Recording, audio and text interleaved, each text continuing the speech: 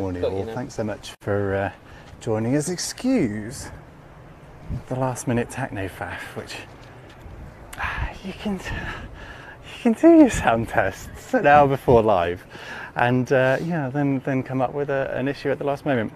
And Same thing yesterday. Yeah, I was make you know we'll, we'll, build another uh, check-in five minutes before we go live, shall we? Um, I was saying good afternoon, and it is now afternoon. Welcome to Bournemouth for day three of our live coverage of Air Festival. Um, I hope you've been enjoying the coverage. It's been uh, yesterday was fantastic. Thursday we won't talk about, but yesterday a pretty well full flying display. I saw everything, not necessar- not necessarily in order it was supposed to happen, but you know that's the way of air shows. Yeah, and some spectacular conditions at points, especially for the evening show.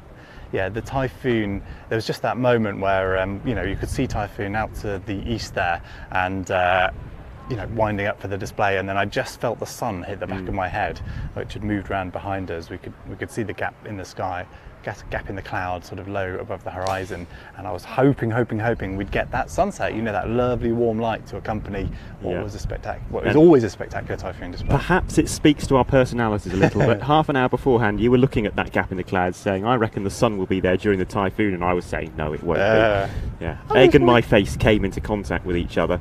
we chop and change on the optimism front and uh, the pessimism pessimism front. Um, I think right now we're both feeling pretty optimistic about yeah, today's flight. looking like a good day. So, we're looking at the TAF from Bournemouth Airport earlier, and it was uh, uh, showing some low cloud around at about a thousand feet until approximately midday, which it is now, and then the cloud lifting uh, three and a half thousand feet, which will be more than enough to see everything fly. Will we get a Red Arrows full display? Uh, well, right now. much like yesterday, just offshore, uh, there's very little cloud at all. So, um, yeah, it's a long way off yet. We've got five hours or so to go until the Reds do uh, run in to start their show. But if it stays like it is at the moment, could be another Red Arrows full display. Now we were expecting flying to start at one. I believe that's now changed to 22. Yeah. Um, I haven't seen an updated schedule. No. Um, so mm, take this with a pinch of salt. Yes. This is, this is the running order as it was A few days about ago. three days ago. Yes. So the running order starting with the Tigers, Slingsby Firefly, Bronco, Firebirds, Battle of Britain Memorial Flight, Lancaster and Typhoon duo display, and then the Typhoon solo. Following that, a 40 minute break.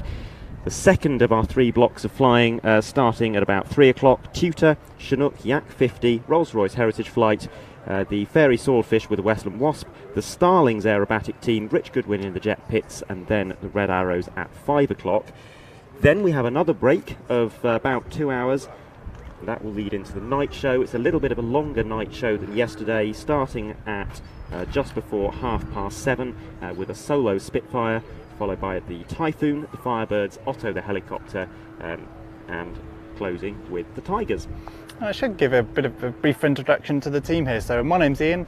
I run Planes TV, started by my old man Adrian, who's uh, over there. We were hoping to get him on camera, but we sent him off to grab the lunches a little bit too close to live time. It turns out his walking pace not allowing him to join. But I'm hoping prior to the flying starting at uh, yeah 35 minutes time, we might get a little word from Adrian about uh, the business and Well- uh, uh, air shows in general. If I can leave you to fend for yourself, we can go and swap microphones We around could and do. I can Well, let's- send him in. We'll play a little video. We'll make it even more uh, smooth than that, Adam. Why not? So this is Adam. He'll be providing you with um, commentary during the show. Talented camera operator in his own right, but he's set up a little deck chair over there, and I've started to twig why he enjoys commentary more than uh, camera camera operating, operating work.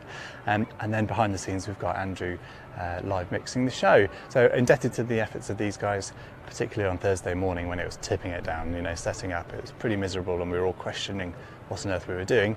But on a day like today, we, we, none of us would rather be anywhere else. I don't think. It all makes sense. So we've been doing this for a few years. I mentioned Adrian started the business uh, 33, four years ago, and uh, we've been covering Bournemouth for very many of those years. Um, a couple of the clips we've got uh, from our archive, and this is from our on-demand service. So we stream both on here on Free TV on YouTube.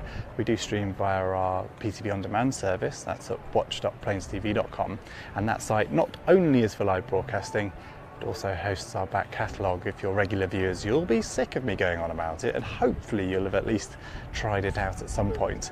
At the moment, we've got an offer on that service. If you use the coupon code Bournemouth with a capital B, you'll get half price on your first month's subscription or first year. Um, so making a month cost £5 rather than 10 and you'll need to be a subscriber of that service or a channel member to join us tomorrow for the live broadcast. So it won't be free to view, it'll just be for channel members on YouTube and for subscribers of the PTV On Demand service at watch.planestv.com. So if you feel like watching some of our back catalogue stretching back 34 years or indeed joining us for tomorrow's live broadcast, try uh, take a look at watch.planestv.com and use the coupon code Bournemouth with a capital B to get 50% off your first month or year year's subscription.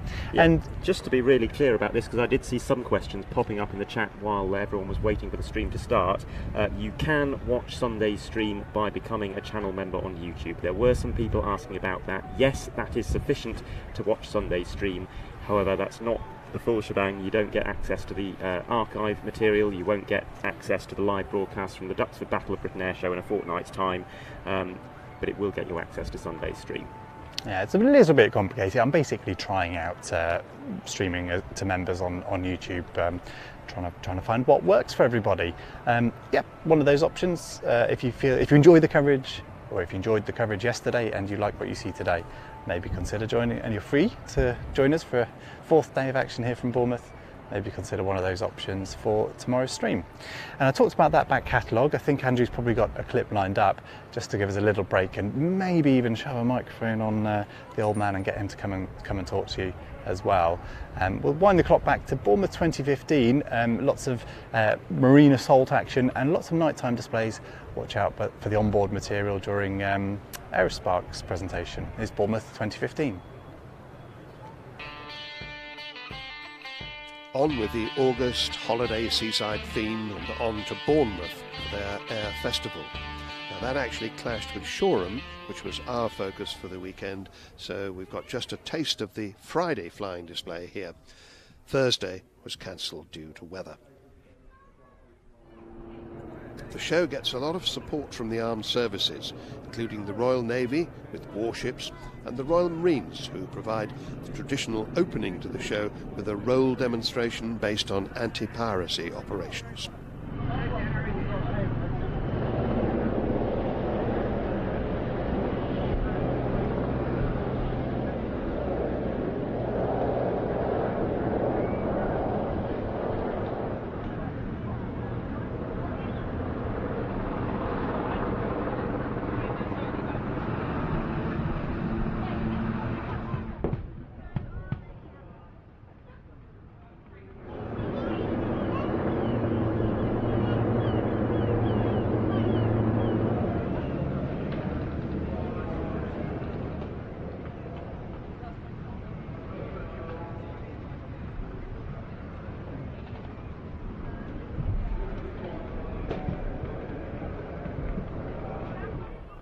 Bournemouth is another seaside show that places great emphasis on their evening flying display. Taking part this year was Brendan O'Brien and the Fireflies, the Red Devils Army Parachute Display Team, and Aerosparks with their Grob 109 powered gliders.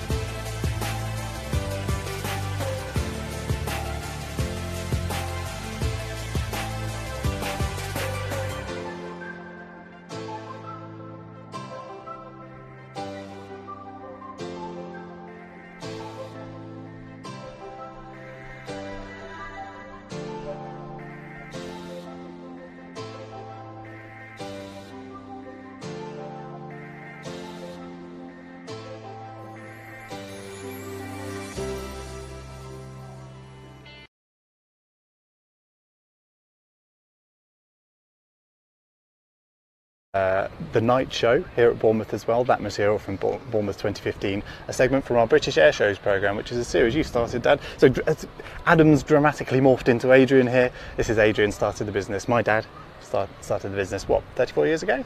34 years ago, yes. It uh, doesn't seem that long ago. I can remember it, uh, that first air show to this day, North Weald. Uh, the uh, fighter meet, they called it.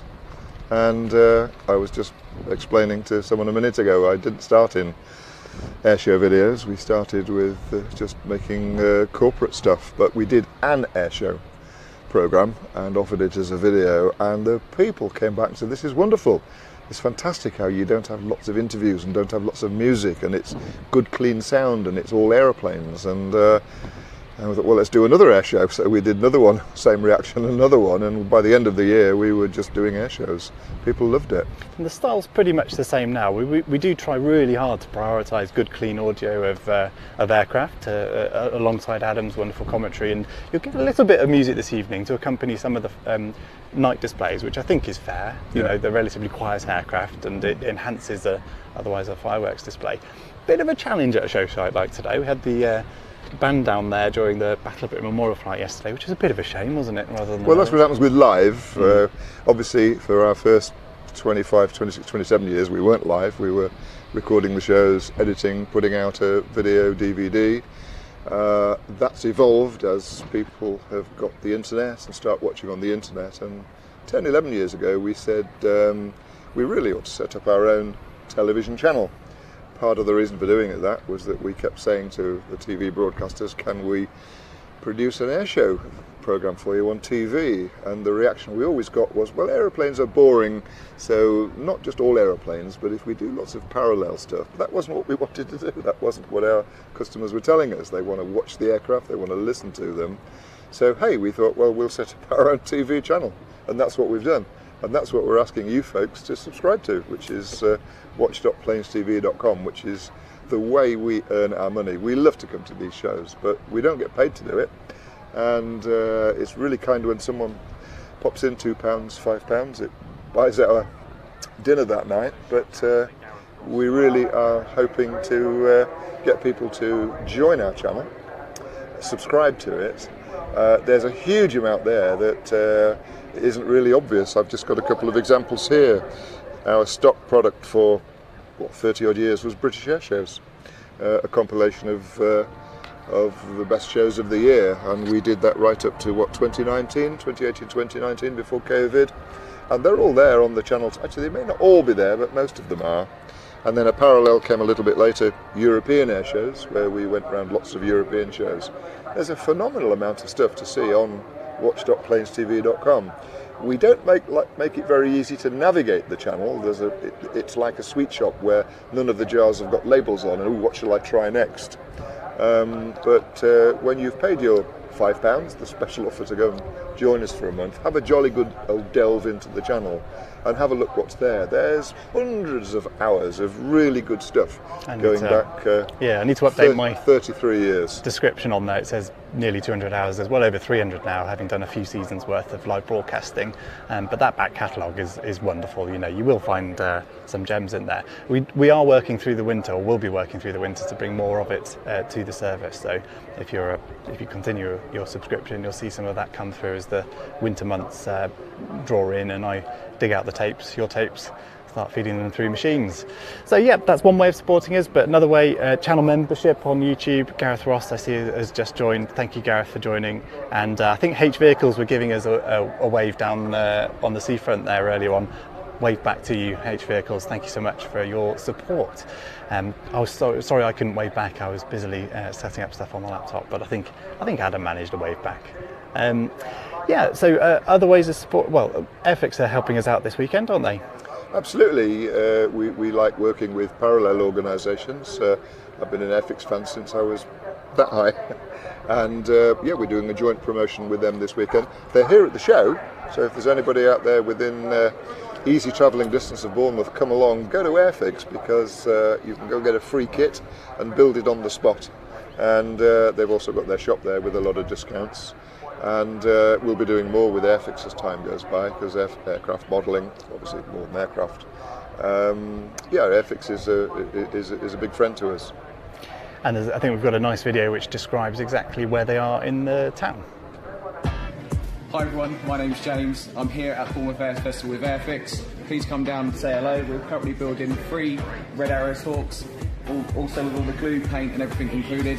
Um, so if you're watching, please come down, please say hello and enjoy the Air Festival. We've been building these three red arrows from Airfix and you can paint them and you can glue them together like this one that's nearly complete. We just have this little part here to put back on, on the wing. We do indeed.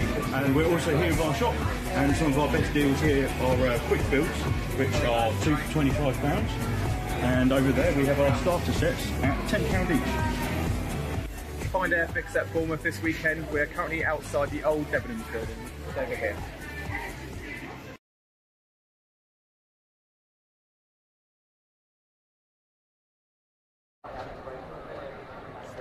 yeah, thank you, Andrew. Uh, nice little video uh, giving you a uh, um, sight of where Airfix are today. And uh, yeah, I've had a few minutes myself. I wouldn't mind building one of those Hawks.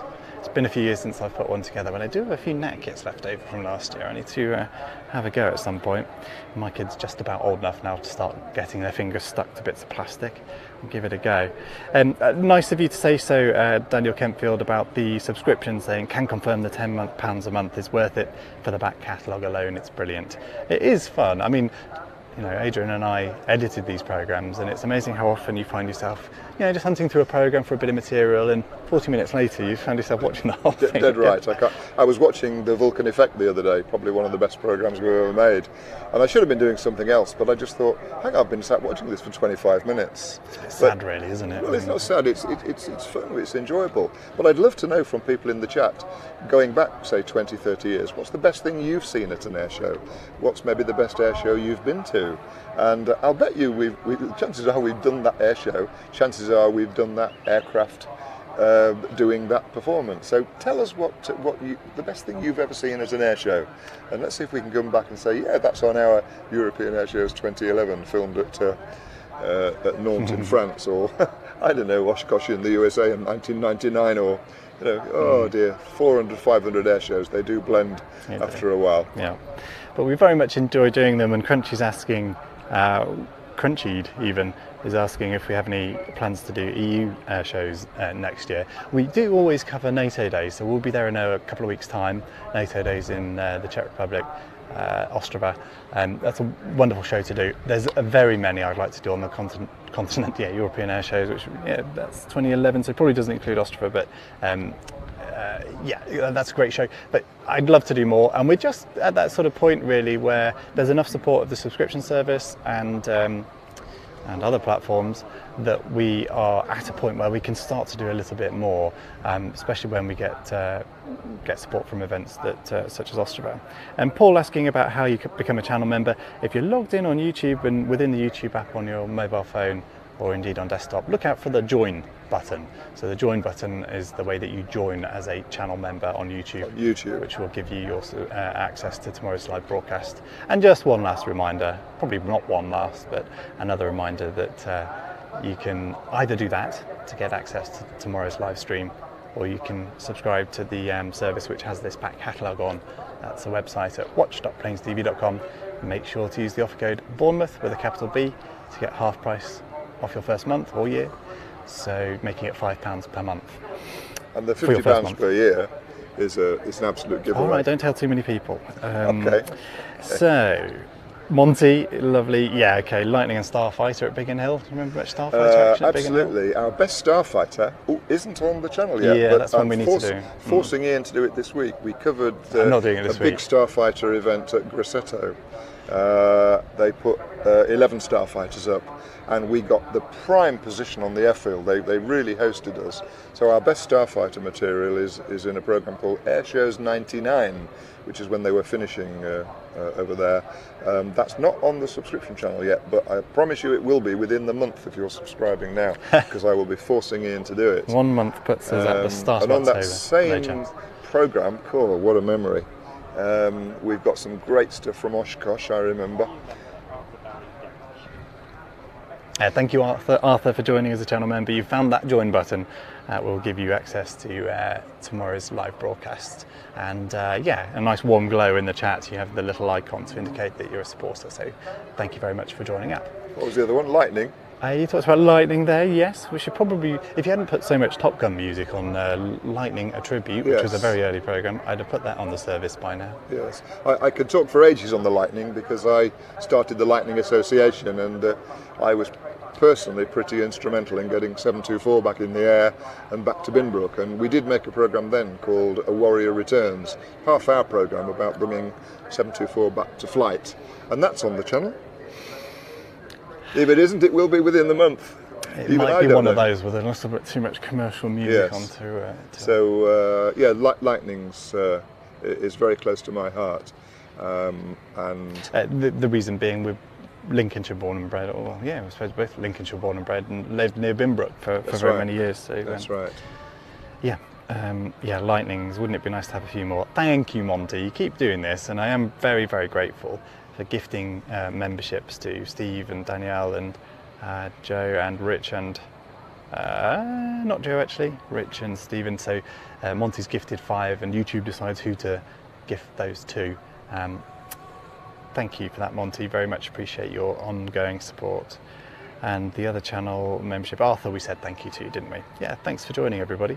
Just about, uh, what time do we say? We said, oh, 20 minutes. So it's about 20 to 1 where um, flying will start. And thank you, Michael. I'll see you in the chat for sending uh, the updated schedule. I should really go and buy a program. I really should do that because the app, the Bournemouth app, does give access to um, updated uh, running orders. So starting at 20 to 1 with the Battle of Britain Memorial Flight, following that the Lancaster and Typhoon formation. I haven't seen this yet. I'm really looking forward to it. A few passes and a very dramatic break, uh, sort of on the B axis toward the crowd. Very much looking forward to that uh, two-ship display. Then the Typhoon solo, which we very much enjoyed a couple of times yesterday, especially in the evening light. If you haven't uh, seen that material, it's worth winding like yesterday's live broadcast back. Or I think I think there's a, a short on YouTube of some of the cool slow-mo stuff we got of that. Then we have Firefly, Bronco, and the Firebirds team prior to the break, and then we'll pick up again at three o'clock um, with uh, yeah RAF Tutor, RAF Chinook, Yak 50, the Rolls-Royce Heritage Flight, Wing Swordfish and Wasp, the Starlings, which we haven't seen yet, have we actually? They're just a booking over the two-day weekend. Then the very special Rich Goodwin Pitts Special, the Jet Pitts, that very powerful piston engine augmented with two um, small jet engines on the side of the fuselage. Uh, one of my favourite displays this weekend for sure. And then closing out the Red Arrows at five, prior to a couple of hours gap before the flying uh, the evening displays, we'll be looking forward to around about uh, it was about 20 to 8 was yesterday. Don't have those listed there, but uh, this stream will stay active for the uh, evening displays. So uh, if you're watching, keep it open on a telly, and you can join us later on. Right. Uh, thank you, Neil, for signing up. And I saw someone else as well. No, it was Neil. Um, yeah, lots of new channel memberships coming in. Thank you. It really does help support us, and not just in the way of giving you access and uh, to, to tomorrow's live stream. That channel memberships thing does just give me that extra incentive to do a little bit more on YouTube. We do like coming out doing free to view stuff. You know, the larger audience is always good fun, um, but the, the, the paid paid service is a it's a balancing act. You know, trying to find uh, what works. So thank you for your support there, and for anyone else who's a subscriber on watch.planestv.com.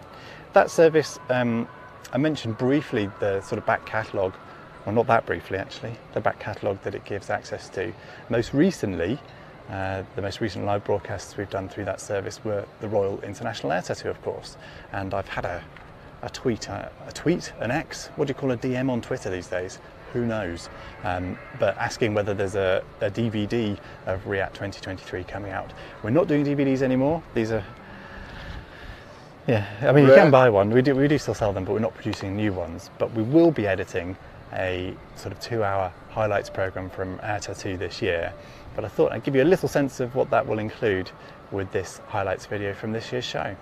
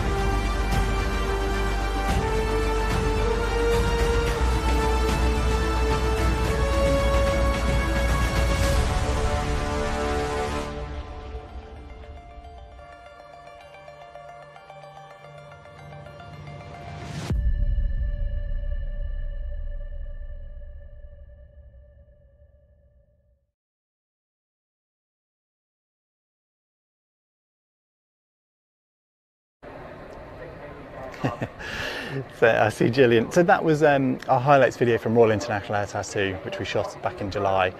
Always a fun show that one, but a lot of hard work goes in. They're long days, aren't they? It is a long day, but uh, I'm probably going to upset the International Air Tattoo by saying on this uh, European Airshows one, you've got the uh, the Netherlands um, at Volkel, the Luchtmachtdagen, and the European shows. Some of them are very every bit as good as as RIAT, and uh, there's some great shows out there. Absolutely. But, uh, I'm going to plug again. Here's two DVDs, which may be still for sale on our channel, Oh, no. and they'll cost you fifty pounds, twenty-five pounds each. But what's the better deal? Two DVDs, fifty pounds, or a whole year on watch.planestv.com, where you can watch these and 200 of us like this. You can tell he sold cars for a living once in a while, didn't he? It's uh, fifty pounds to watch our massive back catalogue. Go on, guys, join watch.planestv.com. And, uh, be- it will be amazing, I promise you. But you'll have to hunt a little bit for the content. Yeah, and the coupon code is Bournemouth, capital B. Will get you 50% off your first month. John, thank you so much for your emails. Yes, I do get them. Uh, thank you for signing up. Uh, thank you for being a channel member and uh, for your for your um, correspondence. If you're subscribed to the email newsletter, there's a link to that in the description below. I think I did send one out today. I did manage to get to that this morning. Thank you. Adam's nodding. He is, he's obviously on the list. He's done done his duty of signing up for email newsletters from Planes TV. There's a link in the description to allow you to do that. Replies to that come directly to me, so you can tell me to get that Airshows 99 program with the Grosseto Starfighter material onto the subscription service and uh, other bits and pieces. And John's always very good at uh, updating me on what the Buccaneer guys are doing at Campbell, etc. Do get the emails, don't always get the time to respond, as you know, John, sorry. But I, I do like to, wherever I possibly can do. I've got about 60 uh, emails as a result of Air Tattoo that are all well-wishing emails saying thanks for the coverage, thank you, well done. And none of them were asking for a reply specifically, but they're all people I'd like to get back to at some point. That I snooze those emails at the start of every week at the moment because we're just too busy with events. But at some point, I'll get back to everyone to say, I'm glad you enjoyed the coverage. Uh, yeah, so we're winding up now. So we've got nine minutes to go. I heard a bit of a roar over there. It could have been a typhoon starting up potentially, which is our second act joining the Lancaster. Uh, Lancaster being part of the Battle Memorial flight, which, kick, which is which is kicking off the flying at 20 to 1 in just nine minutes time. So a little bit of time now for us to start thinking about whether the cameras are switched on and pointing in a general direction of some aeroplanes. Um, Adam's flicking through his notes, getting ready to give you some commentary during the flying. We're not tapped into the event commentary today. Um, Adam's going to give you um, commentary throughout and it's always gone down very well. He does a very good job. And Adrian and I will be on camera. We're quite looking forward to it today. Yeah, camera's been my uh, my thing for 30 odd years, but at this age you ache and creak a little bit. So uh, I get Ian to do the, the big lens camera, which is genuinely hard work. I'd love to see uh, uh, even professional camera people try and film some aircraft. But uh, yeah, I go back a bit, and if there's anybody out there with any of our really old programs, the, the 90s stuff, the American air shows at Alconbury, or Upper Heyford, Bentwaters, on video still, just let us know on the chat. I'd love to know if any of you have still got our sort of really early programs from Biggin Hill and, and Woodford. That was one of my favourite locations. So many air shows we've lost. Yeah, and the one thank you we haven't done just quite yet is um, this vantage point is provided to us by the hotel that we're stood on. So the Cumberland Hotel, um, Bournemouth with the cliffs gives you this remarkable vantage point to look down on some of the displays. Um, and we're at that little bit higher on, on the roof here at the Cumberland Hotel. We're indebted to them and their support providing this as a, as a platform for us to operate. Um, it's a wonderful hotel. I said yesterday I've stopped looking over uh, the balcony here at the hospitality area downstairs, which is one way that you can enjoy the Bournemouth Air Festival. It's come to the Cumberland Hotel, the hospitality downstairs. It's sold out for this year, but for maybe for future years consider it. Looks pretty nice down there, doesn't it? It does, absolutely. This is perfect weather for an air show. Clear, lots of cloud about. It's going to be great stuff. And if you're uh, in the hospital- hospitality area at uh, the Cumberland Hotel, you'd have access to the swimming pool, the bar, the food. Ah, it's just looking very nice down there. So big thank you to the Cumberland Hotel for, for their support again this year. Adrian and Adam came and used uh, this as a platform last year, and we've got uh, yeah more of us here this year. And uh, yeah, very grateful for the, the support of the Cumberland Hotel. So I can see in the chat, and this is very useful. So it's not uh, normally at a show we might have a commentator nearby or, or a FDD flying display director nearby who can give us a little updates on what's going on.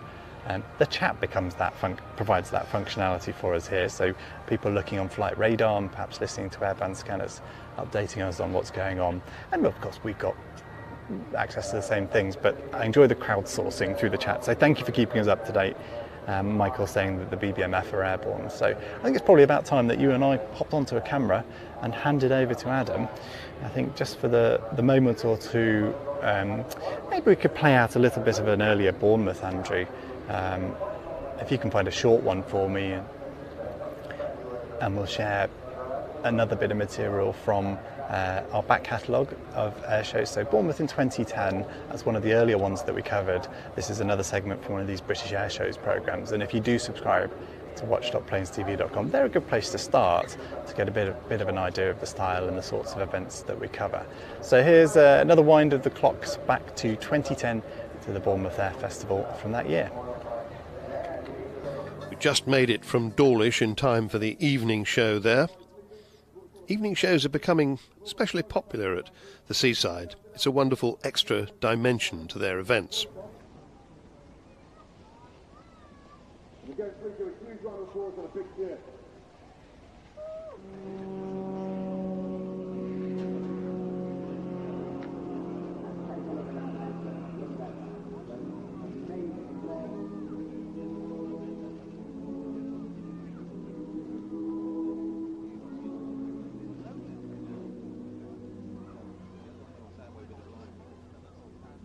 Come show day itself, there really wasn't much evidence that this was a late August summer weekend. The event had to cope with appalling weather conditions when there was very little that was able to fly.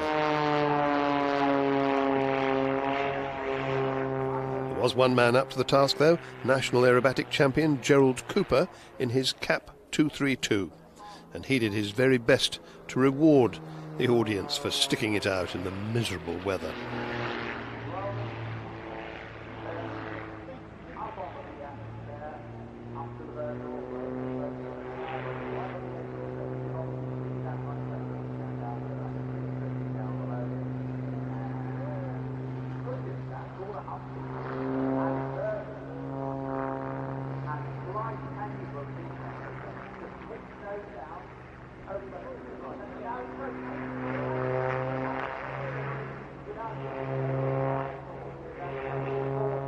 The Royal Marines were also, of course, able to put on their beach assault. Would you expect anything less?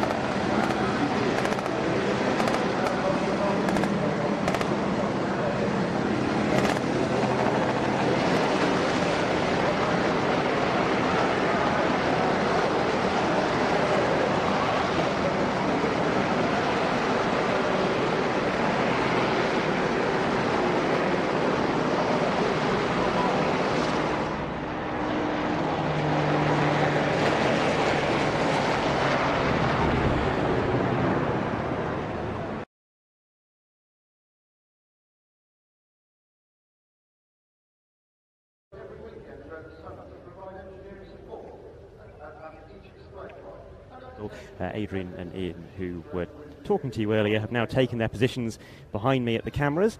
And uh, we are very shortly about to see the Battle of Britain Memorial flight running in to start their display. I'm going to attempt to talk you through the action although uh, not too much talking during the BBMF because I imagine you'd rather hear the sound of six uh, Rolls-Royce Merlin engines. I would like to very quickly say thank you to Mike W, uh, who is our latest Planes TV channel member. Uh, thank you, Mike, for supporting us, and you will have access to our live coverage of the air show tomorrow. But I think it's probably time uh, now to uh, head over to Ian's camera, who's picked up the Battle of Britain Memorial flight, who are running in now to start their display. Lovely three ship formation of Lancaster B1, Hurricane Mark 2C, and Spitfire LF 9E.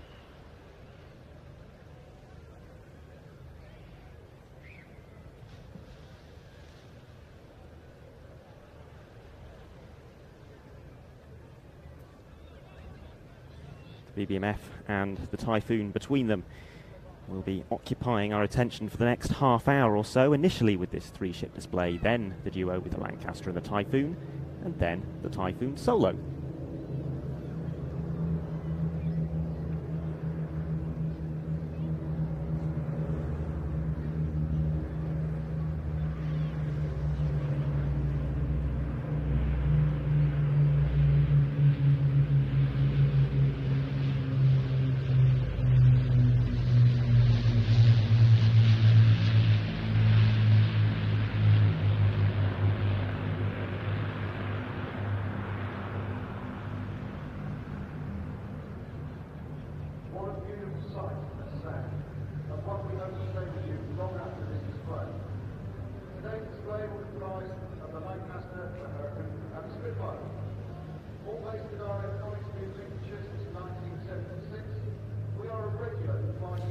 Battle of Britain Memorial Flight was founded in 1957 as the historic aircraft flight, at that point with one Hurricane and three Spitfires. And in fact, we're going to see one of those founding three Spitfires as part of the Rolls-Royce Heritage Flight later today.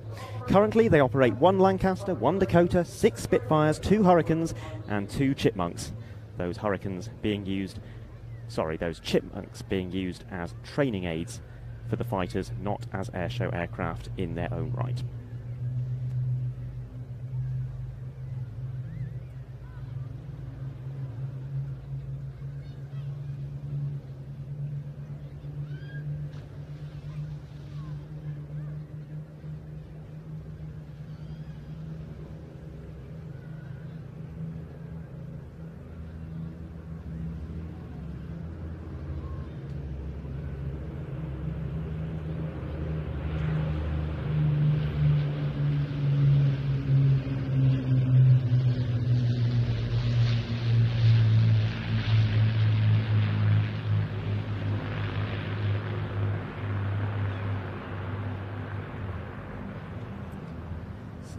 Now for the two fighters to break away. We will then have solo displays from each aircraft in turn, starting with the Spitfire, then the Hurricane, and finally the Lancaster. There go the fighters now. We will get a fly past from all three of those aircraft in turn before the start of the solo displays. Is the Hurricane which will first be flying back towards us. As we wait for that to come around, I'd just like to say thank you to Pink Hector, who has gifted one Planes TV channel membership to Ben PNC. Ben PNC, welcome to the channel, and thank you to Pink Hector.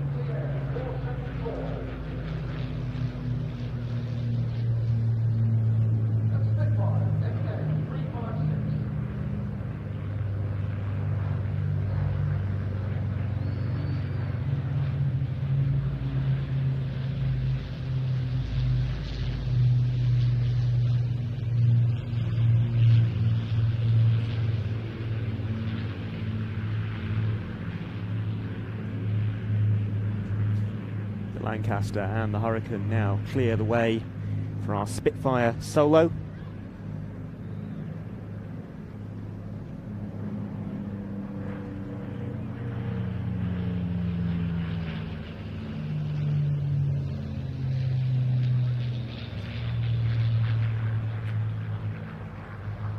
The Spitfire solo display redesigned for the 2022 display season with some very tall, graceful looping and quarter clover manoeuvres such as the one we are seeing now. That was to mark the Queen's Platinum Jubilee, and a very similar display profile has been maintained for 2023.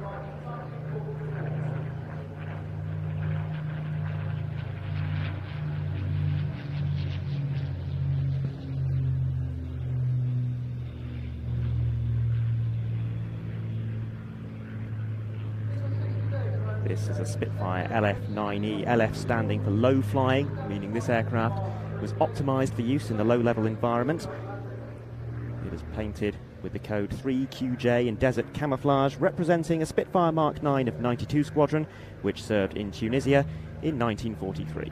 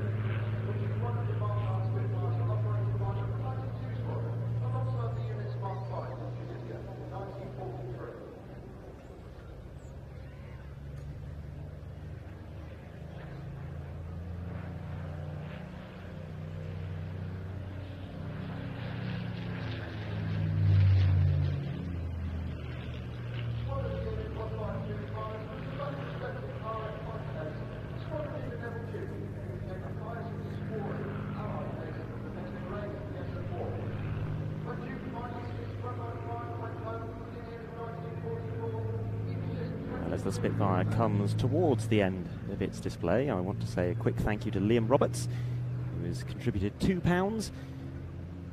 Thank you very much, and that'll uh, all go towards our dinner tonight.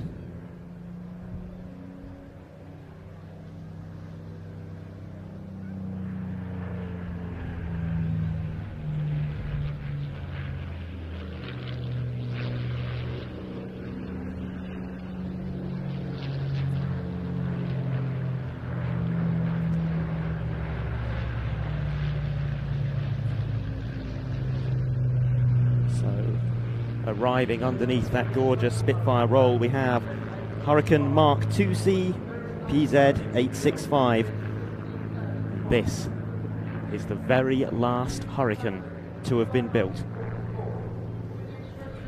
It's painted in a rather unusual black colour scheme, representing a 247 Squadron night fighter based at Predannack and Exeter.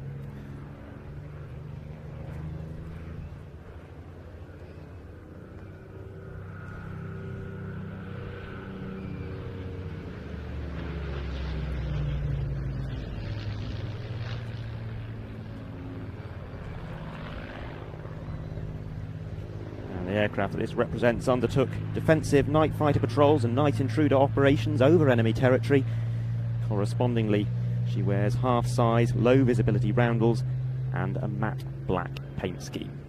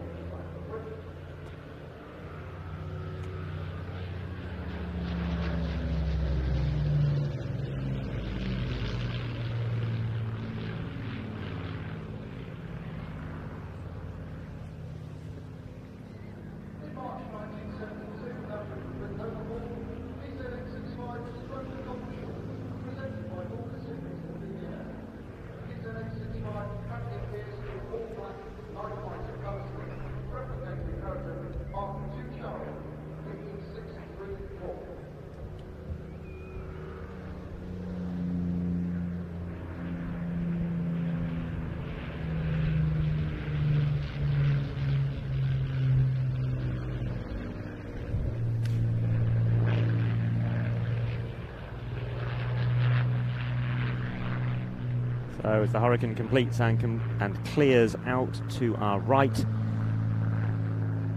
we look out for something very special indeed.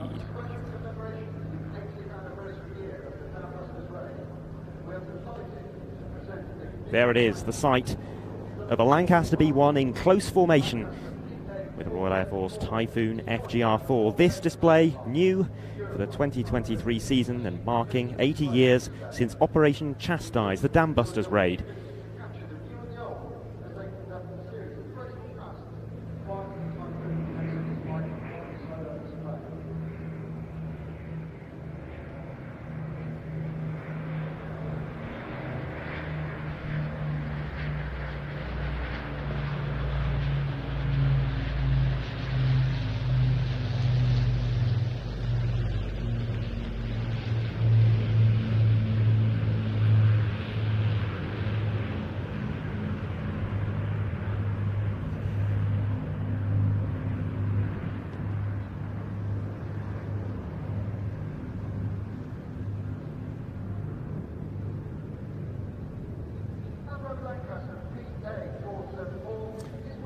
Fascinating to see the Typhoon flying at a fairly noticeable angle of, angle of attack there. Right towards the uh, bottom end of its speed envelope in order to fly formation on the Lancaster. They're going to be giving us three passes in formation. And as they reposition for the second like to say thank you to Liam Roberts, who has gifted us a little under £5 and says he hopes the weather stays nice for us. Well, the forecast for the next two days is more of what you're seeing now, and we can't wait to share it all with you.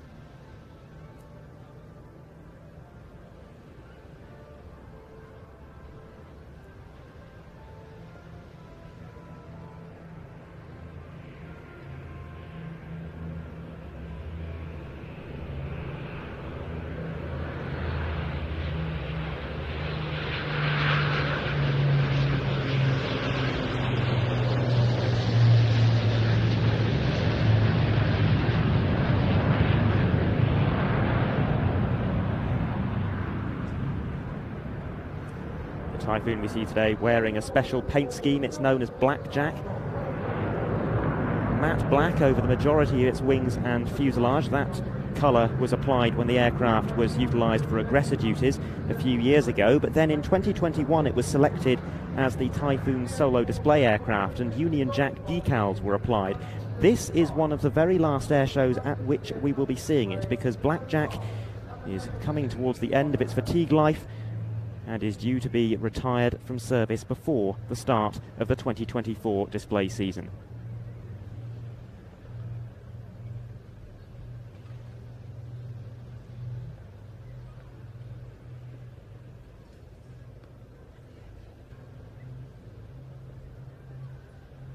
Arthur Two Jackson saying, I'm sure they did this last year too. They did something similar. They did um, a Spitfire and Typhoon duo display last year. Exactly the same sequence, but quite a different spectacle seeing the Typhoon in formation with such a large aircraft as the Lancaster is.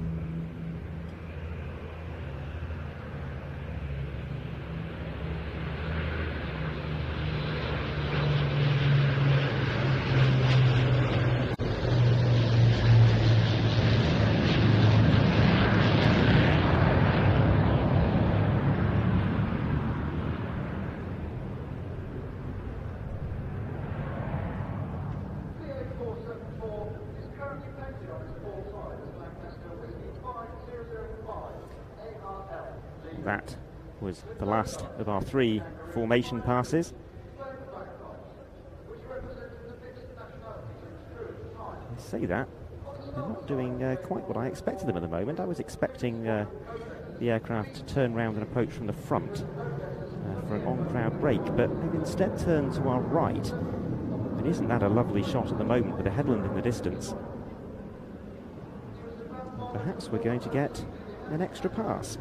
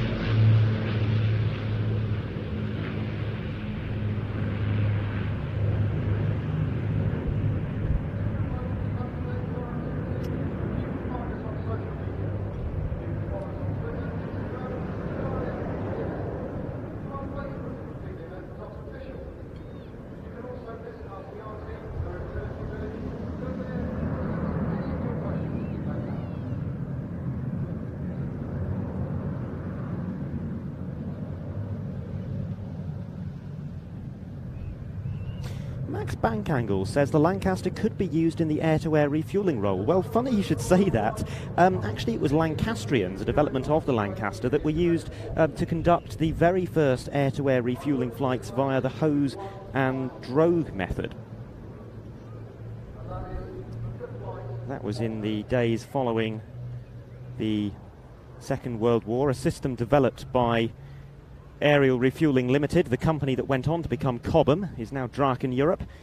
Let's turn our attention back now to the Lancaster and the Typhoon running in from the front for a break.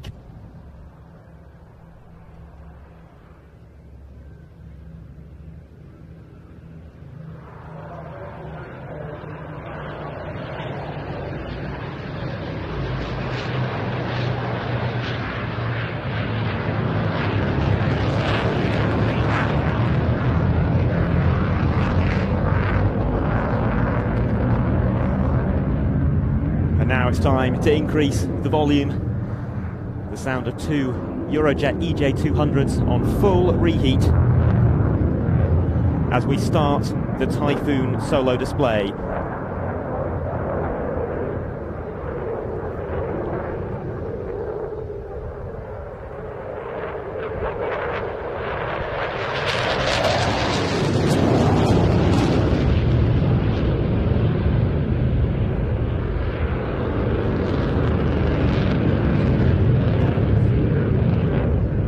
40,000 pounds of thrust with reheat, a top speed of Mach 2, and a very potent fighting machine with no fewer than 13 weapons hard points.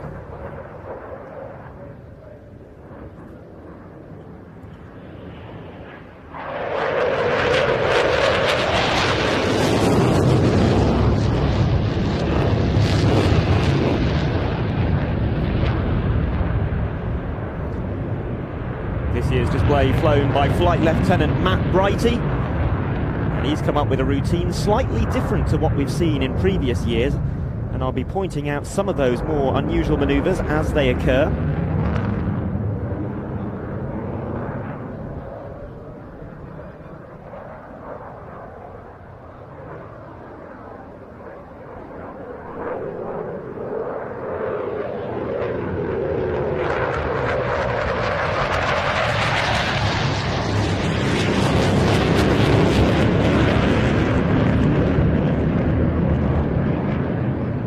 Here comes one of those new manoeuvres now. As the aircraft climbs off to our left, we're about to see a very dramatic negative G bunt, with the nose pointing towards us then. A bit of forward stick, as we see now, and a roll on the downline. The Typhoon limited to 270 degrees per second in roll, making it one of the fastest rolling fourth or fifth generation fighters.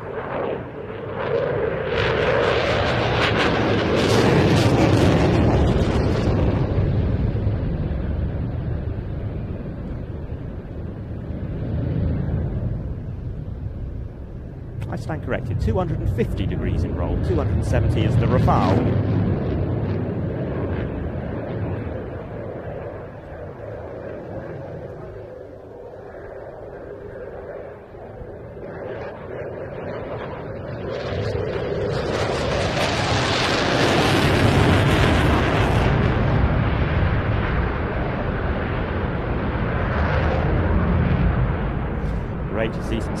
of uh, vapour here in the humid air. That shows that the aerodynamic surfaces are working hard to create lift under high G loads, creating areas of very low pressure above the wings. That reduces the air temperature, cooling it below its dew point and causing the moisture within it to condense.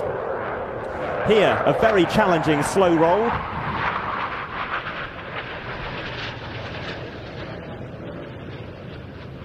Flown while maintaining perfectly level flight. Lots of cross control there, use of the rudder, ailerons and elevators. And from a slow roll to a slow pass. A few years ago, the Typhoon displays started uh, performing these slow passes on the left 45 degree line towards the crowd rather than on the A axis from left to right. And this only goes to emphasize the aircraft's low speed and high angle of attack, limited to 24 degrees angle of attack by the flight control software. But from this angle, it does look like rather more than that. And from this slow pass, a demonstration of the Typhoon's power, accelerating into a loop.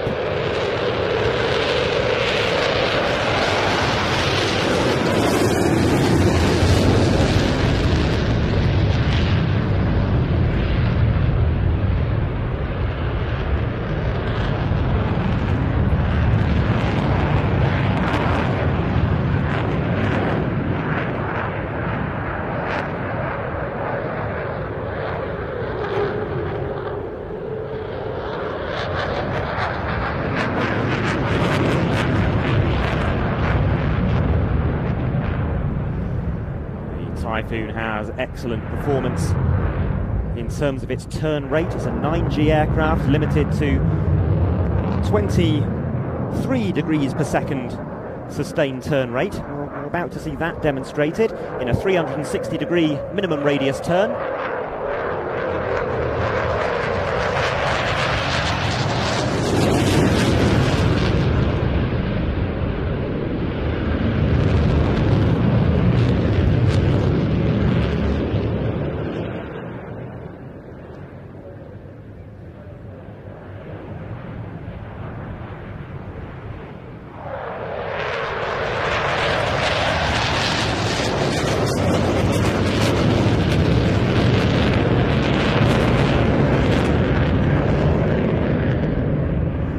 another very unusual manoeuvre now, one that uh, I've not seen from Typhoon displays before. A half Cuban with a knife edge recovery. There it is, an excellent view of the plan form of the aircraft and those Union Jack decals.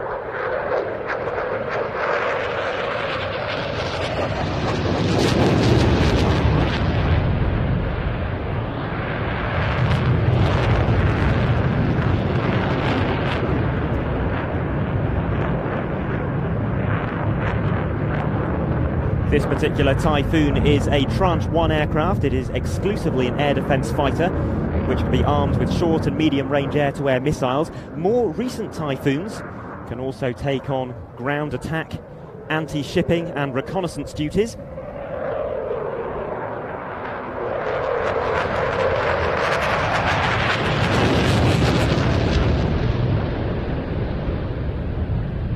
And while these older Tranche 1 Typhoons are due to be retired by the Royal Air Force by around 2025, the newer examples are shortly to go through a major upgrade program that will include the fitting of BAE Systems and Leonardo's European Common Radar System Mark II, which is one of the most advanced electronically scanned array radars in the world.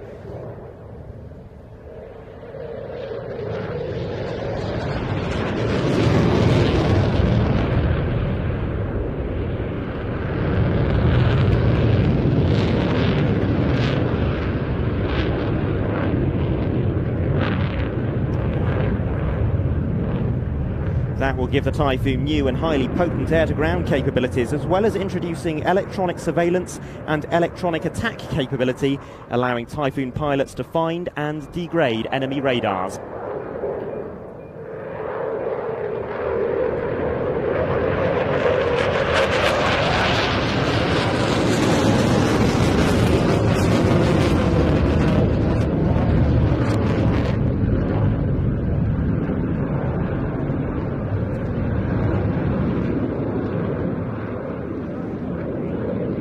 And that is how we end a Typhoon display. An unrestricted climb with aileron rolls in the vertical. That was Flight Lieutenant Matt Brighty in the Royal Air Force Typhoon FGR 4.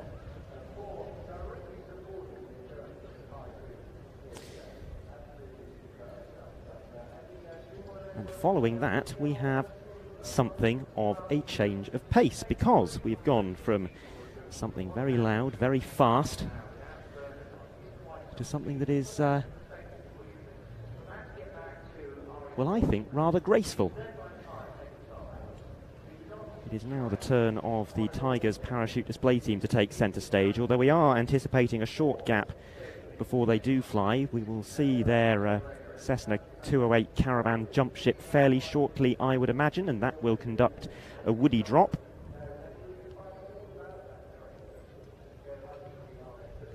So while we wait for that, I would just like to uh, say hello to everyone who has joined us over the course of the last few minutes. Welcome to Planes TV's live coverage of the Bournemouth Air Festival 2023. We are here all four days of the festival, and that includes the last day of the festival tomorrow. Although, I'm afraid, if you want to join us for tomorrow's stream, you will have to pay a little bit of money because that stream will be available uh, to subscribers to our on demand video service, watch.planestv.com, uh, and also to our channel members on YouTube, our paying channel members, that is. If you want to join our on demand service to enjoy Sunday's live broadcast from here at Bournemouth, then head to watch.planestv.com and use the offer code Bournemouth. That will give you 50% off your first month. £5 for a one month subscription to watch.planestv.com, and as part of that one month, uh, that will also give you access to our upcoming live broadcast from the Duxford Battle of Britain Air Show. That is going to be an absolutely tremendous event, including, uh, by the current count, 12 Spitfires, 4 Hurricanes, a unique formation of B 17 with Lancaster, and two more days of the Red Arrows. In addition to that, you will also have access to the back catalogue of programmes that Adrian and Ian were talking to you about earlier.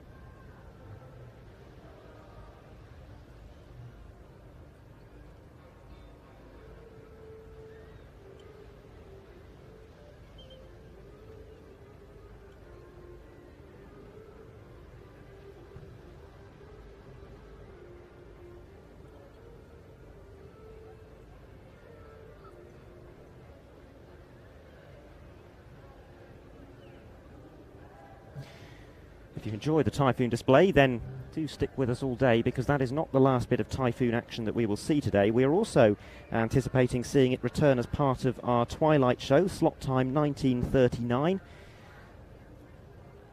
And anyone who was watching our live coverage from the Air Festival yesterday will know what a spectacular affair that can be with the uh, reheats from those two EJ200s standing out superbly well against the darkening sky.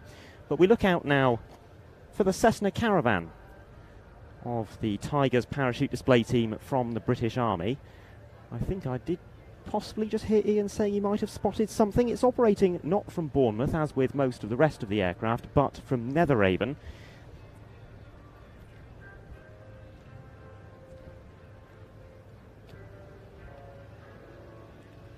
That is the base of the Army Parachute Association.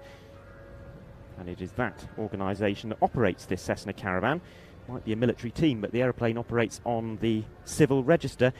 Similar sort of arrangement to the RAF Falcons in that regard, who use a Dornier 228 on the civil register.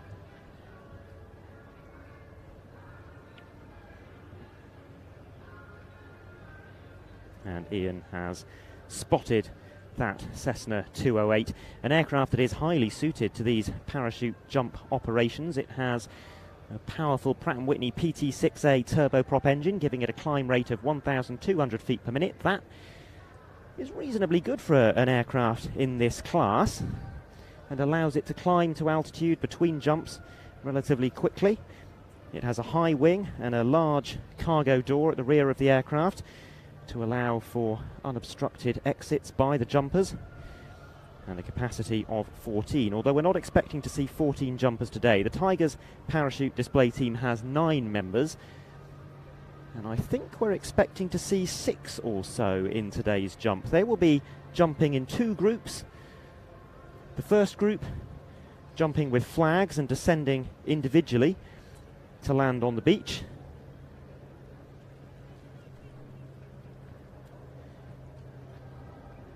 And then we'll have some canopy relative formation work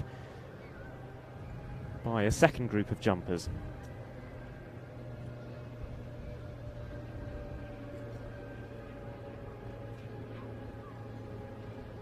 There go the Woodies. And the team will be very carefully watching the flight path of those Woodies as they descend, and this is a, a way of judging the wind conditions and making sure that an appropriate point has been selected for the parachutists to leave the aircraft, allowing them to make it safely to the jump zone in the current wind conditions.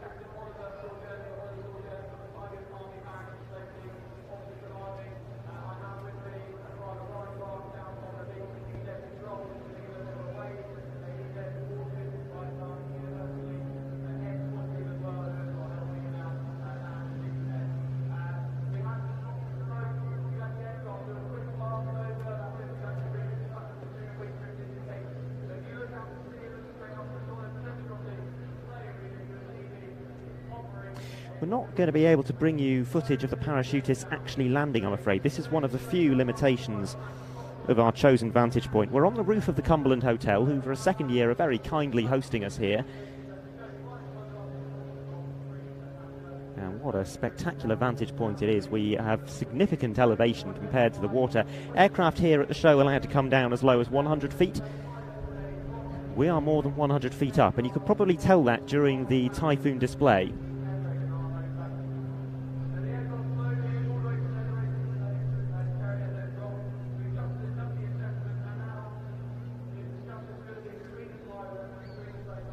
Want to enjoy this view, well, it's possibly a little bit too late to book yourself in here for this year's Air Festival. But they do have rooms available looking out towards the beach. And if you don't want overnight accommodation, well, uh, they do host daytime hospitality. They've got a lovely swimming pool and restaurant out uh, on the patio below, and they had a live band down there last night. What a lovely way to enjoy the air show.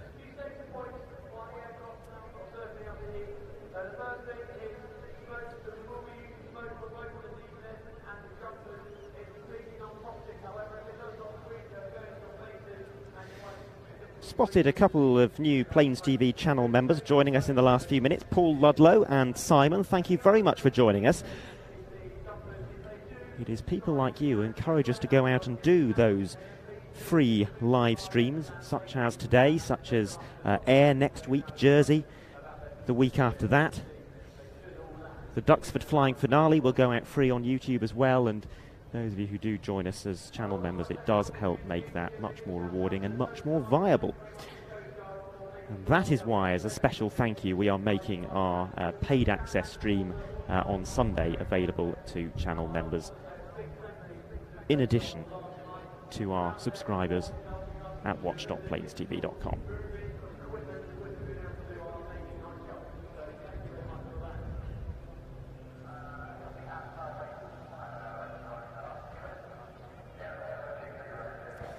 Now, there's a little bit of guesswork going on at the moment as to exactly what is going on because something else uh, about our location here. We're quite used to being next to the flying display director and the commentator. We can often hear the commentary quite well and uh, and feed that straight to you, which means we tend to be pretty clued in as to what's going on, but we're kind of marooned up on the roof without any contact with uh, anyone in the airshow organisation. So it is possible that we've just had a dummy run. equally possible that in the wind conditions they have elected not to jump. I have seen parachute display teams jump in much stronger wind than this, uh, but undeniably those woodies did drift quite a long way along the shoreline as they fell. Angus Cooper asks, will you be heading to Ostrava for NATO days? Well, I personally won't. That will be uh, Ian and ooh, either Andrew or Andy, I'm not sure. They will be heading over to provide a live camera for the official NATO Days live broadcast. Um, that weekend, uh, Adrian and is Andy going to NATO Days? Because Adrian, Andy, and I are at Duxford for the Battle of Britain Air Show, the air show that I was describing with all the Spitfires and Hurricanes. And we will be broadcasting Duxford exclusively on watch.planestv.com for our subscribers there. So now would be a very good time to sign up to that service.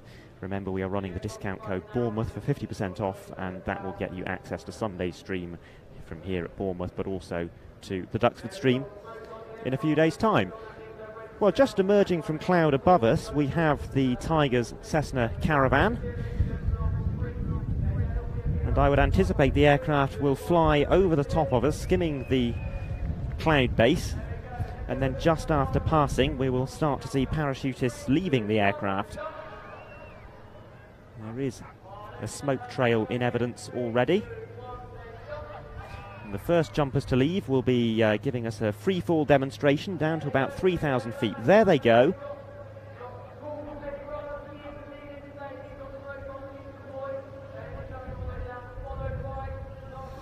Possibly no free fall demonstration today because of the cloud base going by the uh, TAF at uh, Bournemouth Airport, actually, it was predicted to be about uh, three and a half thousand feet, which is probably a little bit too low for that free fall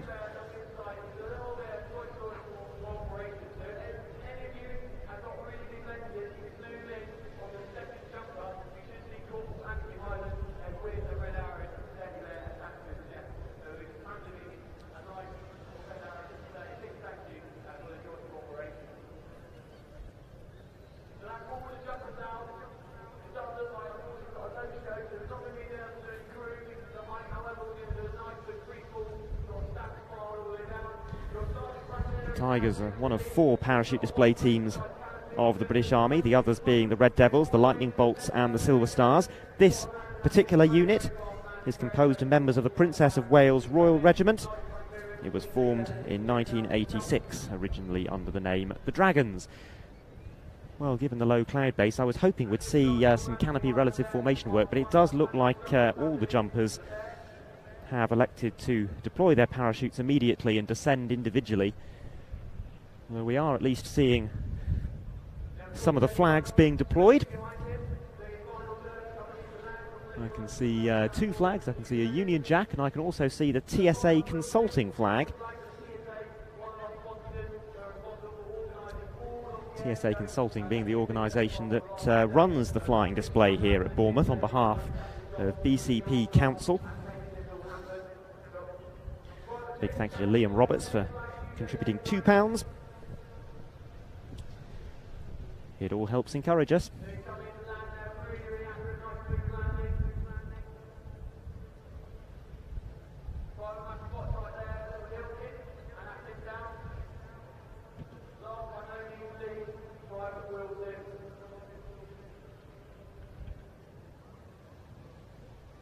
Um, Michael Aviation has obviously uh, heard a little bit of the uh, PA system uh, confirming that that was a low show. Well, that explains what we just saw. Chris saying great coverage. We've been going every year for the last six years, but sadly this year cannot make it um, following your wife's surgery. Well, I wish her well, and sorry you couldn't be here, but I'm very glad that we could bring you the action live on YouTube, and I hope you are enjoying the show.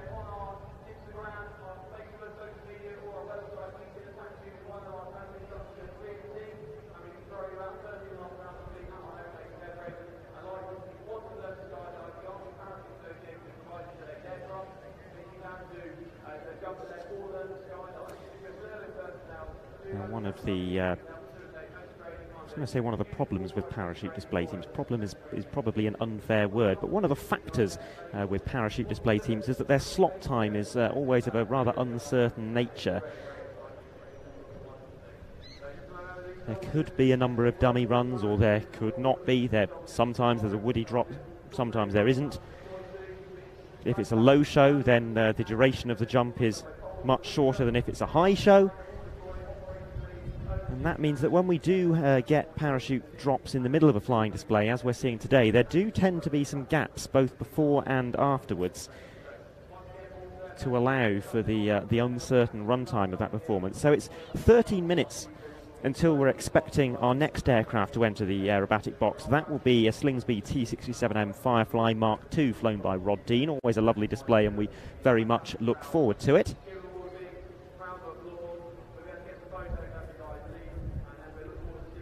But in the meantime, perhaps I can describe uh, some of what uh, you're seeing uh, on the picture now. If you're not familiar with Bournemouth, the pier uh, in your shot at the moment is not Bournemouth Pier, but Boscombe Pier. There's two piers here, and uh, Boscombe Pier off to our left, Bournemouth Pier to our right. The air display taking place uh, between the two of them. Show Centre is biased slightly towards the Boscombe end. Uh, there's a big apartment block about 300 metres to our left called Albany Apartments. That is uh, the Show Centre marker uh, as used by the display pilots. So we're pretty close to show centre here, but not quite on it, as you would have seen during the uh, uh, Lancaster and Typhoon break. They weren't quite coming straight towards us, but uh, near enough that we still got the full effect of the manoeuvre.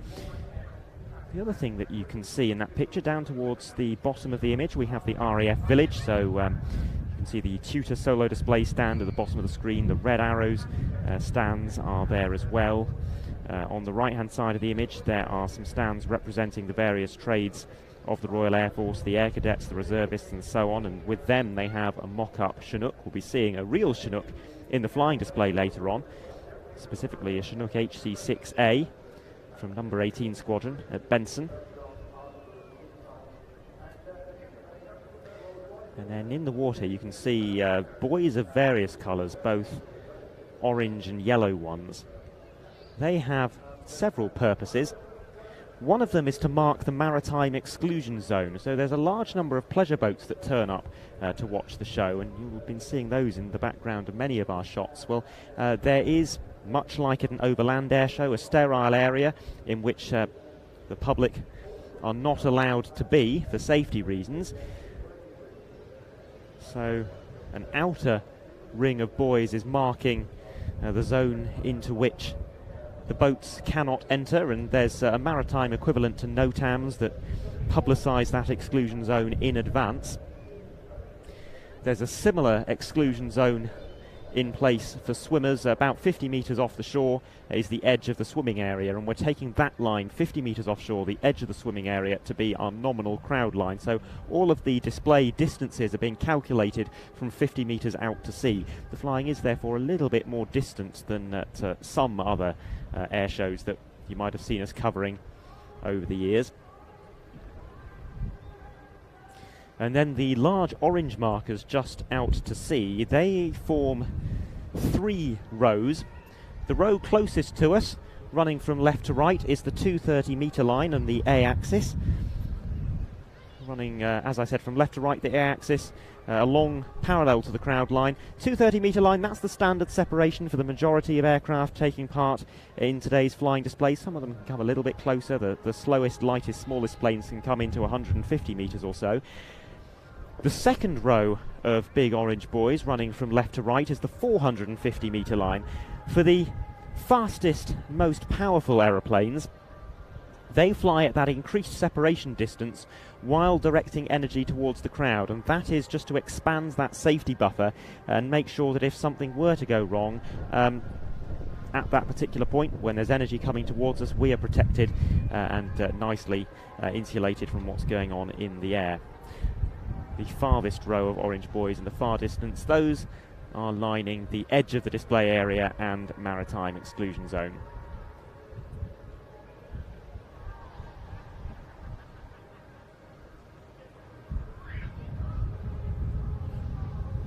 The other term that you'll hear me using over the course of today's broadcast is B-axis. A axis, B axis. A axis runs from left to right, that's the primary display line as marked by the buoys that I just mentioned. B axis is perpendicular to that, and it is for aircraft running in directly towards us, directly towards show centre rather, towards the Albany apartments. We'll see the red arrows make very good use of the B axis for their uh, on crowd bomb bursts, for example.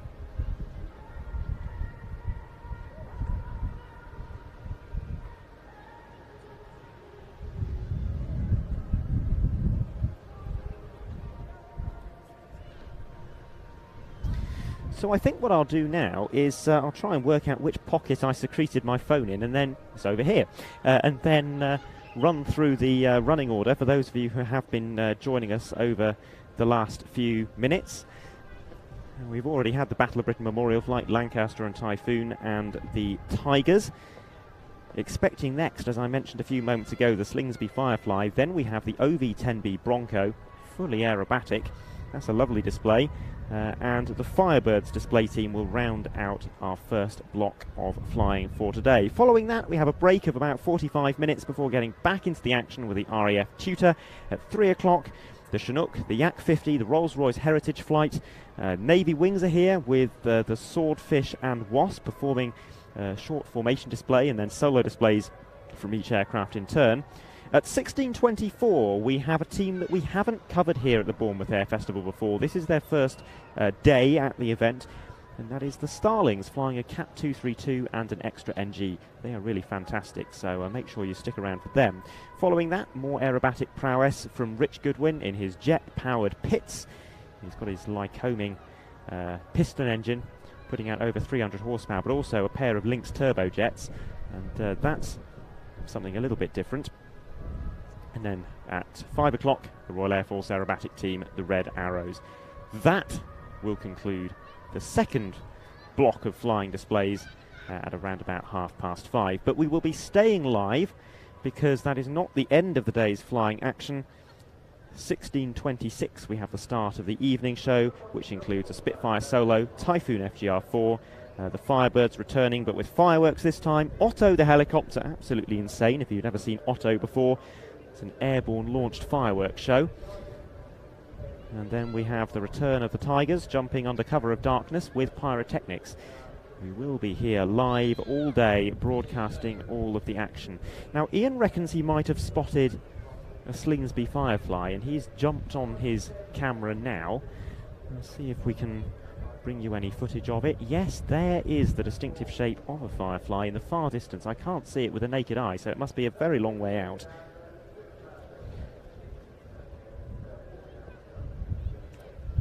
I want you to note the colour scheme of this aircraft as we see it running in towards us.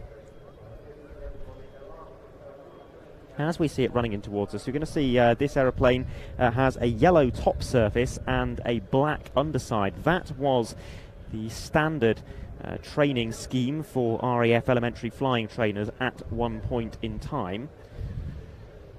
And the tutor from the Royal Air Force that we're going to see later on today is wearing a very similar colour scheme. That was applied a few years ago as an experiment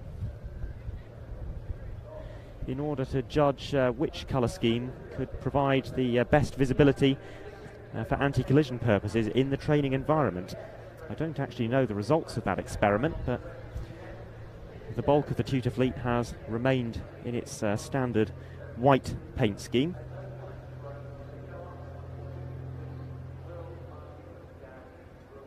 So opening its show with a stall turn, the Slingsby Firefly, flown by Rod Dean.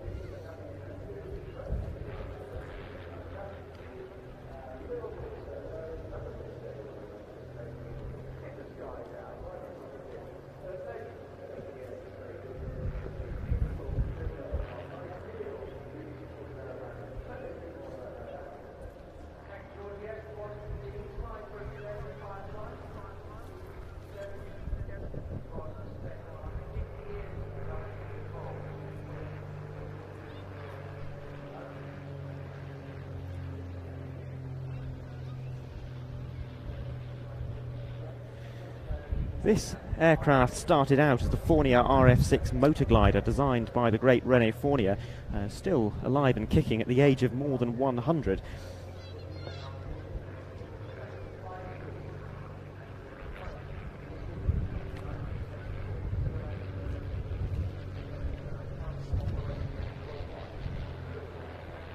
Unfortunately, it didn't sell very well, and after only 40 had been produced, the Fournier Aircraft Company collapsed. The design was picked up by the British manufacturer Slingsby. They fitted it with a much more powerful engine, 160 horsepower fuel injected Lycoming AEIO 540 rather than 100 horsepower Continental O200, and they began marketing it as an aerobatic training aircraft.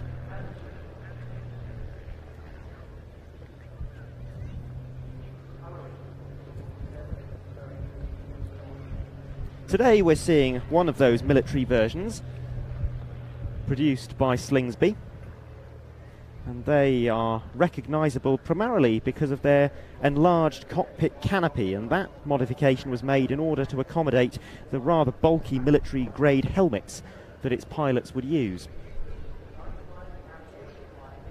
Perhaps most notably the Firefly served with the United States and with our own Royal Air Force serving uh, in British use until 2010, whereupon it was replaced with the Grob Tutor.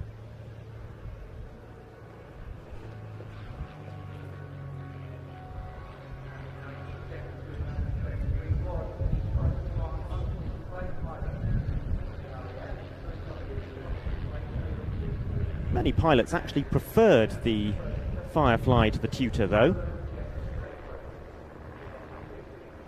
It has a better roll rate and more power at its disposal, but it wasn't the ideal training aircraft because it had rather poor spin recovery characteristics, and sadly, that did lead to a number of accidents.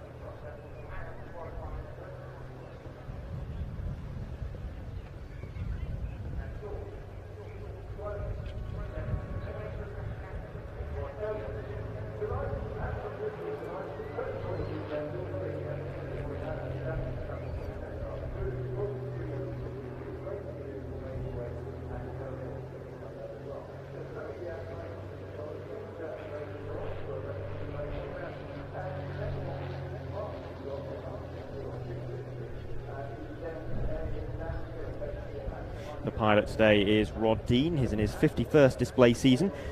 Rod's a Royal Air Force veteran of 21 years, during which time he flew such aircraft as the Meteor and the Gnat.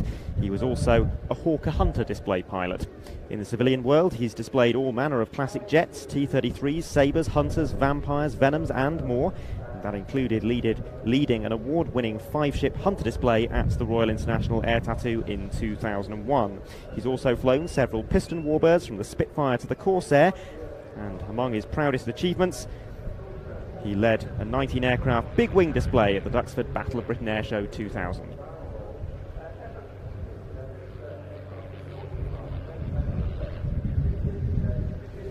That was one of the first big Spitfire and Hurricane formations at a Duxford Air Show, but we'll be seeing another one in two weeks' time at their 2023 Battle of Britain show. We will be broadcasting that live and it will be available exclusively to paying subscribers to watch.planestv.com. Remember, we have that offer code available for 50% off the first month. Head to watch.planestv.com and use the code Bournemouth with a capital B.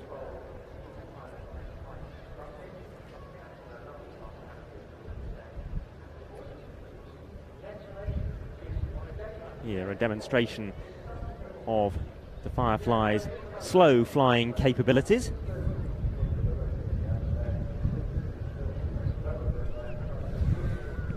Flying into wind. And you just about make him out waving. Oh, he's not waving. I thought he was waving for a second.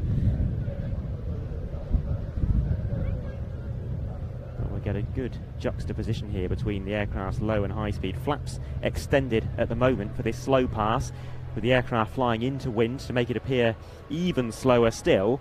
And now Rod will reposition for a downwind pass, retracting those flaps, increasing the power, and hopefully we'll get a bit of a sense of speed.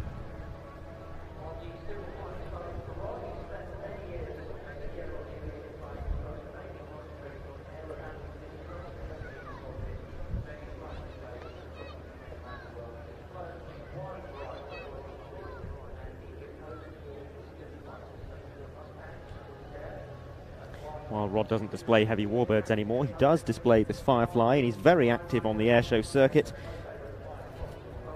Primarily as a Flying Control Committee member and Flying Display Director at some of the UK's largest aviation events.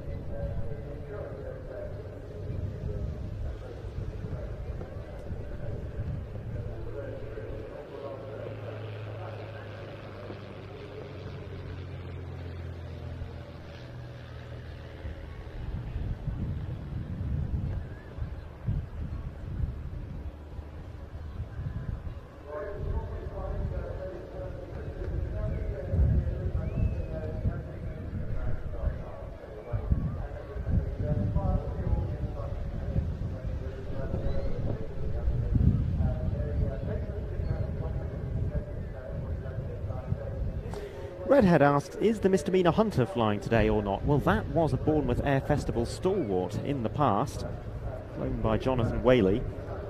We've shown some clips of it uh, before yesterday's live broadcast. I think we ho- showed some Miss Demeanour Bournemouth footage.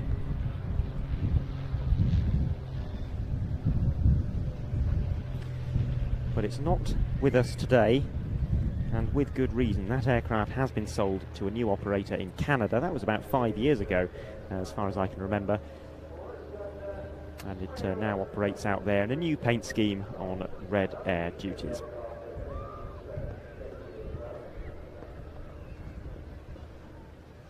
But how nice it would be to see a Hawker Hunter performing in a British flying display again. It's been quite some years since we've seen one there were whisperings of uh, a hunter being brought to a, a UK show two years about two years ago. It very nearly happened, but I don't. I think the sponsor fell through at the last minute. What a treat that would have been.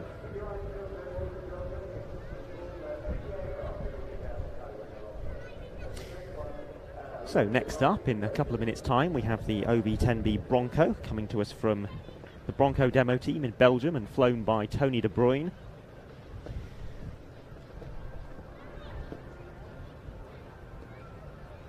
So we're all scanning the skies and looking out for the sign of uh, that very distinctive twin boom aeroplane. See Ian has swung his camera around to our far right with intent, so I imagine you're about to see popping up on your screen the very decent, uh, very distant image of a Bronco. Yes, there it is.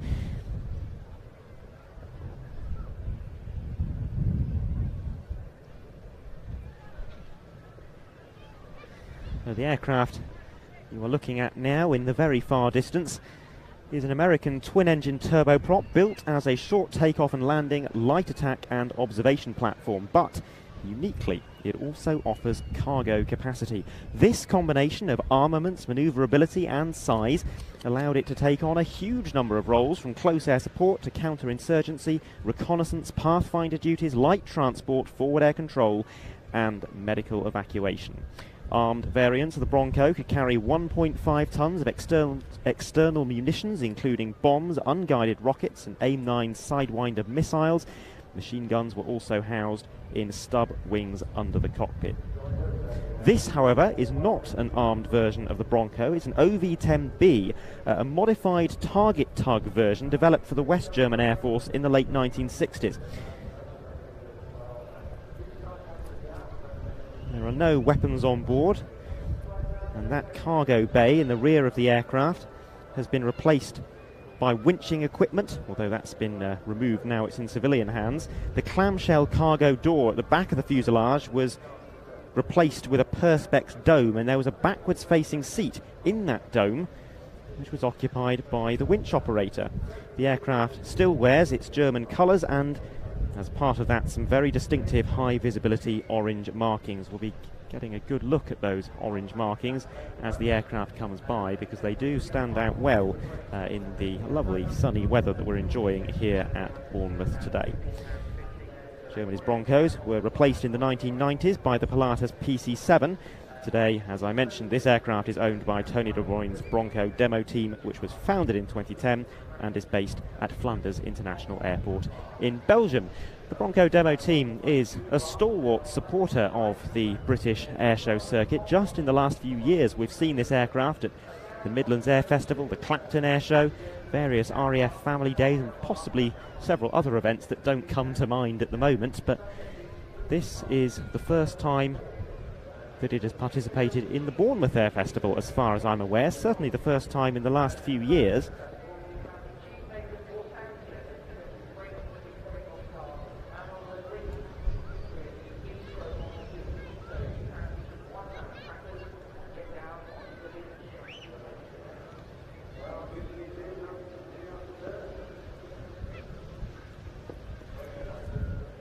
Unusual to see an aircraft of this size with the level of manoeuvrability that you are about to see demonstrated.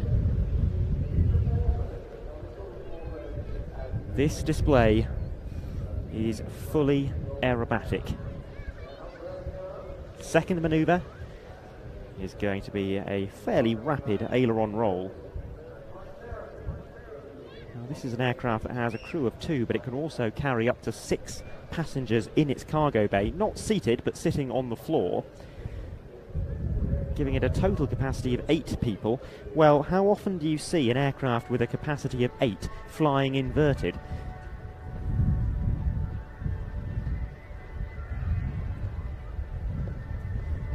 That rear cargo bay could also be used to carry 1.5 tons of freight or a stretcher complete with uh, room for a medic as well.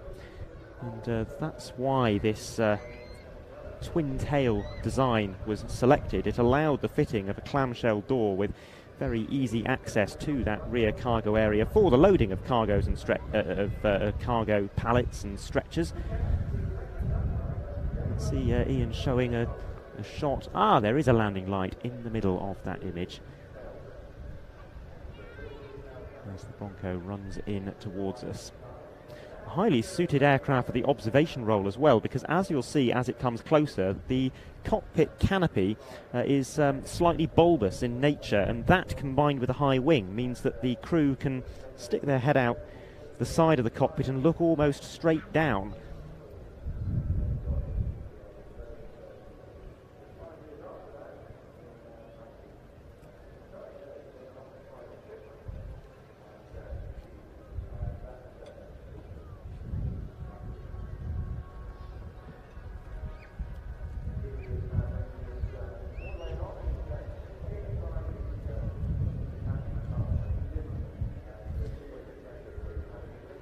Connor Redshaw, sorry, Joshua Davis says, I remember seeing the pairing of Bronco and Skyvan at Duxford some years back.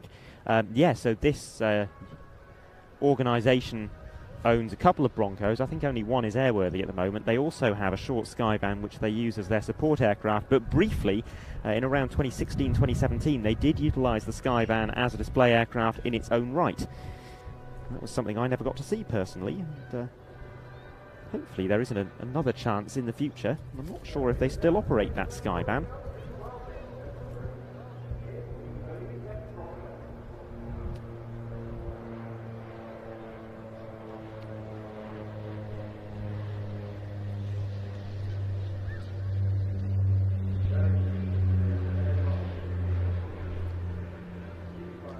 So, first manoeuvre of the show is a steep spiral climb, and this showcases the power at the Broncos' disposal. Two Garrett T76G turboprops producing a combined 2,080 shaft horsepower. That gives the Bronco a 3,000 foot per minute climb rate and a top speed of 250 knots. If you compare that to the uh, Skyvan, uh, sorry, the Caravan, whose climb rate I was praising earlier, uh, well, that was 1,200 feet per minute. This Bronco can climb almost three times as quickly.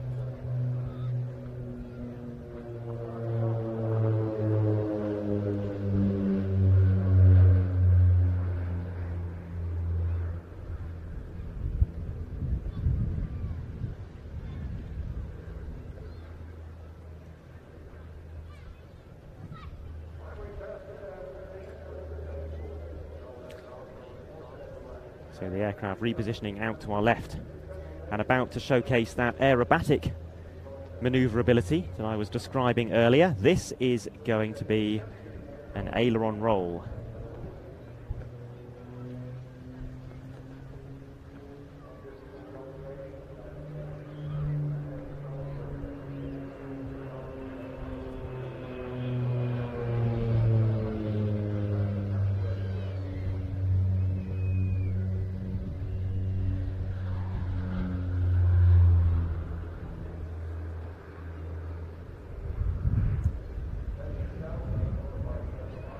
Impressive if you ask me. But it's not just high speed manoeuvrability where this aircraft excels.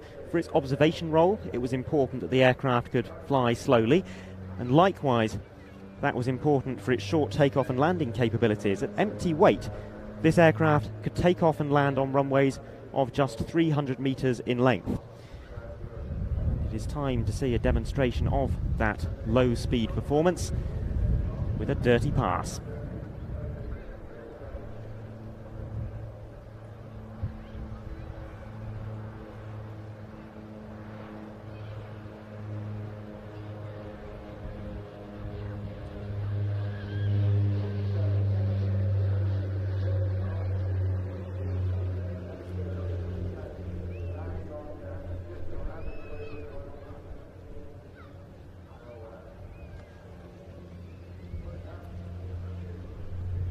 Most famously, the Bronco was used by the US Air Force during the Vietnam War. Around 160 were in use during that conflict, more than a third of which were lost in accidents. Although it was retired by the US Air Force in 1991, they did evaluate the Bronco for reactivation in 2015. A pair of aircraft were pressed into service and performed over 120 combat sorties as part of Operation Inherent Resolve in Iraq and Syria. They apparently performed well, but the US Air Force ultimately decided not to reactivate the Bronco on the grounds of the cost and complexity associated with adding yet another distinct aircraft type to their inventory.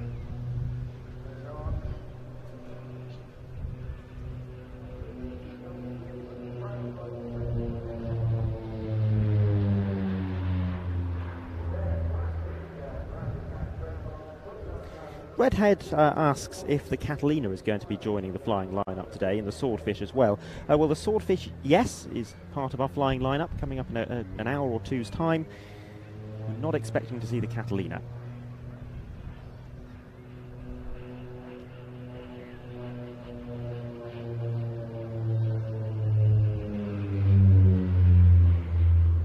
We will, however, be seeing the Catalina at the Duxford Battle of Britain Air Show and uh, so, uh, if you do want to see a bit of Catalina action on Planes TV, make sure you subscribe to watch.planestv.com. We're running that 50% discount using the offer code Bournemouth. And we hope to broadcast the Catalina display at that event.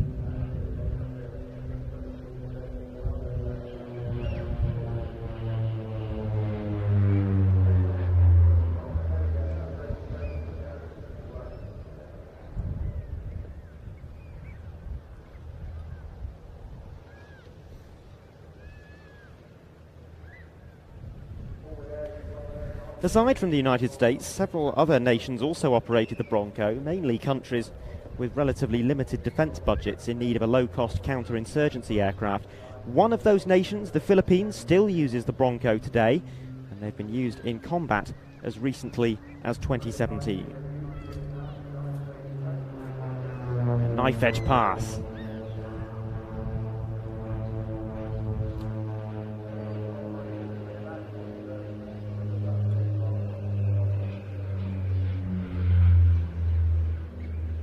Very noticeable upwards pitch before uh, Tony applied left stick to enter the knife edge portion of that pass. That was to account for the altitude loss in the knife edge phase, during which the wings are not producing any lift. You would have seen the nose slicing downwards. I was talking about the Filipino Broncos, um, mentioning that they served in combat only a few years ago. Well, they are at the end of their service lives. They're due to be retired in 2024 and replaced by the Super Tucano.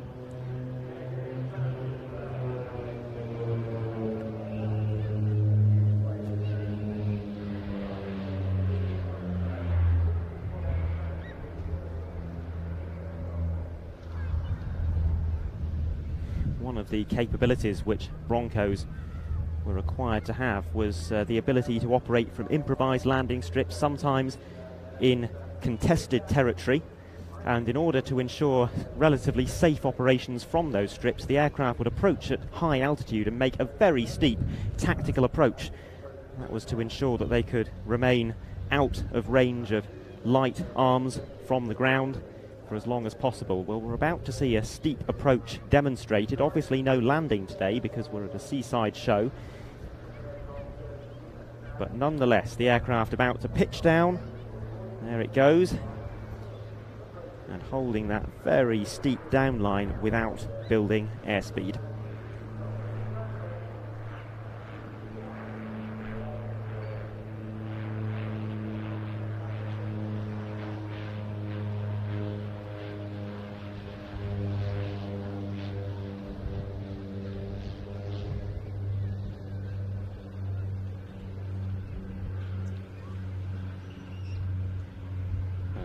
Completes the display from Tony De Bruyne in the Bronco, and it's as good a time as any for me to take a quick glance at the chat.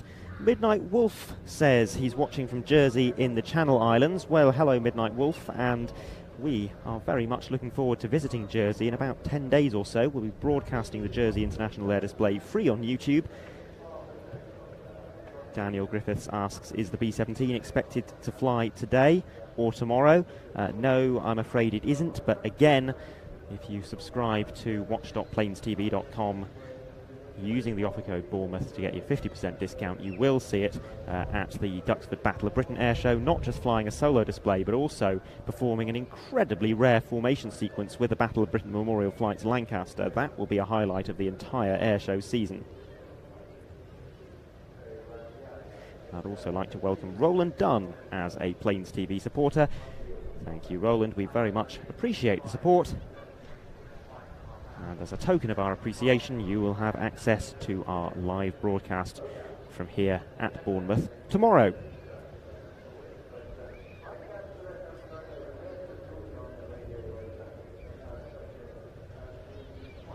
And thank you, Simon, for joining us as well.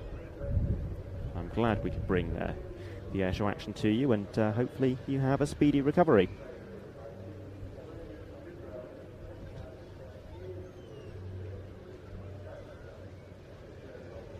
Well, in the hold now we have a pair of Vans RV4s from the Firebirds, the first of two occasions on which we will see them flying as part of today's display. We'll perform a day show now and then later on a twilight show with fireworks being launched from the aircraft mid-display.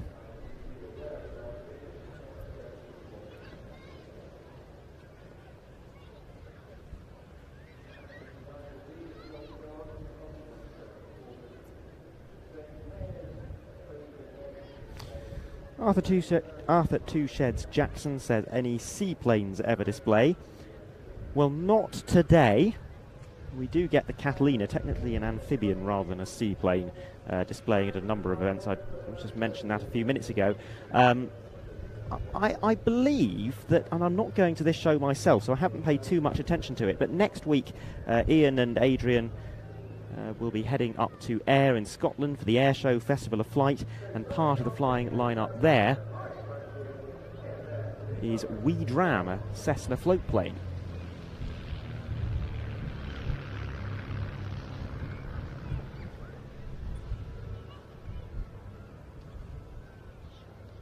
Questions also about the Strike Master and the Vampire. We do have a Vampire due today, not a Strike Master.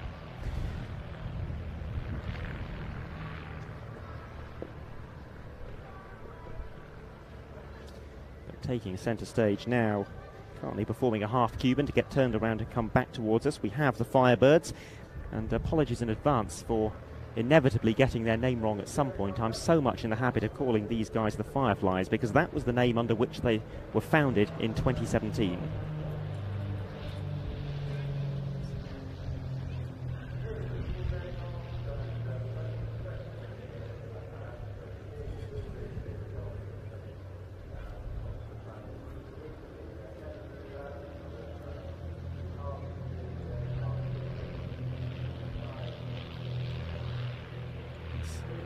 Organisation was created by Andy Durston and John Gowdy, uh, but they have since become rather too busy with their Warbird projects to maintain the Fireflies operations, so they have gradually handed the team over to Nigel Reed and John Dodd. John and Nigel took full ownership of the Fireflies last year and changed the name to Firebirds.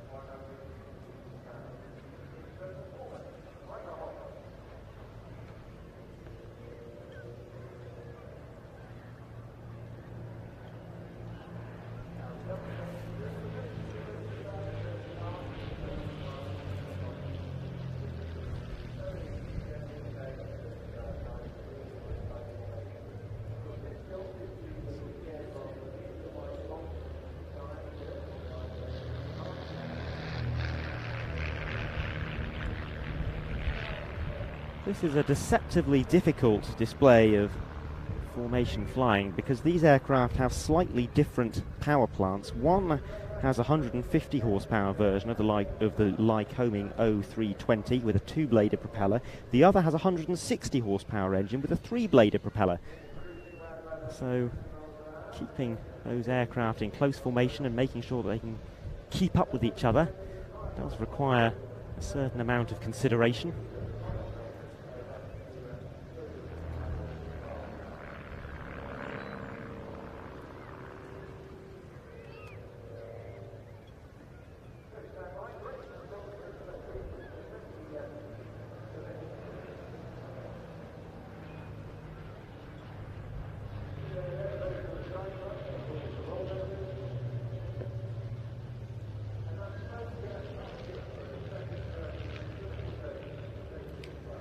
An aeroplane that you can build in your garage if you're so inclined and if you have a lot of free time. A kit plane First flew in 1979. It's one of the more popular models in the Vans RV family. Decent aerobatic performance, as you can see, but it's also an ideal tourer. Two seats, room for some bags, a cruise speed of 200 miles an hour, 600 miles of range, and a service ceiling of 23,000 feet. Although it does have an unpressurized cockpit, so I don't imagine many Vans owners will be taking their aircraft up that high very often. Now the aircraft about to split.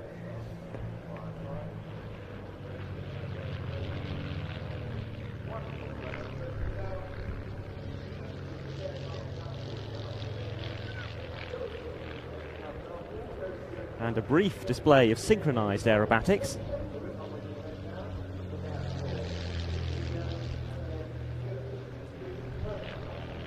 You see on our wide angle camera there, very neatly reforming. One aircraft performing a barrel roll, then a loop, the other performing a loop, then a barrel roll, and exiting their respective maneuvers, immediately returning to loose formation.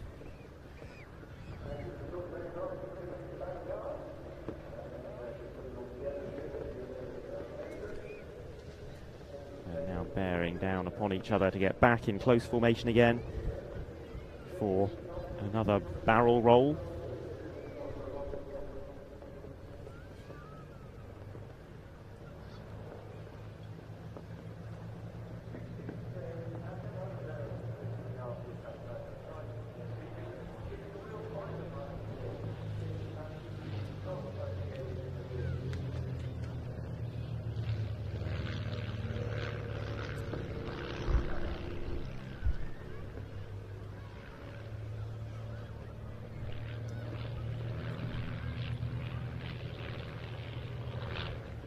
M2K Music and Aviation asks, did I hear there is a discount code for the subscription site? Yes, there is. The code is Bournemouth with a capital B, 50% off your first month.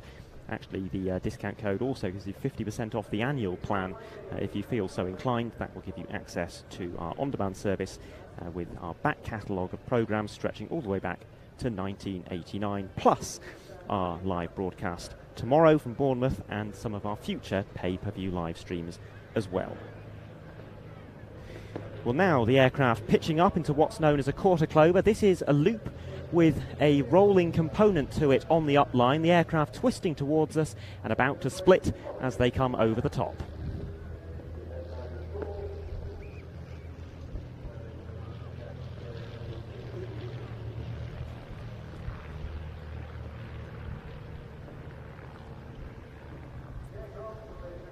And then what we call half Cubans out to the left and right, synchronized. Two thirds of a loop, then half a roll and a recovery back to level flight. And the aircraft will bear down upon each other very rapidly. Smoke system coming into its own here, not just adding visual appeal to us on the ground, but also an important safety mechanism allowing the aircraft and the pilots rather to pick out each other visually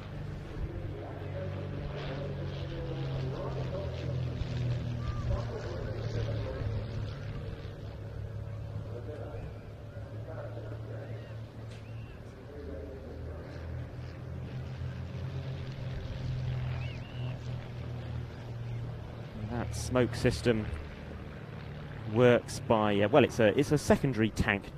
In addition to the fuel tank, there's a secondary tank which uh, uh, normally sits in the back of the cockpit behind the seats, and uh, it's filled with environmentally friendly smoke oil. Uh, often Ondina is the product that's being used.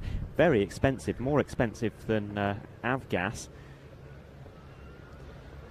And then from there, there's a pump and a little tube down to the exhaust Turn the pump on, it feeds some of that smoke oil slowly into the exhaust of the engine, uh, where it vaporizes in the hot exhaust and forms the smoke trails that we see here.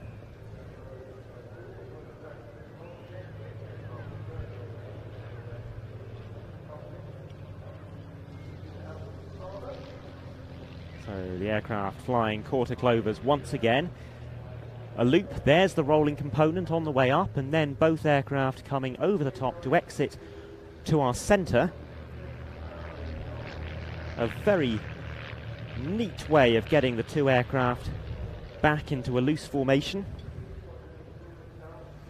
and then they will pull up into the vertical for synchronized stall turns. So uh, perhaps we'll show you this on our wide angle camera so you can see both of them. There we go. Aircraft pulling up into the vertical, speed bleeding away, kicking in that left rudder, and the aircraft pivot round that left wingtip in order to come back towards us.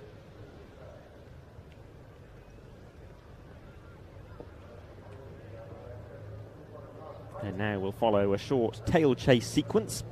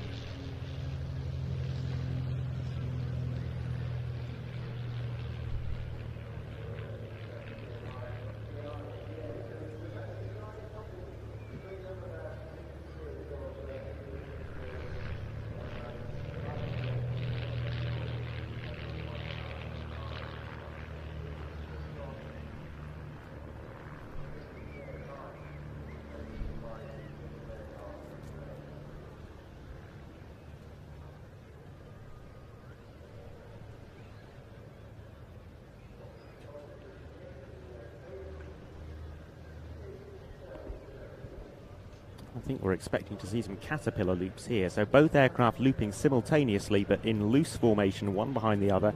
Yeah, there they go. Seeing it very nicely on our wide angle camera there. Two identical circles being created next to each other in the sky. Deceptively difficult.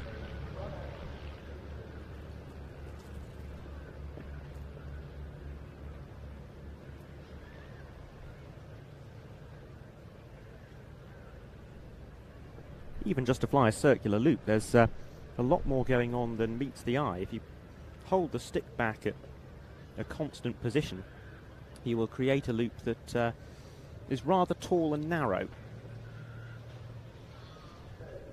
Because of that lower airspeed over the top, in order to, to round the loop out, there needs to be less forward stick over the top of the loop. Less back stick, sorry, I should say to extend that inverted portion. But now the team pulling up at show centre and splitting to draw a heart.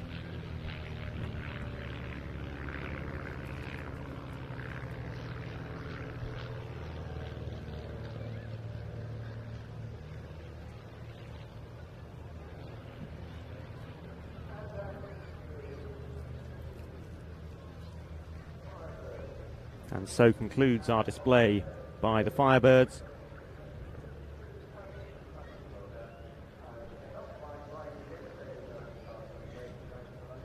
that is actually us done for around an hour or so, the end of the first block of flying displays here. To answer some questions in the chat about what is coming up. We have already had the Battle of Britain Memorial Flight and the Typhoon, although the Typhoon is coming back later on. Still to come in our second batch of flying, starting at 3 o'clock, we have the Tutor, the Chinook, Yak 50, Rolls Royce Heritage Flight with Spitfire and Mustang, Navy Wings with the Swordfish and Wasp, the Starlings aerobatic team Rich Goodwin in the Pitts, S2S with added jet engines. And then at 5 o'clock, well, the stars of the show, the many, I'm sure, the Red Arrows.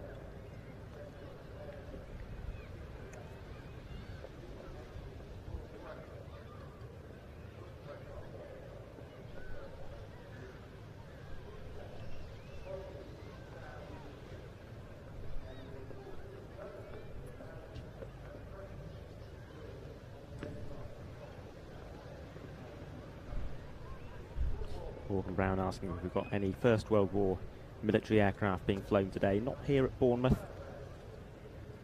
We have seen plenty of that earlier this season. We had uh, Duxford Flying Day in July, which had uh, some First World War, replica First World War aircraft. We broadcast that live free on YouTube.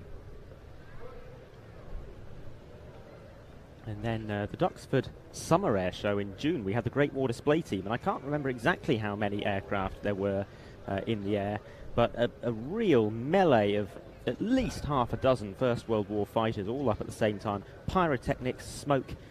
It made for quite a spectacle.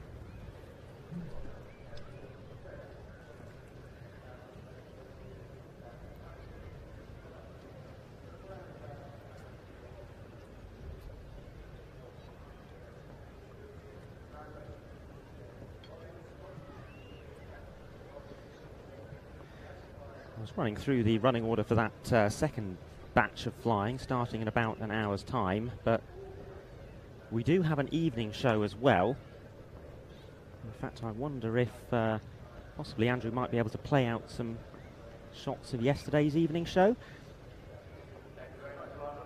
That will start at around about 20 past 7, as far as I remember, and will include aircraft such as the RAF Typhoon FGR4, the Spitfire PR19. Well, there's the Typhoon from yesterday.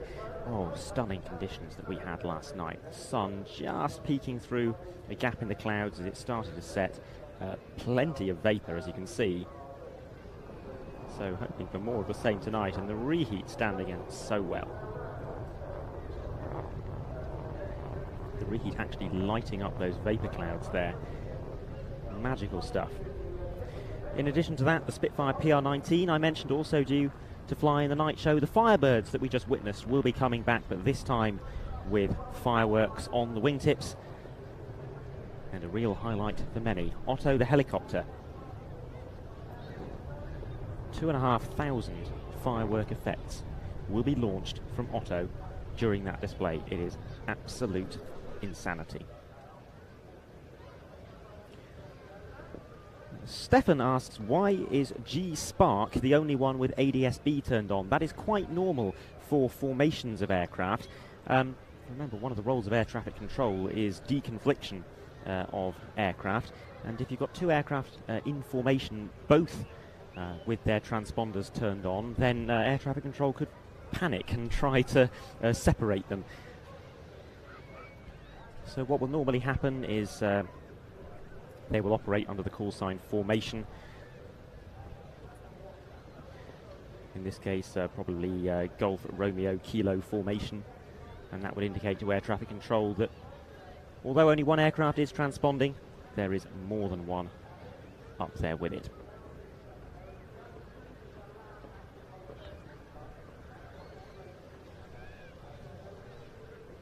Mac One Media asks, is there an evening show tomorrow? No, there won't be an evening show tomorrow. There is a full, uh, uninterrupted day show with no breaks, uh, featuring uh, all of the favourites that we've been witnessing over the last few days Red Arrows, Typhoon, and so on. And that live broadcast from tomorrow will be available exclusively to our YouTube channel members and to paying subscribers to our on-demand video service watch.planestv.com. If you want to subscribe to that, there is a 50% discount available. Head to watch.planestv.com and use the code Bournemouth with a capital B.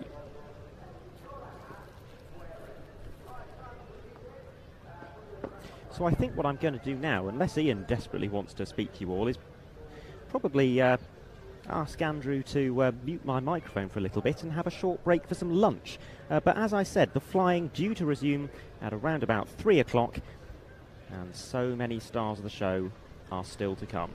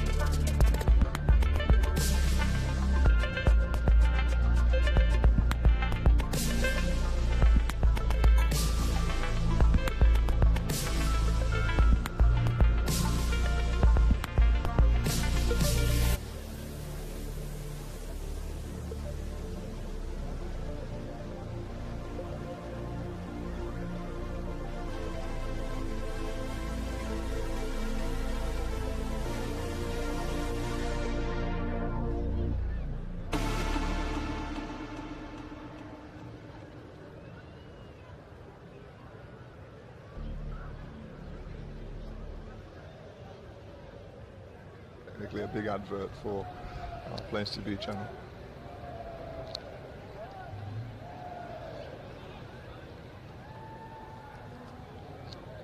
Well, welcome back to our, our Planes TV live coverage of the Bournemouth Air Festival, um, where we are now just 15 minutes away from the resumption of the flying display, which will be resuming with the Royal Air Force Grob Tutor, but still so many other highlights still to come. Uh, chief among them, the Royal Air Force aerobatic team, the Red Arrows, uh, coming up at 5 o'clock, and of course all of the evening shows later on.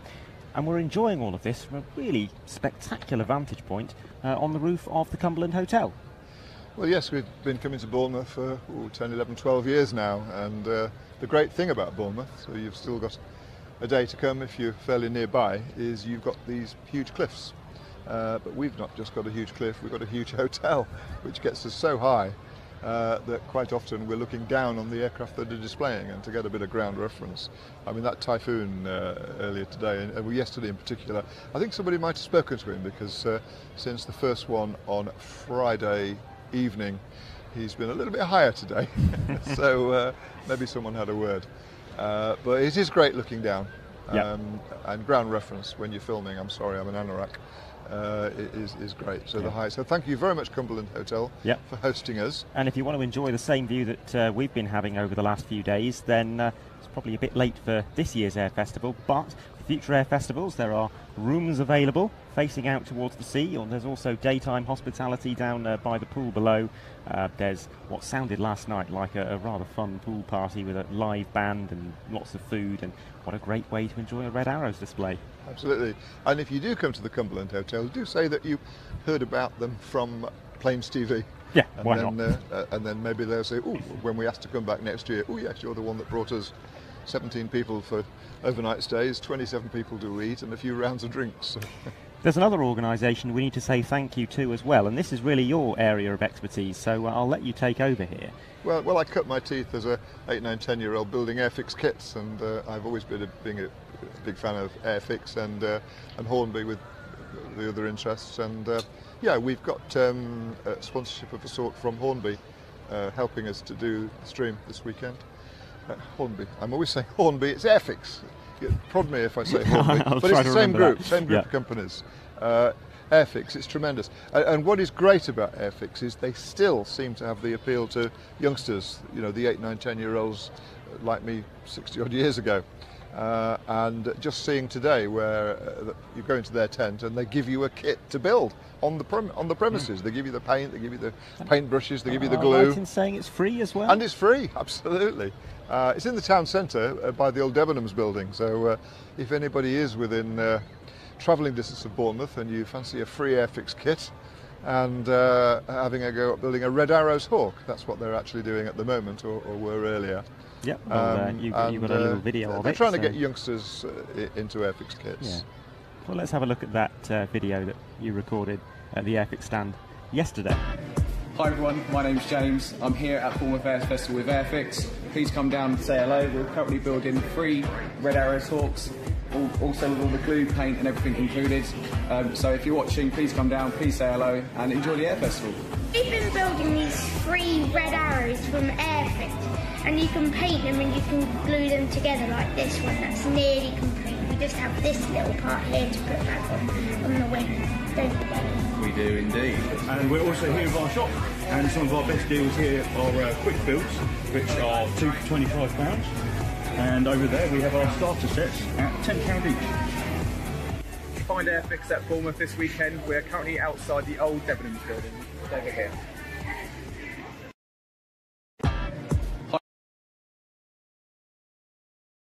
Spotted in the distance one of the display aircraft that we'll be seeing very shortly taken to the air from Bournemouth Airport, uh, the Chinook.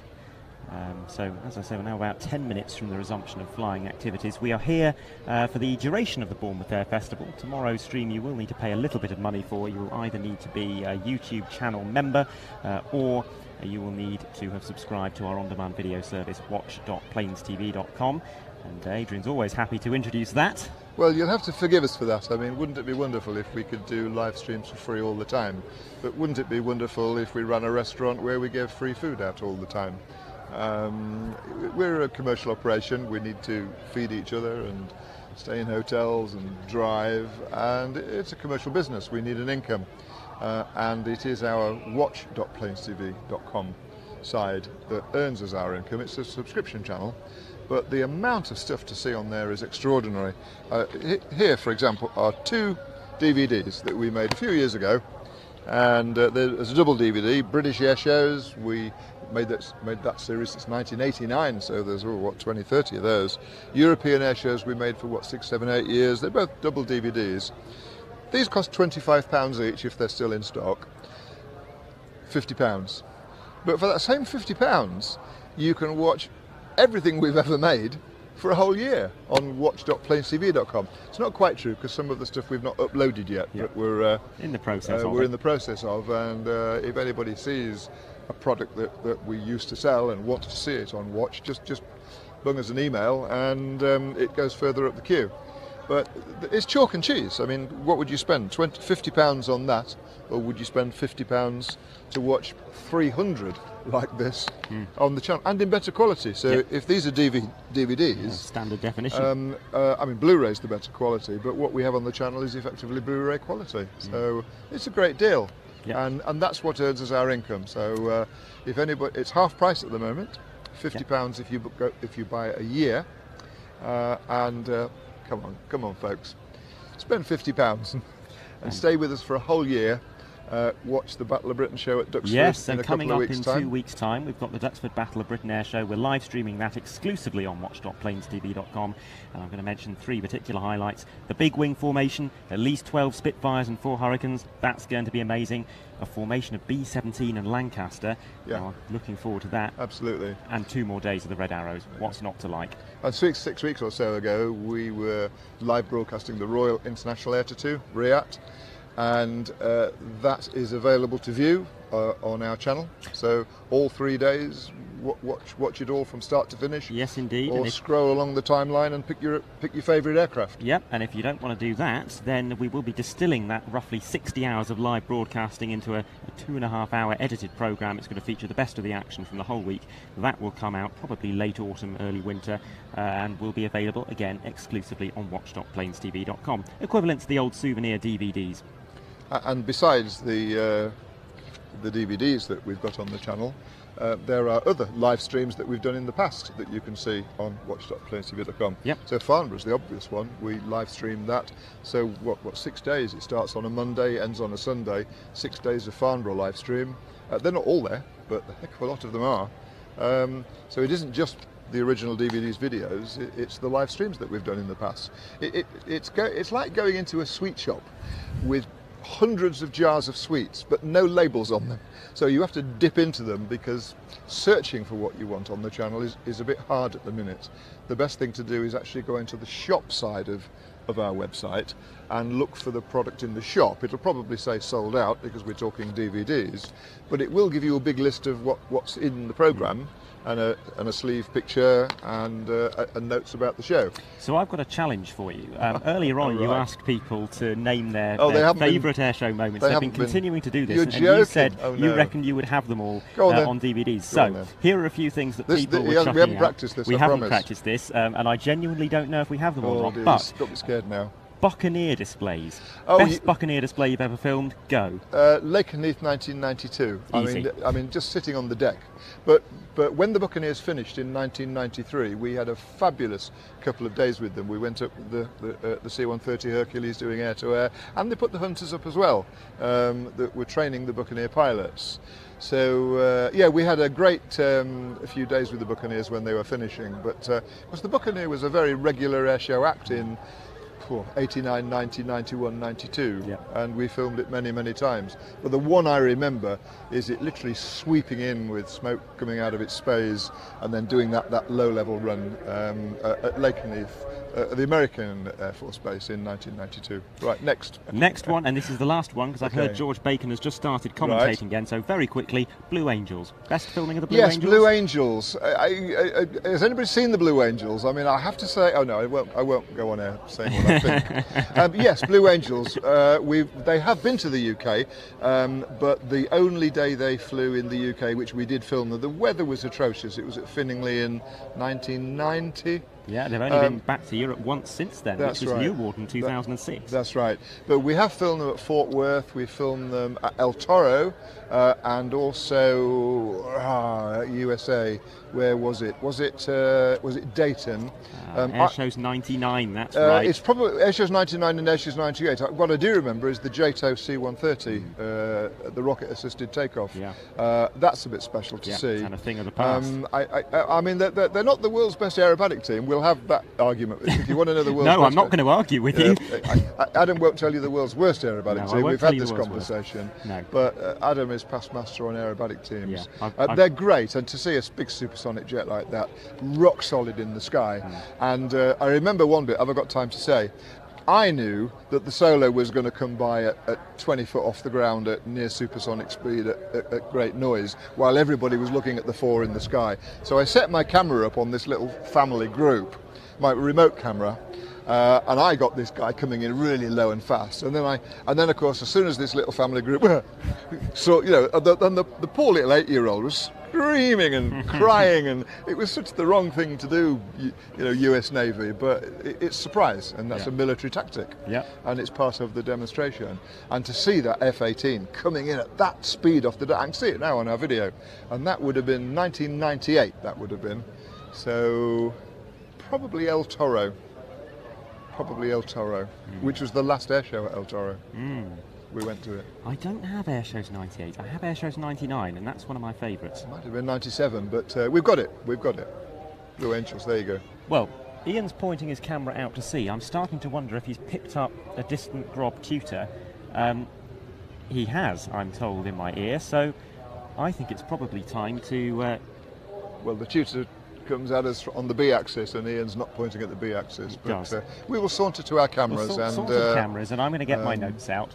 please, those of you who have a few pound notes in your pocket, using the code Bournemouth on the watch.planestv.com channel, you get a year for half price, fifty pounds, or a month for half price, five pounds. Yeah. I mean, I mean, that, that's a bargain because in your first month, you're going to get the Duxford Battle of Britain Air Show as well. It's a no brainer. and look at all the reacts we've just had. Yep. Right, I think it's tutor time.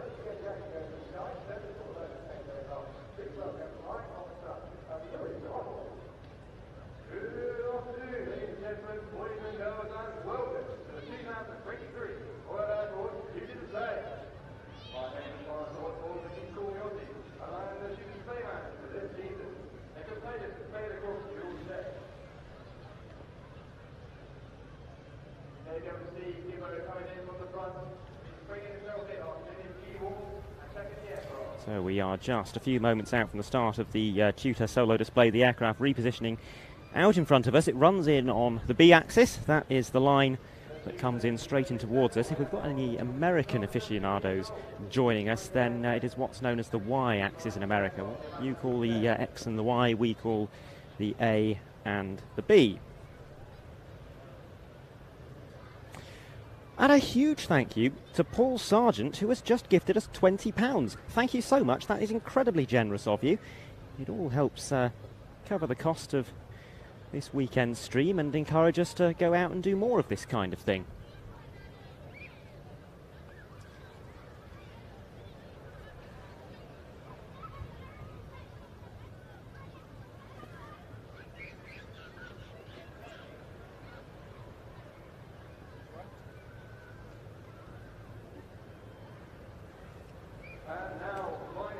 So running in towards us, here is the Grob Tutor, and you can see on uh, Ian's lovely tight shot there, even though the aircraft is quite distant, um, that unusual yellow and black colour scheme, experimental colour scheme applied a few years ago, very similar to the one we saw from the Firefly earlier.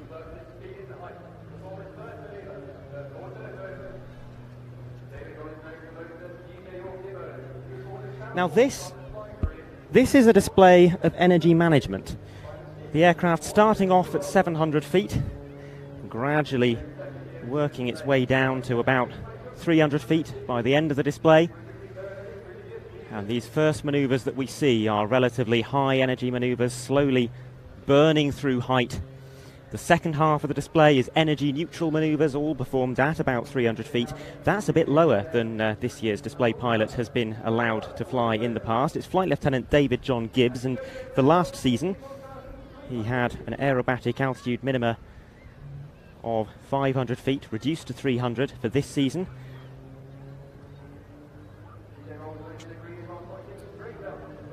And here comes a stall turn.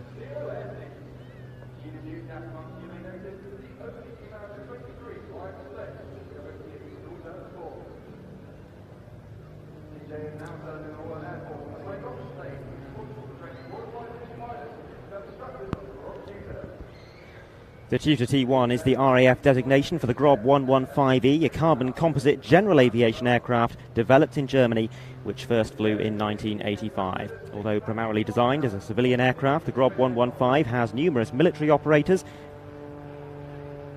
They include the air forces of Bangladesh, Finland, Egypt, Kenya, the UAE, and of course our own Royal Air Force and Royal Navy.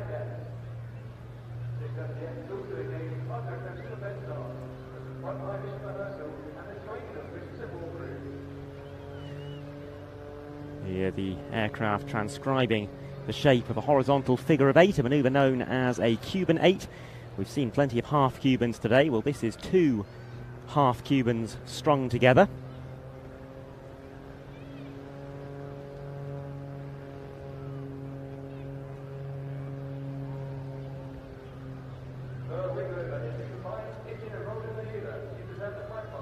Tutor entered RAF service in 1999 with the Central Flying School, replacing the Scottish Aviation Bulldog as the RAF's elementary flying trainer. 99 tutors were ordered, making the RAF by far the largest military tutor operator.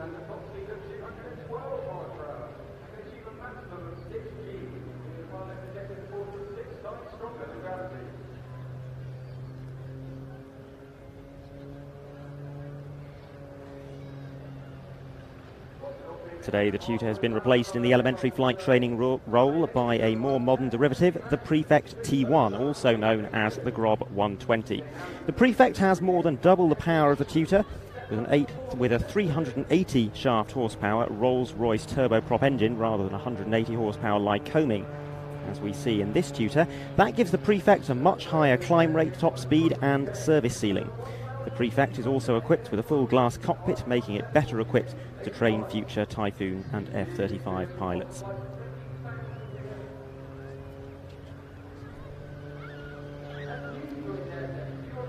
Despite that, the tutor remains highly relevant in today's Royal Air Force. That's largely because there are only 23 prefects in British service, shared between the Air Force, Army, and Navy. The RAF has approximately 90 tutors on strength, and while they have been retired from the elementary flight training ro- role, they are still used by 15 university air squadrons and 13 air experience flights, as well as by the number 6 flight training school at RAF Wittering. This aircraft comes from 115 Squadron, which is part of the number 6 flight training school. That squadron is responsible for providing training for flight instructors, as well as for providing tutor, dis- tutor displays at air shows.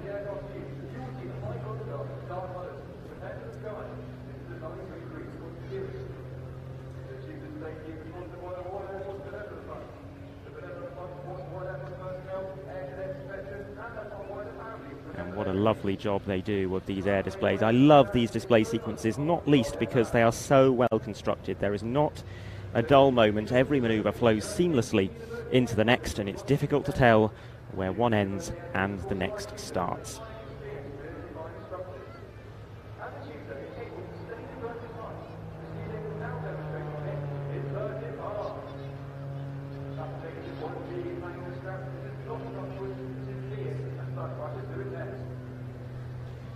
Now, coming up in just a moment, we've got a very interesting opportunity to see how the tutor handles in various planes of flight with a four-point hesitation roll. Hesitation roll.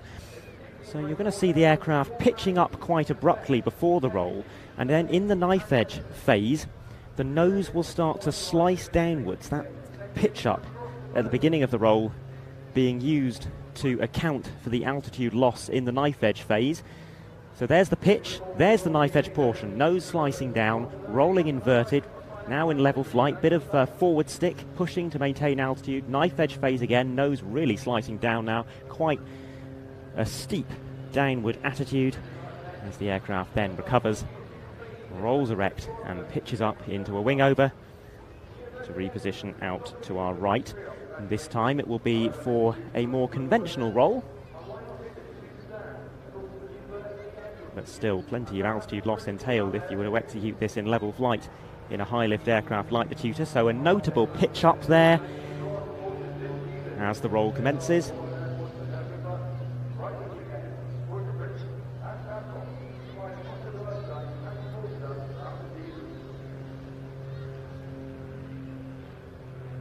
This year's display pilot is Flight Lieutenant David John Gibbs, who's in his second and final year flying tutor displays.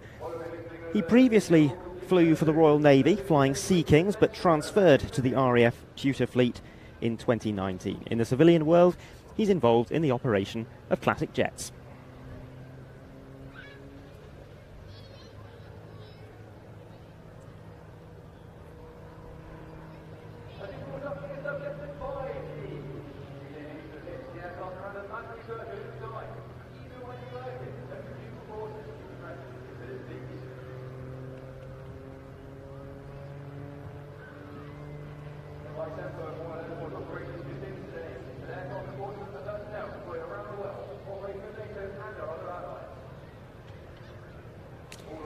This is a very important part of the RAF's outreach because for many of the younger spectators in the crowd here today, this is the most tangible RAF asset. This is the one that they would be flying in if they joined the University Air Squadron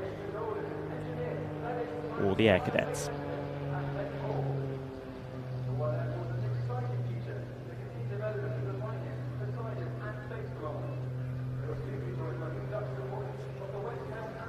And it's such a powerful thing to be able to point at an aircraft and say, you could do that. Maybe not tomorrow, but in a few months, it is eminently achievable. You could do that.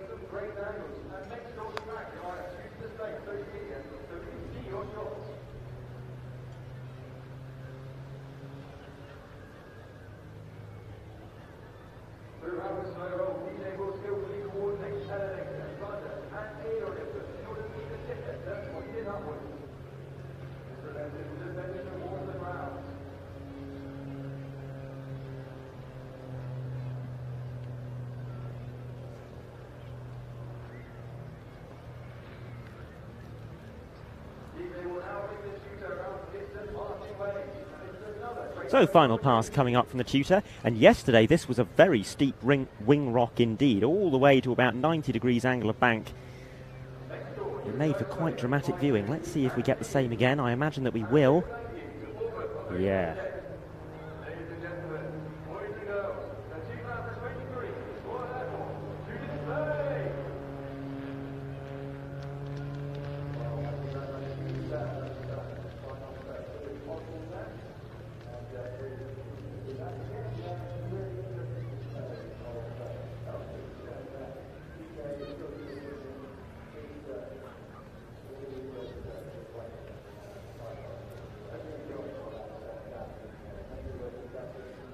You to Flight Lieutenant David John Gibbs for that fantastic display. And we go from one Royal Air Force asset to another because somewhere out to sea is a Chinook HC6A.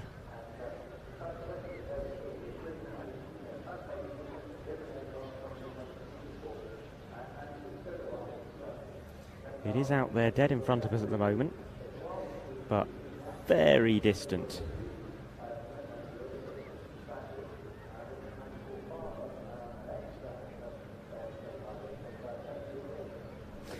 And like the Chinook will be arriving on the B axis directly towards us.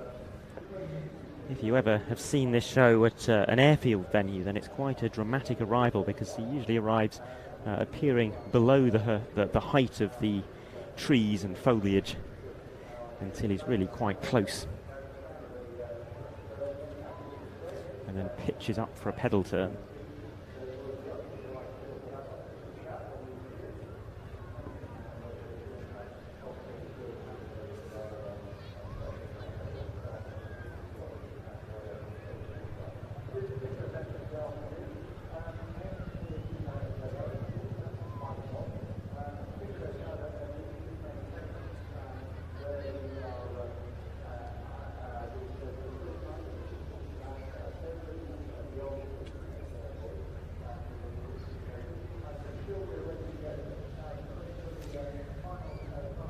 So just about hear the sound of some very distant blade slap now as the Chinook is coming in towards us.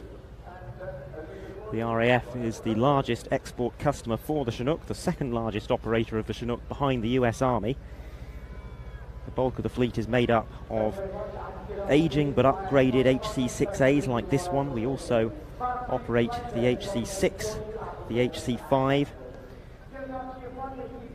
and are soon to take deliveries of the Chinook Block 2, the first overseas customer for the Block 2 Chinook. Those models I mentioned, if you are more familiar with the American designations, they are equivalent to the CH-47D, MH-40, uh, MH-47E and CH-47F and that uh, Block 2 Chinook is known in America as the H-47ER, optimised for special operations. That order was announced a couple of years ago with the first aircraft due to arrive in 2026.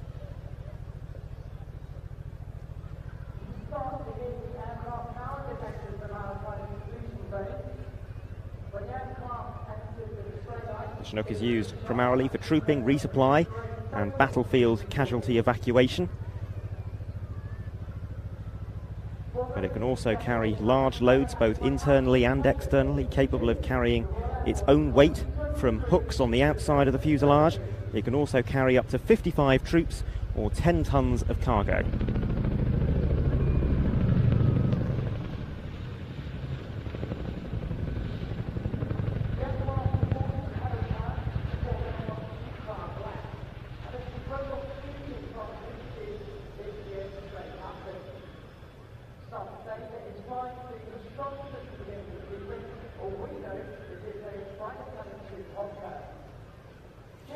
In addition to its traditional warfighting roles, the Chinook's lifting capability is very much utilised during emergencies here in the UK. In recent years, that has included resupplying snowbound farmers in Northern Ireland and moving tons of aggregate to help reconstruct flood defences damaged during winter storms.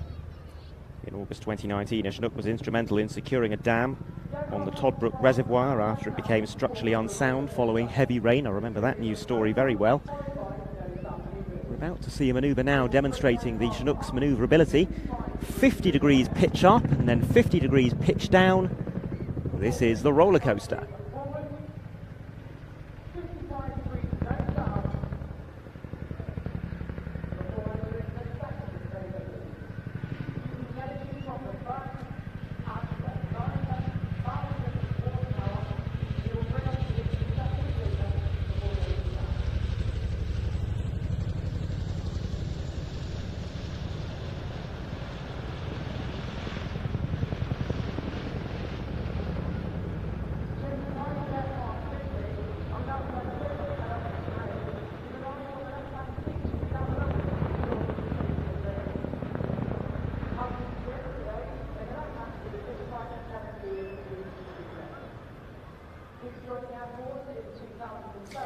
During that manoeuvre, we heard something that is uh, called blade slap, that distinctive slapping sound that Chinook seems to generate so re- readily. That is caused when one rotor blade passes through the tip vortex of another blade, and that's why it's so common with the Chinook. There's those two large rotor heads which are so often passing through each other's vortices, especially when the aircraft is pitching.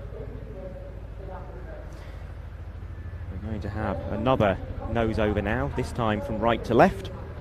Listen out for that blade slap.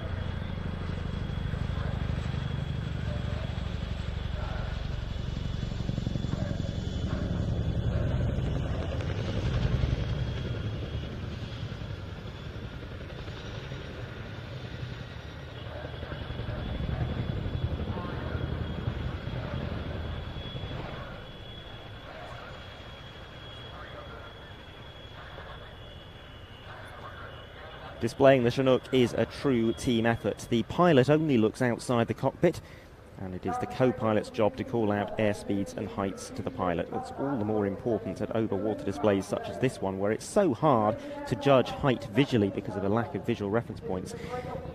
For that reason, seaside displays in the UK have a blanket altitude minimum of 100 feet, even for pilots who are normally permitted to fly lower than that. So the Chinook executing a pedal turn out to our left.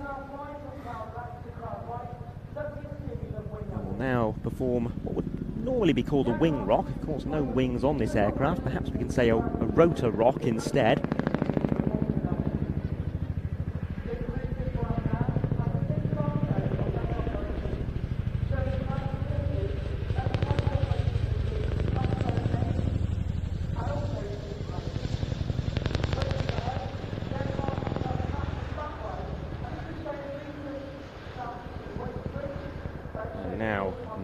Manoeuvre that we first saw last year. The nose down quick stop, previously performed on the A axis from left to right, but now being performed with energy towards the spectators. And isn't that a dramatic shot there? Here's the quick stop. An excellent demonstration of the Chinook's ability to tra transition from high speed into the hover. We'll be seeing another quick stop later on today. But now it's time for the Chinook to pass from left to right. Look out for a pair of big orange hands waving from the rear loading ramp.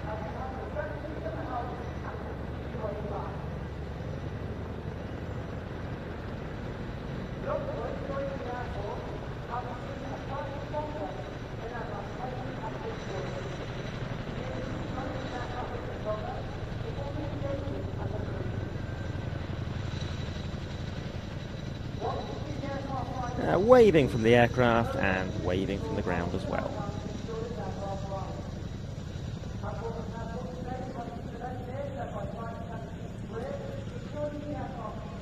coming up in a few seconds' time, we have a rather interesting manoeuvre developed in real life combat called the Gorney Corkscrew. This is a very special tactical climb that was used to take off from a specific combat zone in a narrow valley at a Chinook landing site in Bosnia. You can see the Chinook has machine guns on three sides. At the doors on the left and right and on the rear ramp.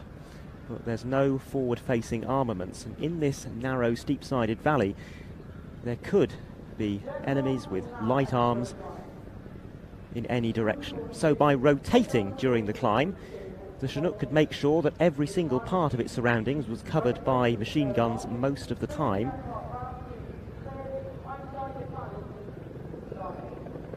that is what we are about to see demonstrated. The Chinook starting the climb, and there's the rotation. This is the Gorney Corkscrew.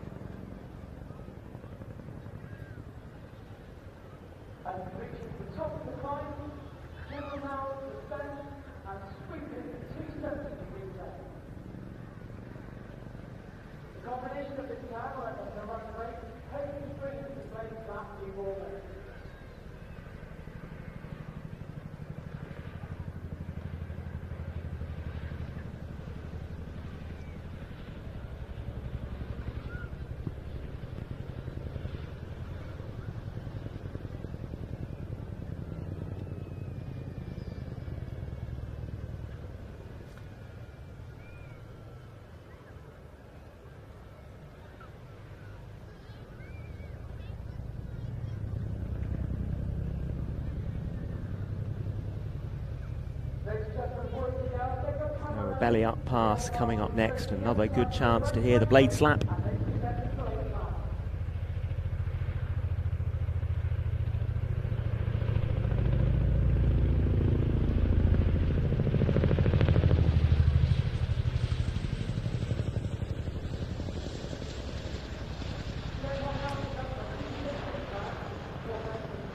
next up we have a very different sort of quick stop to the one we saw earlier. You might remember the nose down quick stop involved the aircraft rotating very rapidly through 180 degrees uh, in order to uh, counteract its own forward momentum. This time we're going to see a straight and level pit, uh, quick stop. The aircraft pitching nose high using the lift created by its enormous rotor blades to arrest its forward momentum and bring it to a halt at show centre. So approaching from the right at high speed. And the nose about to come up.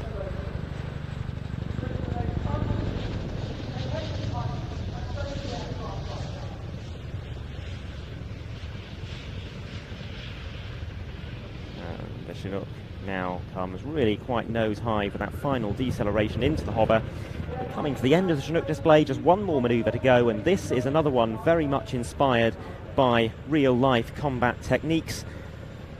If Chinook were, landed, were leaving a landing site with a threat from in front, it would conduct this an over the shoulder departure the purpose being to expose the armour plating on the bottom of the Chinook to that incoming arms fire rather than the more vulnerable cockpit. And that over the shoulder departure completes the 2023 Royal Air Force Chinook solo display.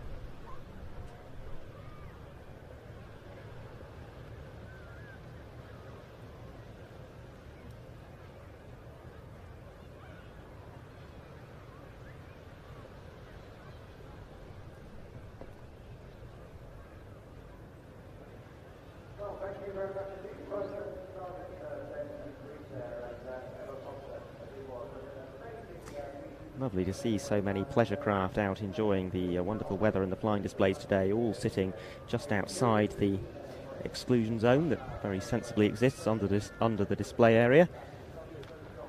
Similar regulations to uh, air displays held over land where there needs to be this uh, sterile display area. And we've seen, actually, in recent years, several air displays postponed and one even cancelled as a result of maritime traffic making its way into the, into the exclusion zone. It's being very well policed today. Well marked by those buoys that you can see in the picture as well.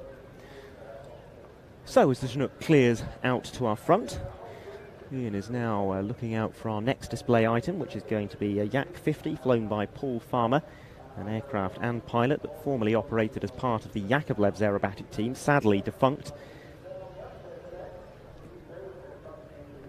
Currently holding off to our left, but shortly to run in.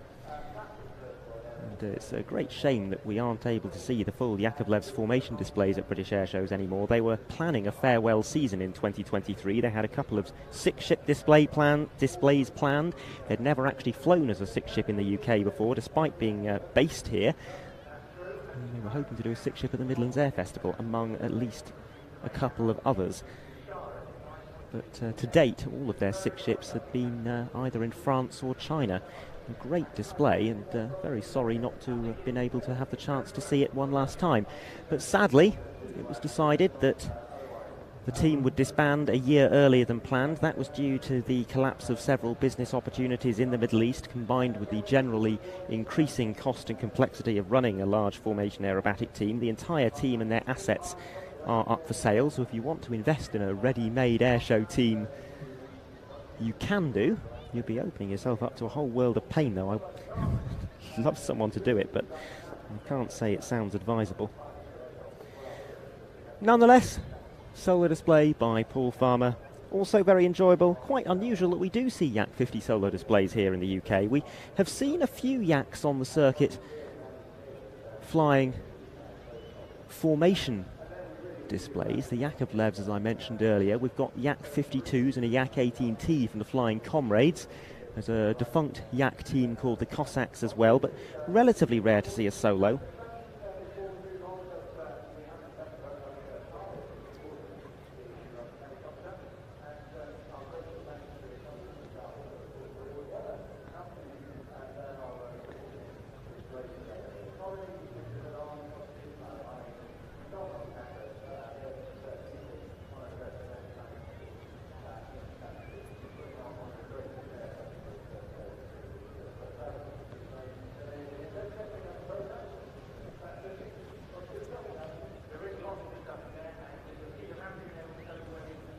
There is the Yak in the distance doing some display warm up. A couple of things that could be going on there. It could be G warming, Paul just getting into the mood, warming up his body and muscles and activating that muscle memory for tensing up during the high G maneuvers. It could also be a little bit of a shakedown for safety purposes. Uh, I know there are some pilots who like to take off, roll the aircraft upside down, shake the wings about a little bit just to make sure there's no loose articles in the cockpit. Make sure the aircraft is handling as expected before running into a, a low level, high performance aerobatic routine. So it would have been one of those two things that we just saw a glimpse of there, possibly both.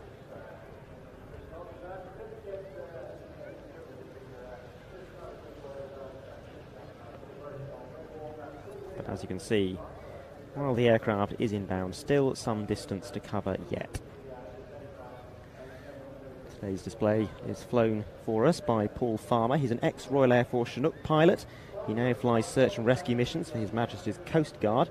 He has extensive airshow experience, though, having displayed the Chinook at airshows in 2012 and 2013. He joined the Yakovlevs in 2018, and he also serves as a Flying Control Committee member and display authorization examiner. Smoke now on for the start of what was yesterday a very graceful solo aerobatic routine.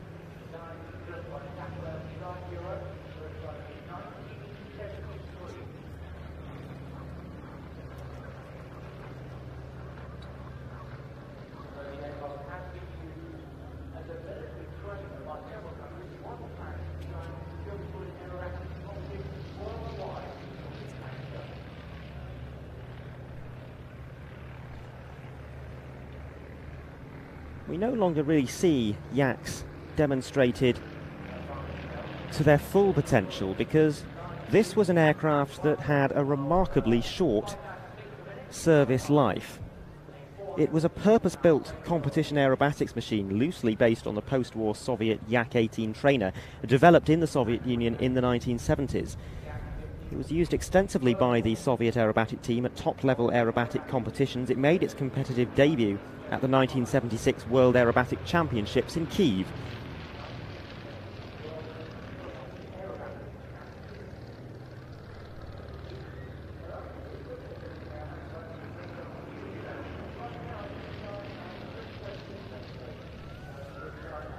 During that debut competition, the Yak 50 made quite an impression because it finished first and second in the men's competition and in the women's competition, it finished first, second, third, fourth, and fifth. The Yak 50 then won the World Aerobatic Championships for a second time in 1982. That being said, Yak 50s used at that level were subjected to such enormous stress that they were retired, often after just 50 flight hours. Soviet pilots pushed the aircraft to their limits and sometimes beyond.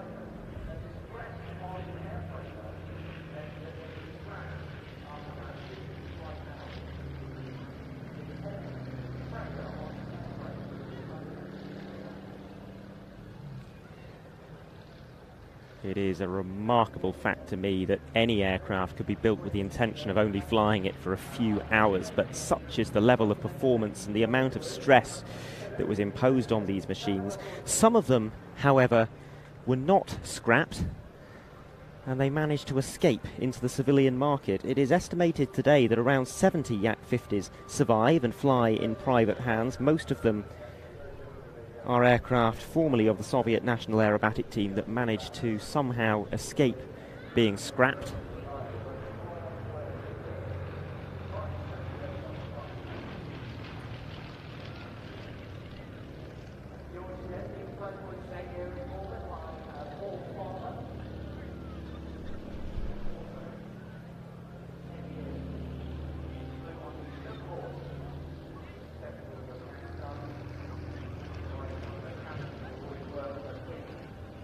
Course, we're much more used to seeing the twin-seat version, the Yak 52, uh, at air shows in the UK and around the world, and indeed in military operation to this day.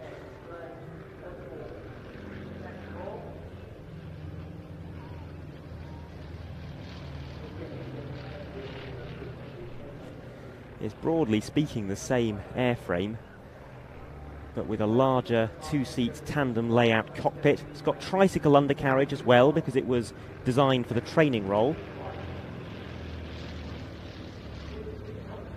And given most contemporary aircraft have tricycle undercarriage rather than being tail draggers, it was decided that it was beneficial to equip the Yak 52 with that tricycle configuration landing gear rather than maintaining the tail dragger layout of the Yak 50 made it much more suitable as a training aircraft, especially in military service. There's no frontline military aircraft anymore with tail wheels.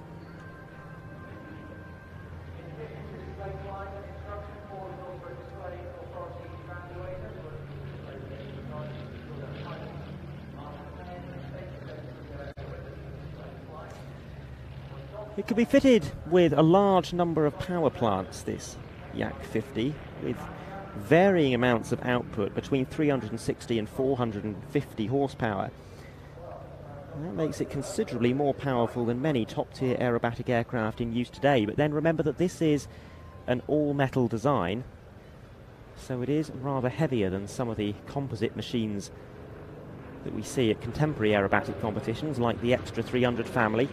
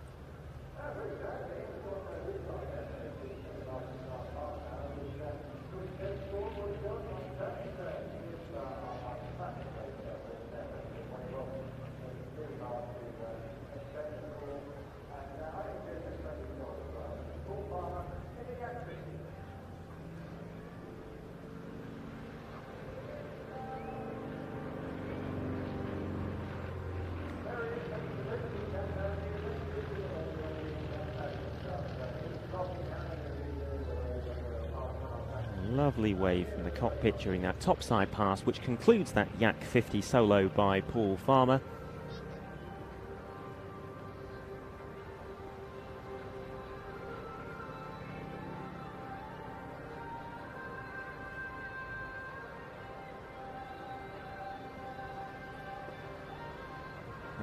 And the parts off to our left, I'd like to take this opportunity to say hello and welcome to anyone who's just recently joined us here on Planes TV for our live coverage of the Bournemouth Air Festival. We are here all four days, albeit not much flew on the first of those four days.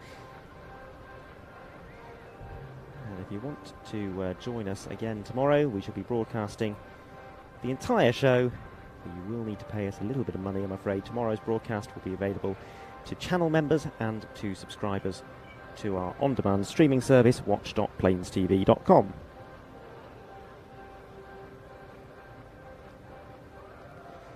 Matt Hurst says, Gotta say, love this stream. Well done. Better view than if I was down there in the crowds. Well, yes, that's because we're up here on the roof of the Cumberland Hotel. We're very kindly hosting us for a second year. We are five floors up and on top of the cliffs as well, so quite some elevation compared to uh, the height of the water. But if you do want this view, you can have it uh, because come future Bournemouth Air Festivals, You can book yourself into the Cumberland Hotel. They have rooms out uh, beneath us facing the sea. Some uh, lovely fourth, four, fourth floor suites uh, offering, well, an identical view to what we're showing you now.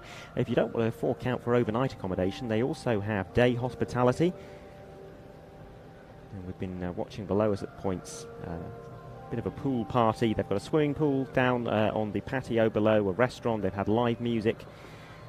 Yeah, you can see it in some of these shots that we're showing you at the moment. Lovely facilities and a really great atmosphere. What a wonderful way that would be to uh, watch a Red Arrows display rather than being up here on the roof working. We do love it though.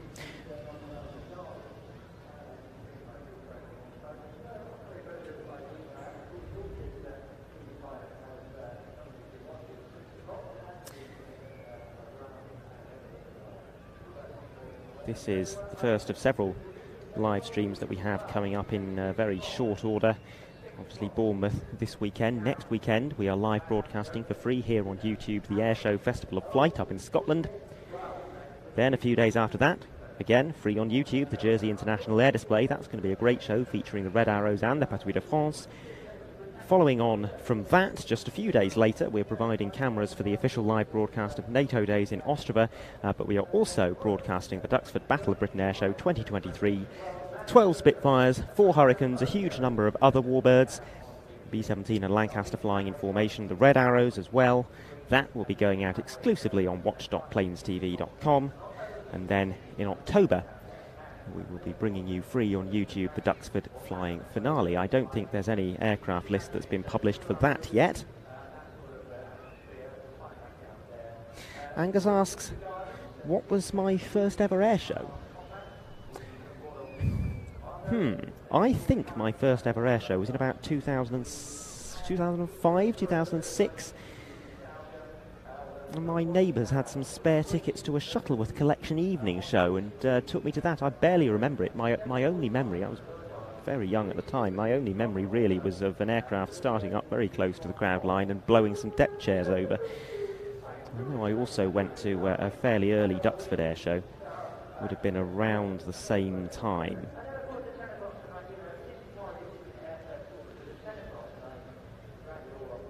Didn't get to stay for all of it. The people I was there with decided we needed to leave before the end to beat the traffic, and we missed the uh, Spitfire finale. That's my only real memory of that. Again, I was very young. Go on, tell us in the chat. What was uh, what was your first air show, Angus? And anyone else?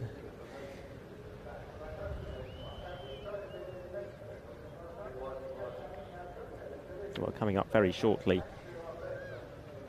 after that seagull departs the frame. Uh, we've got a lovely display coming up next the Rolls Royce Heritage Flight with the Spitfire and Mustang. And something of a new innovation for the 2023 season. We used to get consecutive solo displays from these aircraft, but both pilots have now qualified with formation display authorizations. That allows them to open their show with a brief two ship formation sequence.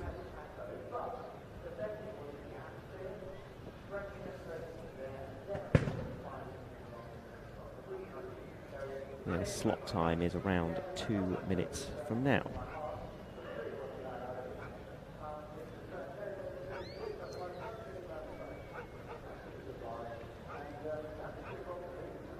I'd like to say a special hello to uh, Andy T, who's just joined the chat and uh, was part of our team for the Royal International Air Tattoo.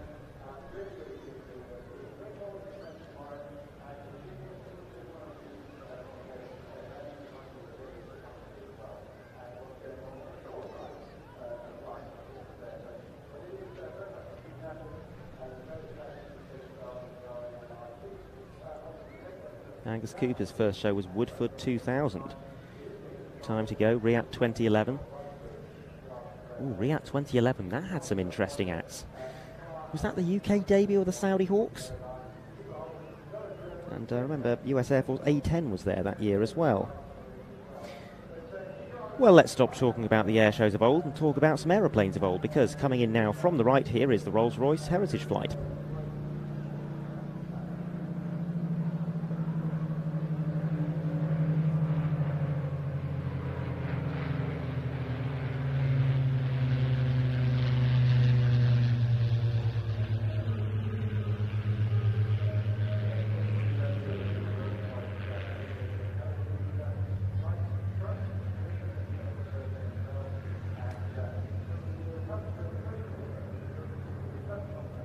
This organisation set up to recognise the history of Rolls-Royce.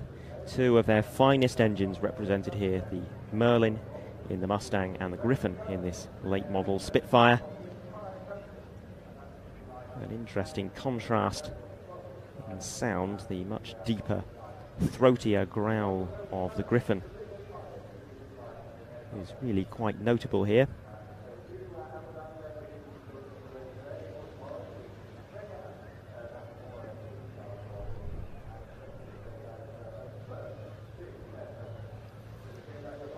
Rolls-Royce Heritage Flight own this Spitfire.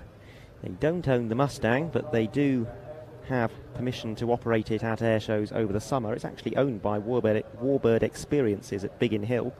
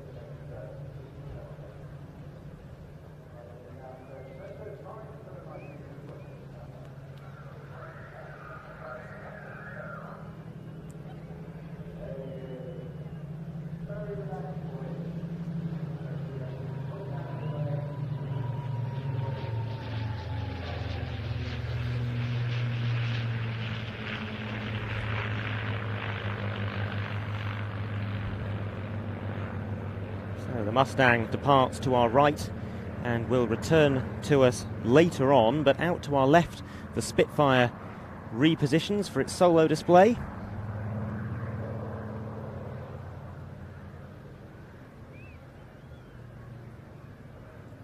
This is a Spitfire PR19, one of the final marks of Spitfire. PR stands for photo reconnaissance, and that's an indication of the role that it performed.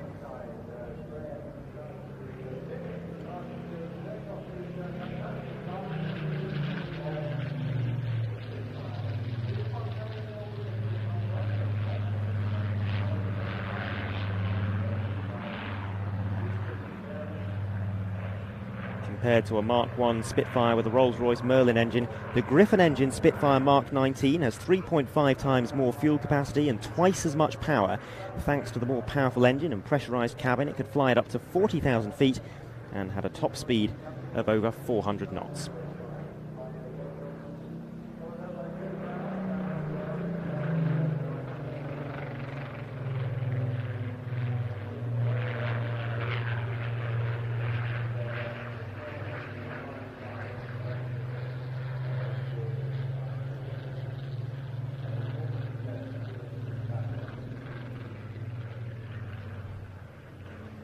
Despite that impressive performance, by 1944 the Spitfire was due for replacement. Supermarine proposed an aircraft called the Spiteful, a new Griffon engine fighter based loosely on the Spitfire Mark 14, but with a redesigned wing and a larger tail for better performance at high speed and improved stability.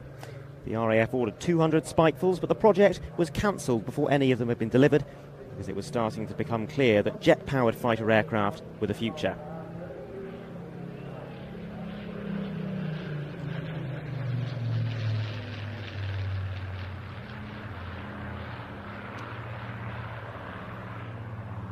Those jets weren't ready quite yet, so as a stopgap, Supermarine instead delivered 79 Mark 19 Spitfires. This is one of them.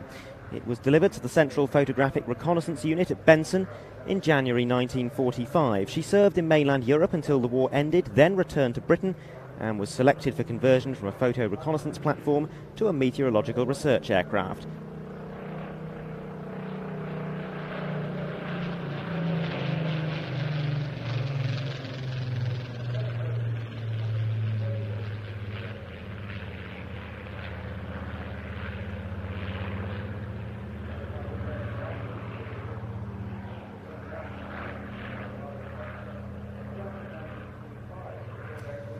After a brief spell in civilian ownership, flying with the Short Brothers Meteorological Research Flight, she returned to the RAF in 1957 as one of the three founding Spitfires of the unit that would, of the unit that would become the Battle of Britain Memorial Flight.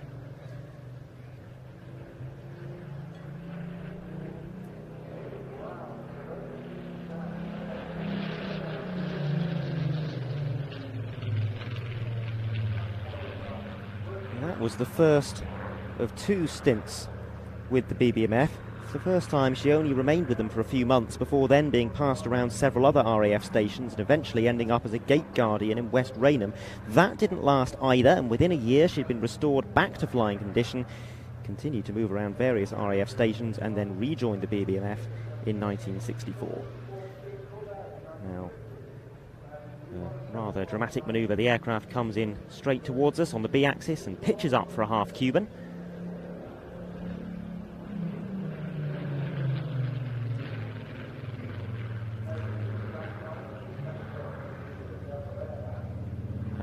Lovely opportunity to see the plan form of that gorgeous elliptical wing.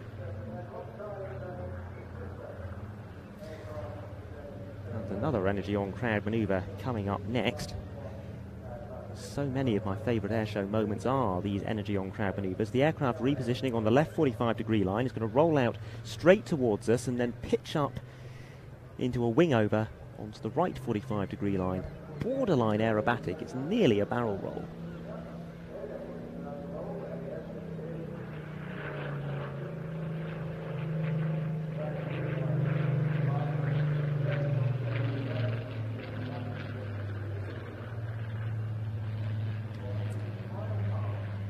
This aircraft's second spell with the BBMF lasted rather longer than the first. It was in their service until 1995 when it was sold onto the civilian market and became part of the Rolls-Royce Heritage Flight. Today, it's painted up as an aircraft of number 16 Photographic Reconnaissance Squadron of the 2nd Tactical Air Force.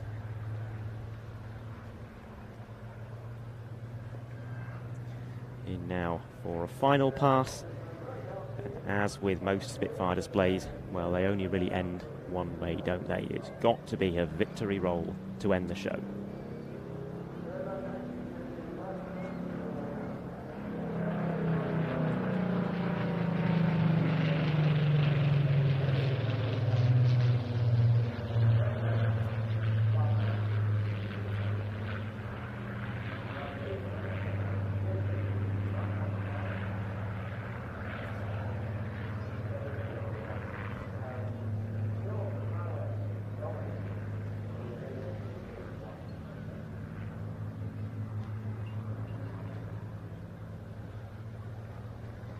now from the Spitfire to the Mustang, an aircraft originally developed in response to a 1940 British request for a new American fighter for the Royal Air Force. At the time, British aircraft manufacturing was running at capacity, and the only American product of interest, the P 40 Warhawk, was in short supply.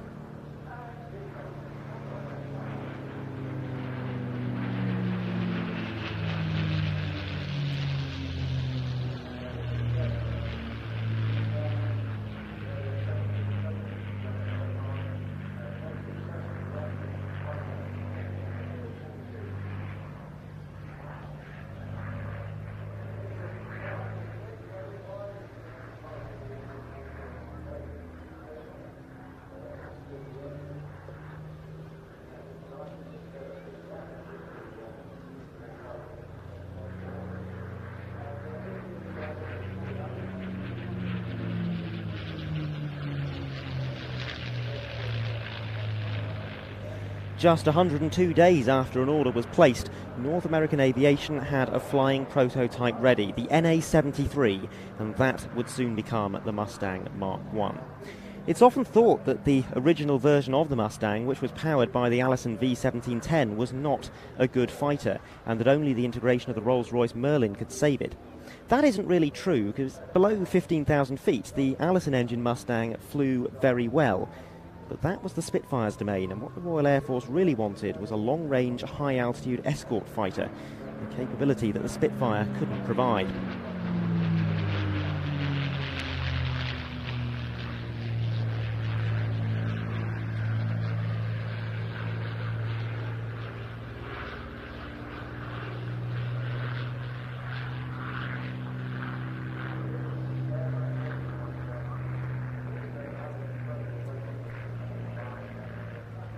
1942, Rolls-Royce test pilot Ronald Harker suggested fitting the Mustang with a Merlin Mark 66. That's the same engine used on the Mark 9 Spitfire, which was the highest flying variant of the Spitfire at that time.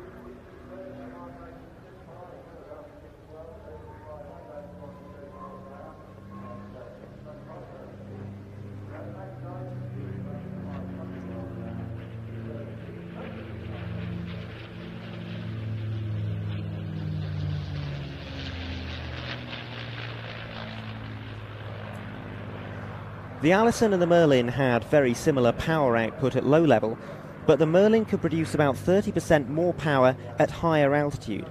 It was with the integration of the Merlin, therefore, that the Mustang really came into its own.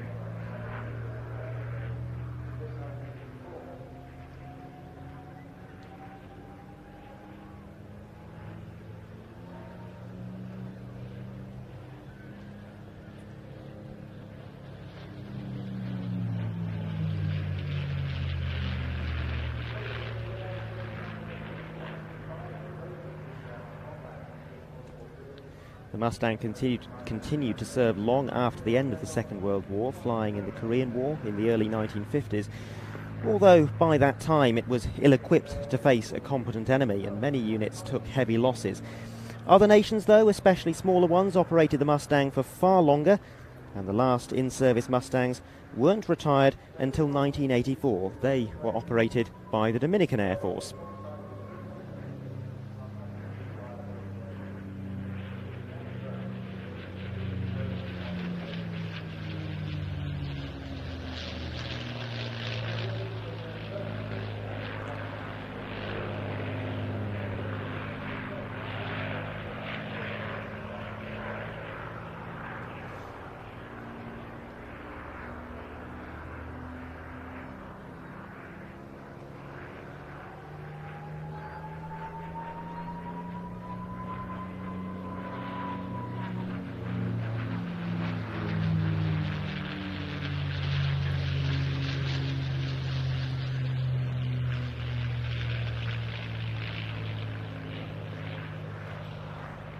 This aircraft is now painted in the colours of Warhorse, the personal aircraft flown by Colonel Don Blakeslee, a very senior American colonel who flew more missions against the Luftwaffe than any other American pilot during the Second World War. He actually started out as a Spitfire pilot with the Royal Canadian Air Force before transferring to the RAF Eagle squadrons and finally the United States Army Air Force in 1942.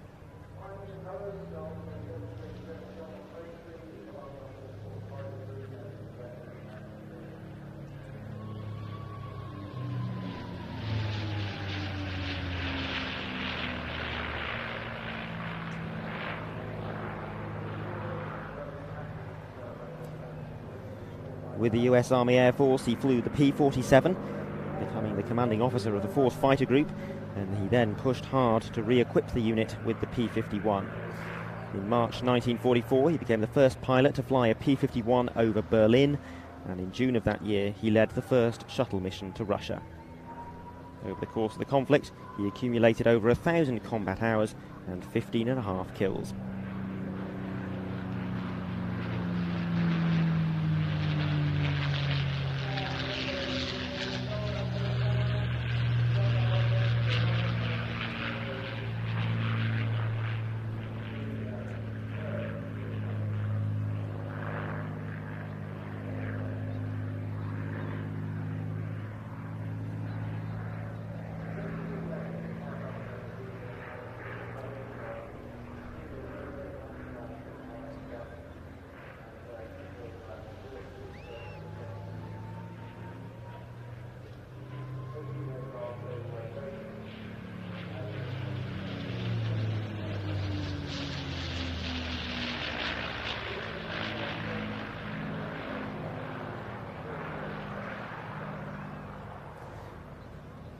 Blakeslee finally retired in 1965 and passed away in 2008. This paint scheme was applied in 2020 and the aircraft now flies in honour of him.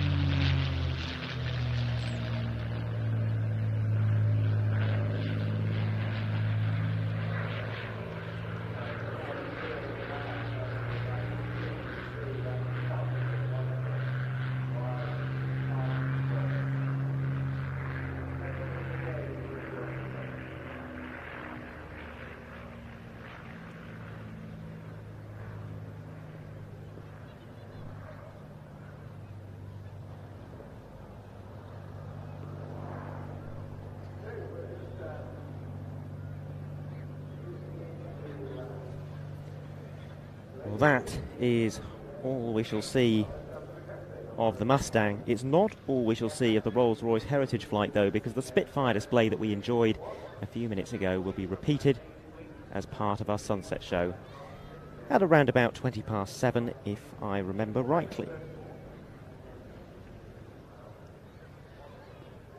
And we've got another pairing of very historic aircraft coming up next. The Westland Wasp flying with the Fairey Swordfish, both coming from Navy wings. There they are in the far distance. And uh, while we wait for them to arrive, I would like to uh, just say, first of all, Joe Marshall has done an excellent joke. He says it's his best joke. Uh, he's put it in the chat, so do go and find that. Um, I'd also like to say uh, hello and welcome to anyone who's joined us recently. Welcome to Planes TV's live coverage of the Bournemouth Air Festival. We are with you for the duration of the show, all four days. However, this is our final day of free live streaming here on YouTube. If you want to join us tomorrow, you will need to either become a channel member here on YouTube or, better still, you can join our aviation on demand video streaming service watch.planestv.com. That will give you access to tomorrow's live stream. It will give you access to some of our future live streams, including in two weeks' time our broadcast from the Duxford Battle of Britain Air Show. And it will also give you access to our 30 year back catalogue of programmes. If you want 50% off your subscription, use the offer code Bournemouth with a capital B. That is Bournemouth at watch.planestv.com.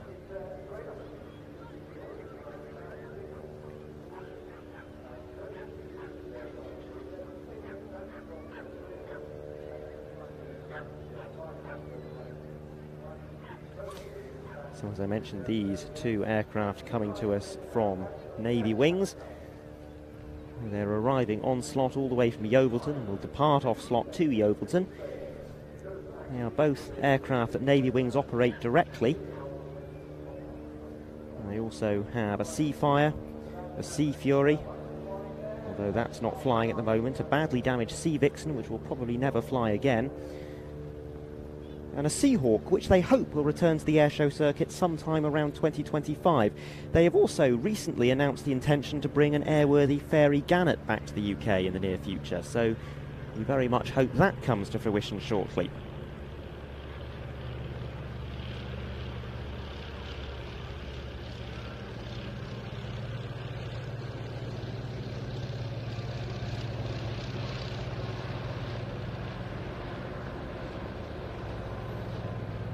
The aircraft we focus on now are a Swordfish Mark 1 in the lead and a Wasp HAS 1 flying close formation on it. The formation very sensibly being conducted this way around with a helicopter at the rear. That avoids the Swordfish having to fly through the rotor downwash created by the Wasp. These uh, joint fixed wing rotary wing formations take an awful lot of uh, theoretical planning and training before they can be safely flown. Slight topic drift, but the uh, joint display flown by Team Raven and the Gazelle Squadron, a total of 10 aircraft, mix of Gazelles and Van's RV-8s, that took something like two years before it was ready to be demonstrated to the public.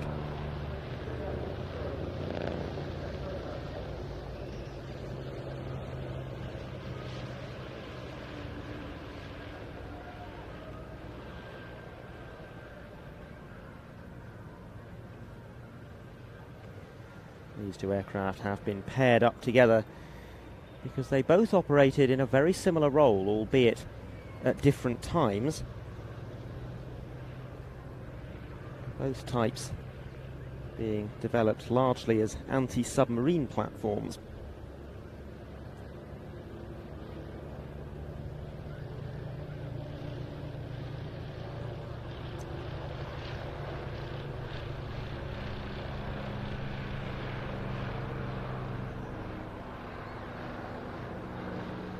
Very warm welcome to George Hamilton, who has joined us as our latest Planes TV channel member. Thank you very much for your support.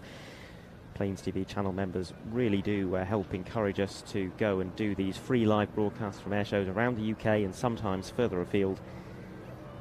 And as a special thank you, tomorrow we will be giving our YouTube channel members access to our live stream from the Bournemouth Air Festival's Sunday flying display. Otherwise, you will have to uh, subscribe to our on demand service to access that.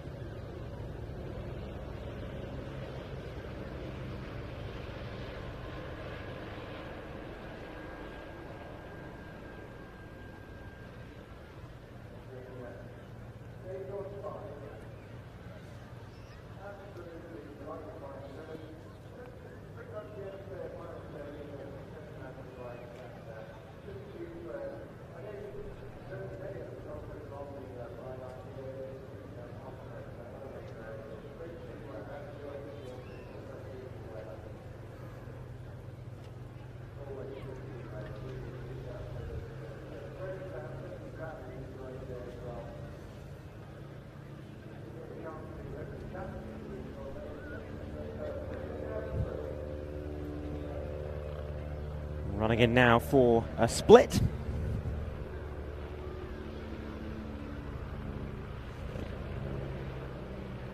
And that's a shot the likes of which we don't see very often.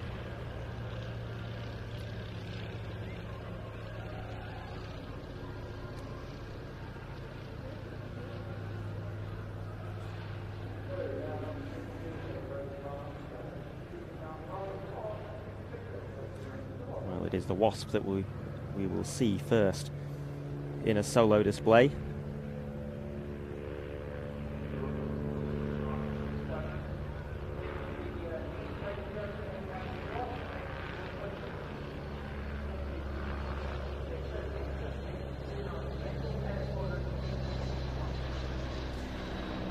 We tend to refer to this as a Westland aircraft. Of course, it's not really their design. They took over the project uh, when uh, Westland was given control of all British rotary military projects by the British government.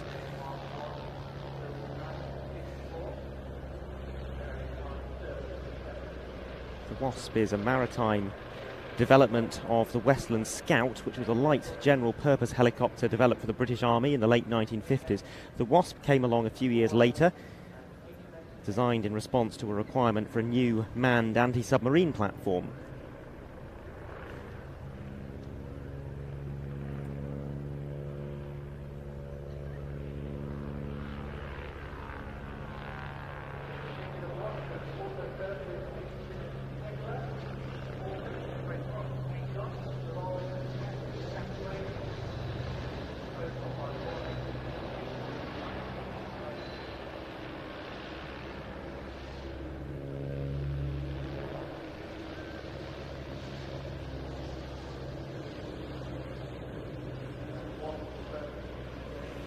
Compared to the Scouts, there are a few key differences.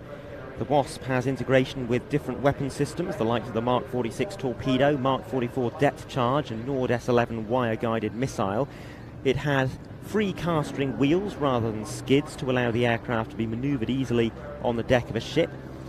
It also has a reverse pitch setting for the rotor blades, basically the helicopter version of reverse thrust, so as to stick the Wasp to the pitching, rolling deck of a ship until it could be properly secured with ropes and chains.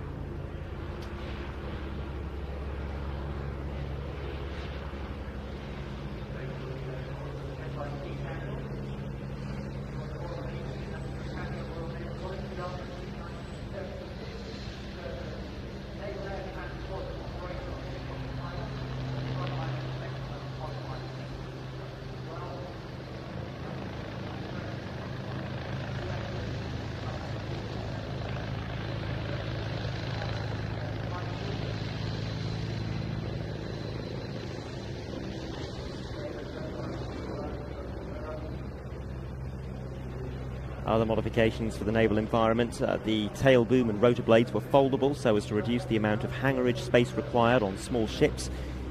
And additional fuel tanks were installed in the cabin for increased range. A later modification also saw the addition of large inflatables on either side of the cabin so the helicopter would float upright if it ever had to ditch at sea. The Wasp was an effective anti-submarine platform and it was also used in the commando assault role, but the British service, in British service, it was mainly used for light transport and resupply based aboard small surface vessels. It was gradually phased out and replaced by the Westland Lynx. That started in the late 1970s and the final Wasps left British service in 1988.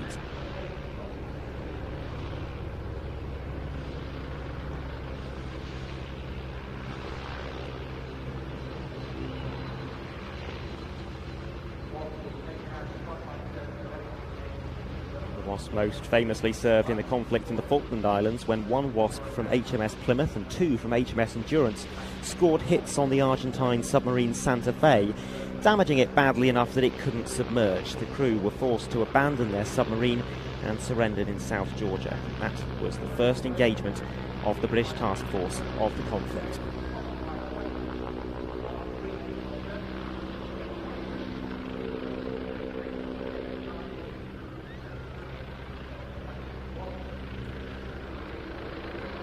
Although it was our own Royal Navy that was the main operator of the Westland Wasp, it also flew in the service of six export customers.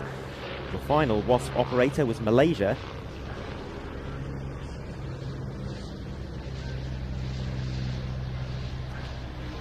Malaysia didn't receive their first Wasps until 1988, the same year they were retired from British service, and they continued to operate them up until the year 2000.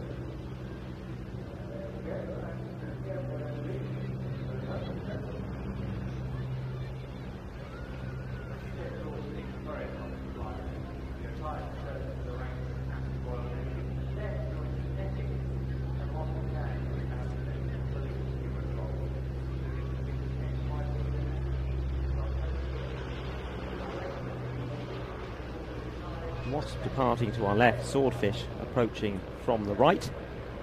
our second solar display, there it is. And yesterday we got some lovely footage of this flying uh, eye level with us at times, possibly even lower than us. Hopefully more of the same again today.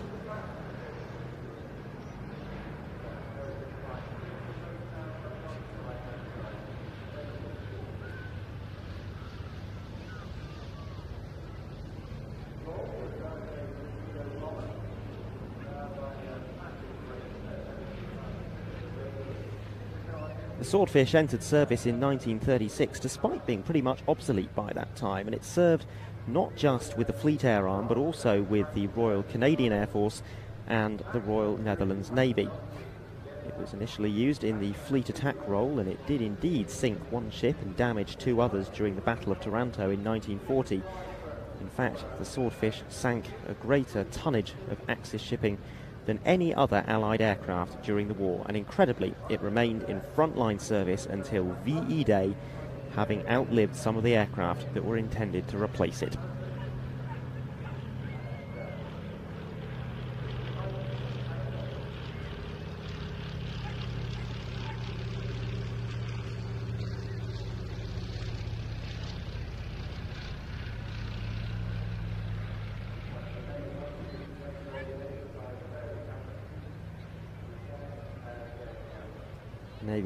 Have two swordfish, only one of which is flying at the moment. In fact, this one, Mark 1 W5856, is the only flying example swordfish in the world at the moment.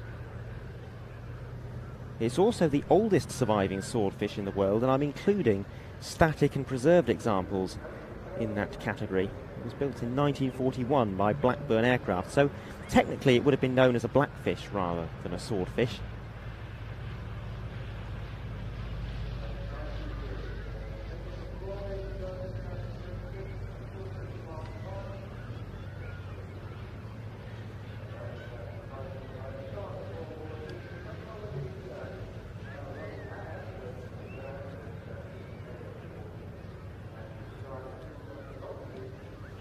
we tend to refer to it as a swordfish just because uh, if you say blackfish, not many people know what you're talking about. Much the same thing with uh, many aircraft that uh, operate under different names when they were produced under license. So we tend to say Shooting Star rather than Silver Star, and uh, the Norwegian Air Force Historical Squadron's MiG 15.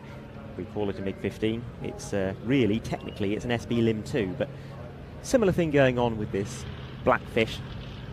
We all call it a swordfish.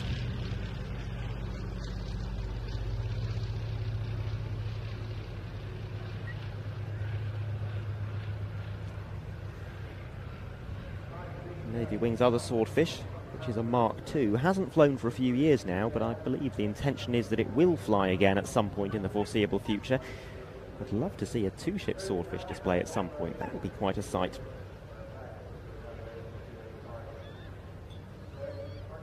Angus does ask, are there plans to have both swordfish fly? Yeah, I believe so. I, I understand, yeah, the intention is to return the other one to flight and presumably keep this one going as well.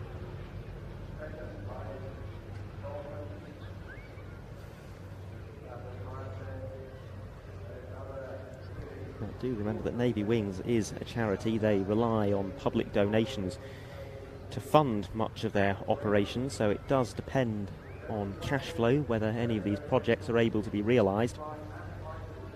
It was the case with their uh, Cevix, and that was due for a return to flight, but the funding from public donations was not forthcoming, and that aircraft has now been grounded for the foreseeable future. They're intending to dispose themselves of it if they haven't already. Somewhat out of the loop on Navy Wings activities. It's possible they don't even have that Sea Vixen anymore. I'm sure someone in the chat will be able to tell us. Nice wave from the back seater there.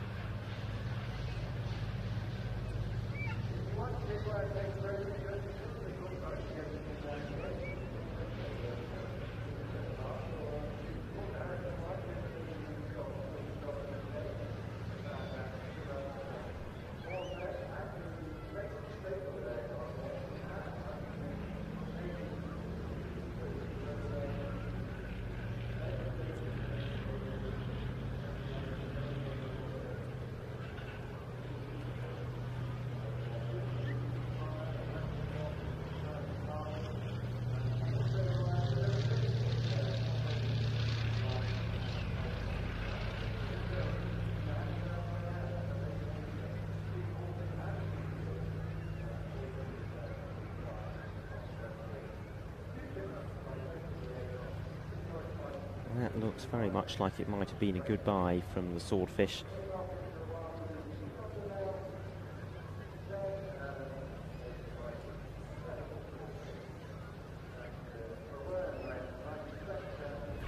Parting off slot to return to its base at Yeovilton.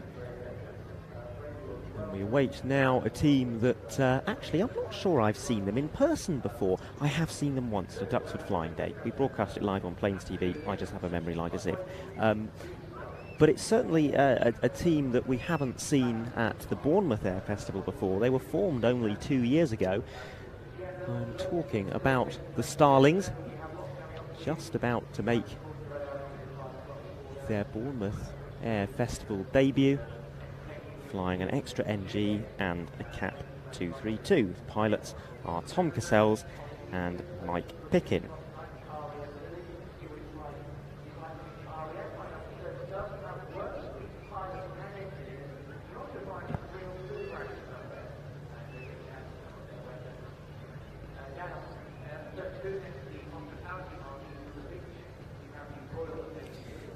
Brings us into uh, quite a nice little sequence. We're going to see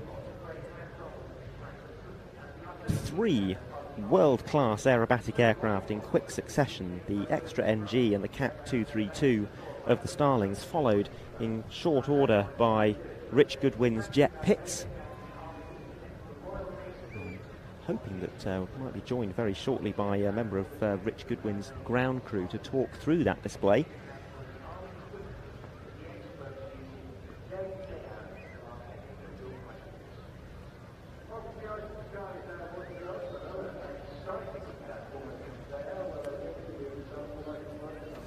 Fact, yes, uh, that member of ground crew has just arrived and uh, we'll be hearing from him very shortly.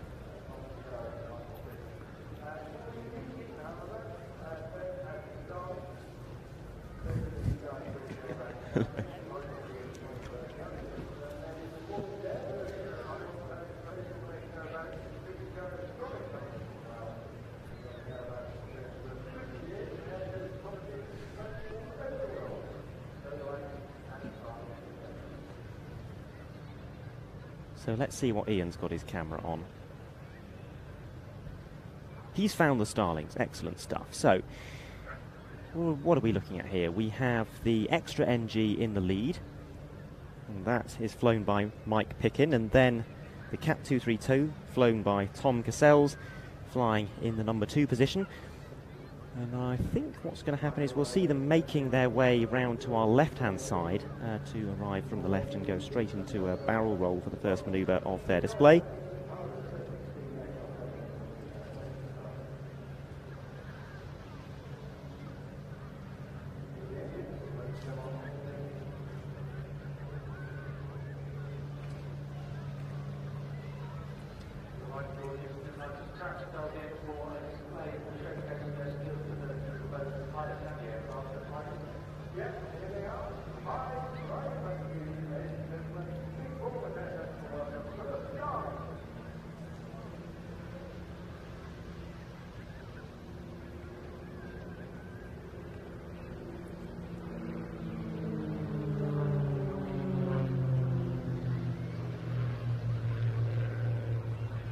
is not very often that we see an extra NG at air shows because it is a very new aircraft design indeed.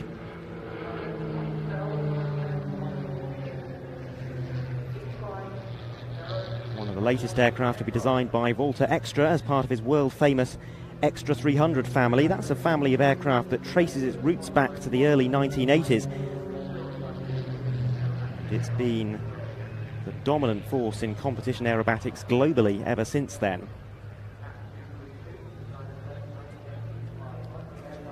And this is just the latest aerobatic team to use the extra 300 family of aircraft. So many others over the years, including the Blades here in the UK, Krisakti in Malaysia, the Aerostars in the USA, the Firebirds in Poland, the Northern Lights in Canada, the Global Stars in the UK, the Hawks of Romania, the Royal Jordanian Falcons, the Marksmen from South Africa, and several others.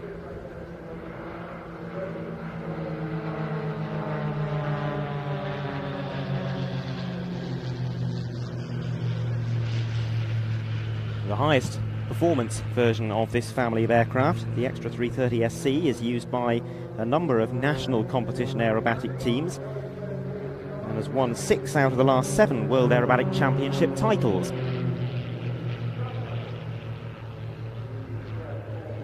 Earlier this year, Extra unveiled the successor to the single-seat 330SC, the 330SX, and deliveries of that are due to begin in 2024. This specific model, the Extra NG, is the latest twin-seater in Extra's lineup. It was unveiled in 2019. It's slightly heavier. Slightly heavier than the highest performance single-seaters, but it is a more comfortable cruiser, slightly larger cockpit,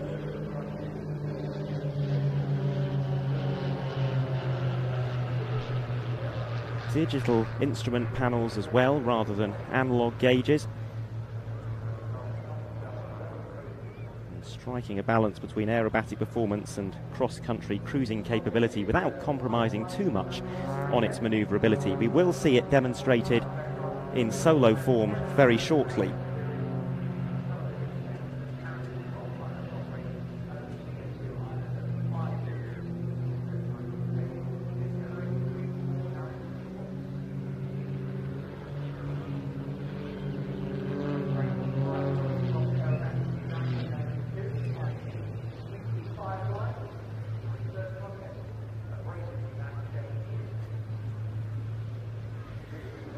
Well, is a great favourite of mine. It's called the Looping 270.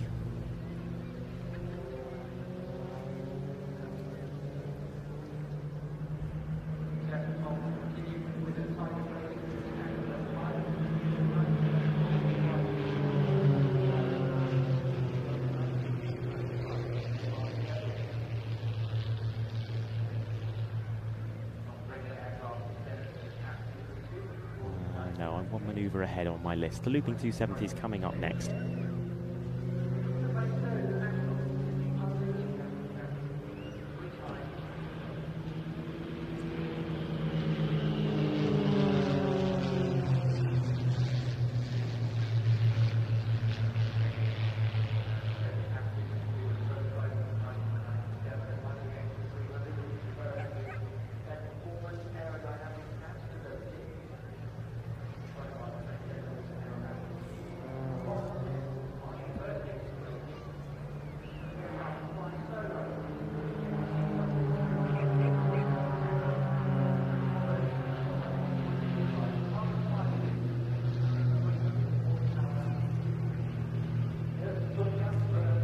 So what I'm expecting to see here is a looping 270. That's a loop into a 270 degree turn.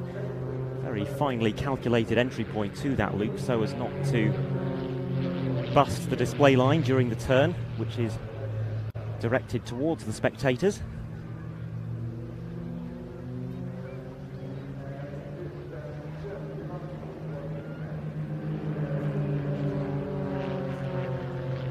And that sets up the aircraft to depart to our centre. They'll very shortly be pulling up into the vertical for synchronised stall turns.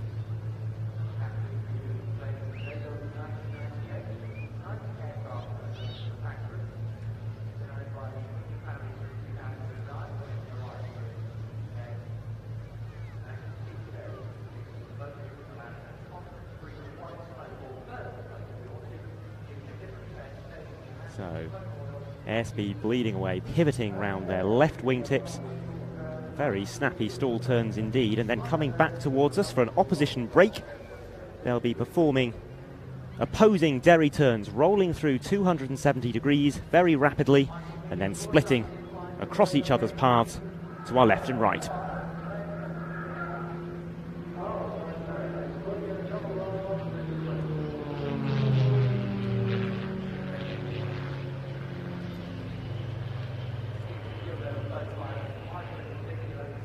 Pulling up to our left and right into synchronized stall turns to reposition the aircraft to come back in towards us.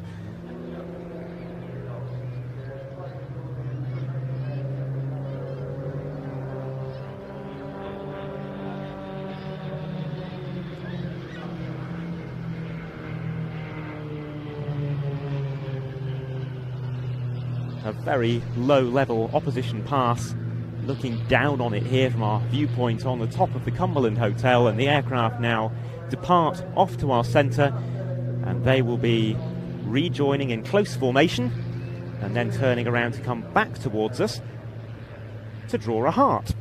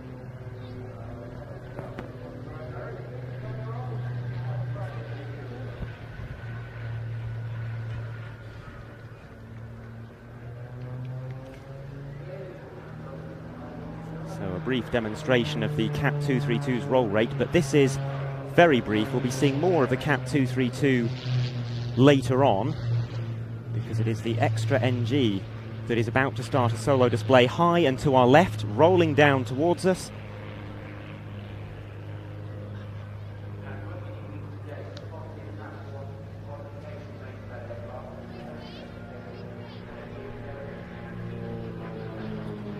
Extra NG is flown today by Mike Pickin. He won his first aerobatic competition at the age of 14 and went on to become the youngest person to hold the UK Civil Aviation Authority display authorisation. Age 23, he became the youngest ever UK advanced aerobatic champion, and today he is the youngest unlimited level competition aerobatics pilot in Europe.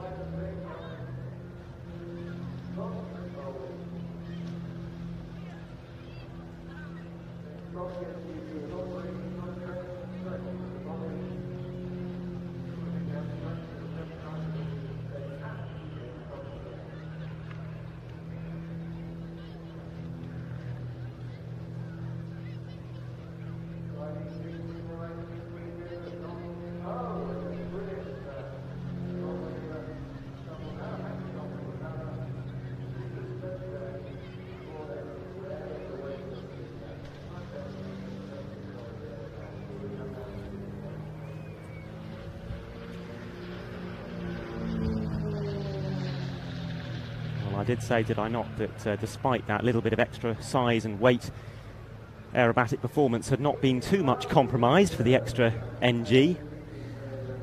And it's been a very impressive solo display indeed. Now coming into its final moments as uh, we start to cast our eye around for the CAP 232, which will be arriving shortly. That's a very interesting aeroplane.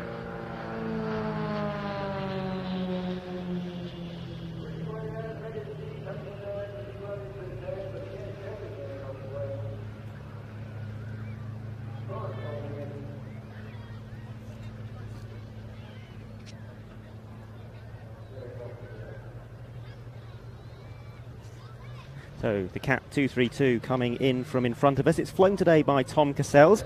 He's been flying air shows since 1983 and began learning aerobatics in 1992.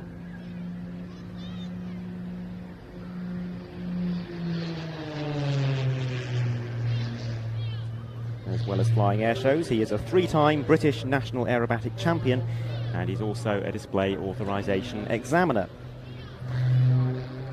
The aircraft that we're seeing is part of Mudry's successful family of competition aerobatic aeroplanes, all of which were developed for the French Air Force's competition aerobatics unit, the Equipe de Voltige. This started with the CAP 10 in 1970, followed by the CAP 20, CAP 21, CAP 230, 231, and finally the CAP 232, which we see now. This version first flew in 1997.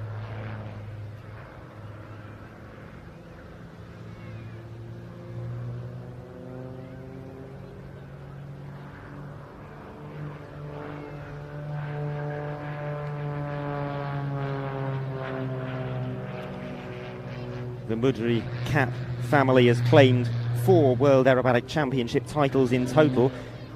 The Cap 232 specifically won in 1998 and 2000. Sadly, a structural failure in 2005 led to the Equipe de Voltige being temporarily grounded and uh, they ceased using the Cap 232. They resumed flying in 2008 using the Extra 330 SC. Despite that, the CAP 232 is still very much in use on the civilian circuit. It's also used by the Moroccan Air Force for their formation aerobatic team, Marche Verte. One of the things we've seen demonstrated during this display, and something the CAP 232 is especially famous for, is its extraordinary roll performance of 420 degrees per second. That's almost twice as quick as any of the previous Mudry CAP aircraft.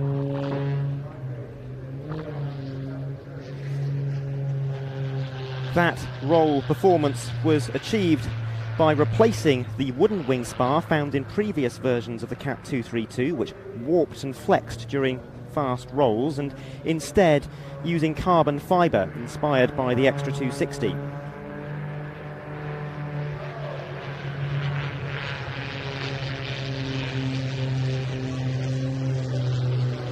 That also had the effect of reducing the weight of the wing by 30 kilograms meaning there was less roll inertia and therefore improving the precision of the roll starts and stops. Well, both aircraft about to reform now, and they're going to give us one final pass in a two ship formation, expecting this to be a mirror formation.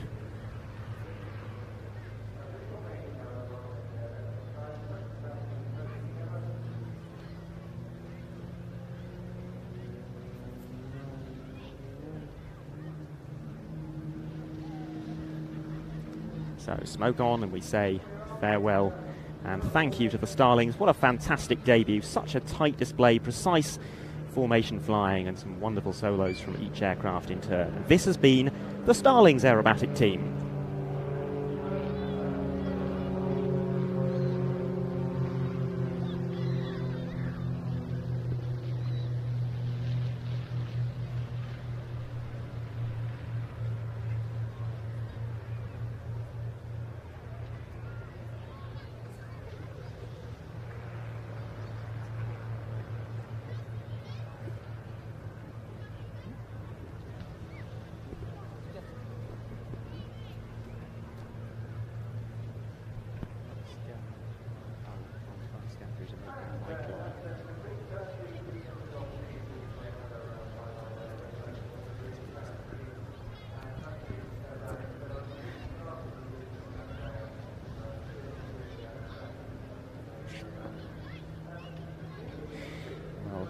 Next, we have Rich Goodwin just about to start his display. And uh, I'm delighted to be joined now by Colin Hales. You are uh, one of Rich's engineers, or Rich's singular engineer. Is, is, it a big team? It's not a particularly big team, but I'd say I'm uh, one of the main players within the team. And, uh, just arriving from the right now in uh, knife edge flight, as is typical. Here is the Jet Pitts.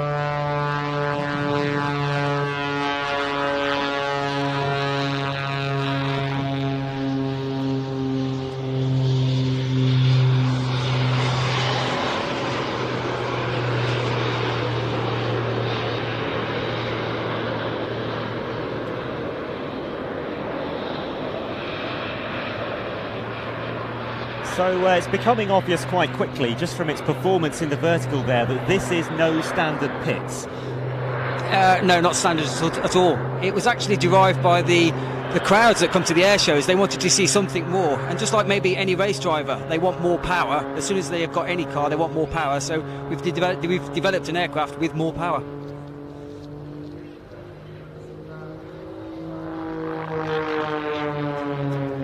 Uh, main engine, the um, Lycoming IO540, um, we've basically pushed that engine as far as we can with uh, thrust from that engine. So therefore, to gain more thrust or more power, we, we had to go to auxiliary engines, and the best option was two jet engines. So you're getting 360 horsepower from the Lycoming, is that right? Um, yes, let's just just agree at that. Okay. uh, and how much are you getting from your two Lynx turbojets? In in a respect of horsepower, it's about 200 horsepower per engine, but really they, we should talk about thrust from the jet engines yeah. rather than horsepower.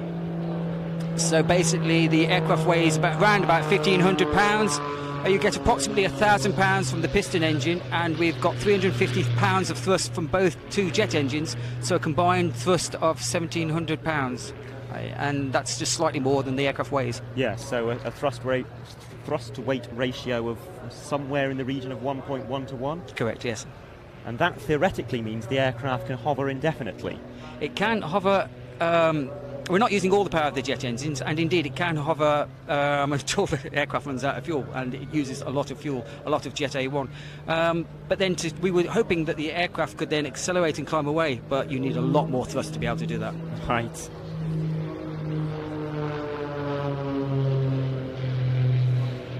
And those jet engines aren't facing straight backwards, but they're canted outwards slightly. I just love listening to the jets, honestly. Yeah, they're great, aren't they? Such a weird combination of sounds. that aircraft should not be making that noise, and we shouldn't be talking over it.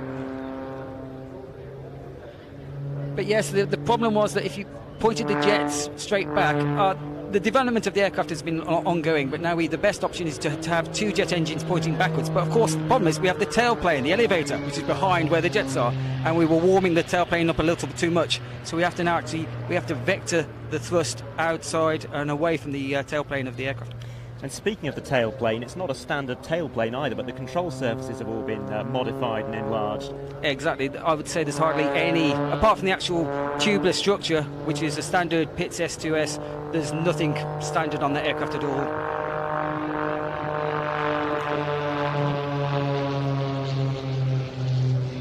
And what was the development process like? Because it can't have been easy anyway, but it's got to be. There's that noise again. Can't be uh, easy from a from a technology and engineering standpoint, but you've got the regulatory side of things to deal with as well. Just watching him do cartwheels, he only managed two. Normally, can get three in there, so uh, okay, that's not great. Um, the development was through the Light Aircraft Association, and when we originally came up with the idea, they were not happy at all because no one had got experience with jet engines uh, with the Light Aircraft Association. But we said to them, well, look, this is the perfect test bed to get data. It's not the primary engine. We can give you all the test data you'd ever want on jet engines. And uh, there's a few other issues, but we've worked through them with the LAA and uh, to see the product that you see today now. So, how long was the whole uh, development process? Uh, approximately four years. And unfortunately, we only got the aircraft very early in the season, uh, and so therefore we've created a display. Richard's created this uh, routine Uh, we now know a lot more about the aircraft and could do a lot more with it, but to change the display, to change the routine mid-season is, is not possible. It's just not possible. Well, I love these really tight loops that we're seeing now, almost like a sort of Kulbit manoeuvre, as it would be called in a, a thrust vectoring fighter. It is, and this is one of his manoeuvres where he now goes to high alpha, and um, this is one of the hovering manoeuvres you'll see coming up now. Okay. So he'll slow down, go to high alpha to slow the aircraft down, and then increase the jet engines.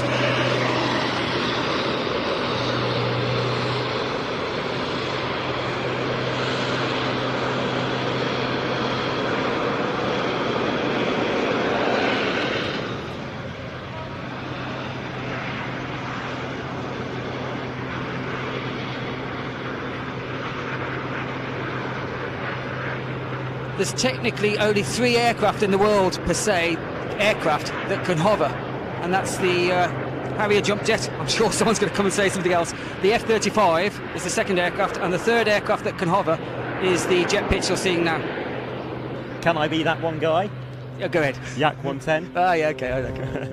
I bow, Designed by, I, uh, or co-designed by uh, the same person. I bow down to your superior knowledge.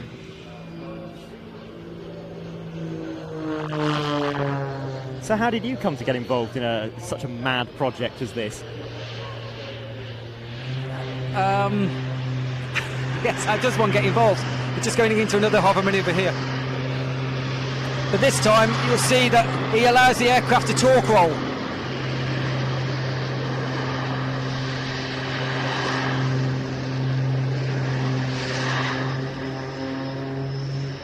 So to actually stay without torque roll occurring, you actually need airflow over the ailerons. So he's hovering, but technically he's not hovering. He's having to do about 15 knots airspeed to uh, stop the uh, ailerons to stop the torque roll. But if he does go into an absolute pure hover, then there's nothing to stop the, the torque of the engine turning the aircraft as you saw then.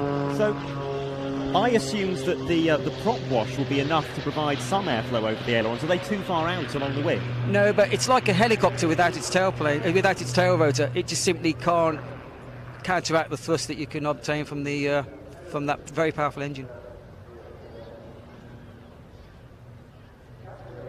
So this idea came about from airshow enthusiasts, but when did Rich start to take it seriously? Indeed, uh, I mean it is driven by the airshow pundits and such, and the and the people that come to see. I mean, Richard's got two Pitts Specials now, and the airshow is saying, "Uh, Richard, you're very good with your flick manoeuvres, which we're seeing now, but what can you bring new to the airshow scene? And uh, we wanted to bring something new and un- unique, and uh, you know this is truly a unique aircraft um, with the combination of of uh, piston engine and jet engines. Um, no, we took it really seriously right from the word go. This has been a, a long-term, not dream because it's now happening, but um, an intention to do this. It's it's been a lot of hard work, and there's still a lot of development to do with the aircraft. Um, you know, it is such a new aircraft. We just we we're looking at, at it very carefully. It's it's so new. We're, we're monitoring it so so closely for um, its structure and its safety and security. Yeah. Um, at the end of the season, we, we'll see where we can go and what we can do from there next year, and hopefully bring better and more interesting performances.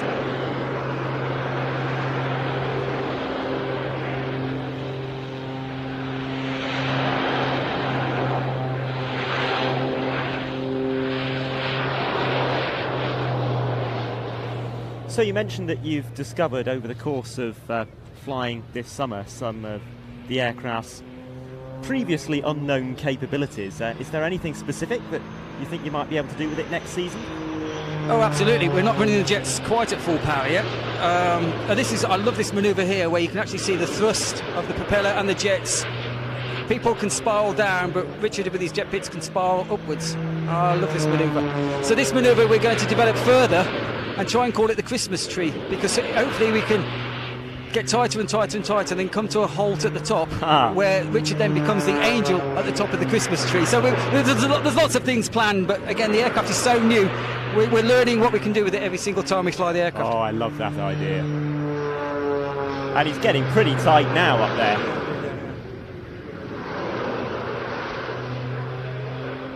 And it's lovely against the blue sky like this. Actually, seeing that spiral is quite surreal, getting tighter on the way up. Indeed, indeed. So you, you must be quite proud watching this. I cry every time. I'll get I'll get emotional now. It's been um, been hard work, really hard work. Um, lots of barriers and so on, but we've just kept pushing and pushing, and we're overjoyed with the uh, product that Richard's created. It's just astonishing. I'm really proud to be part of it. So coming towards the end of the display now, and uh, is this one of Richard's famous knife edge passes coming up?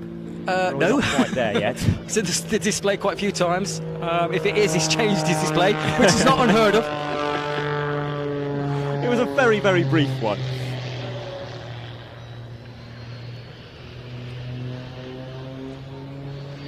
I'm not going to say what Richard does because he makes it up sometimes, but um, I believe uh, there'll be another knife edge pass, and then his departure is at the end of the display. So this is in, into another hovering manoeuvre.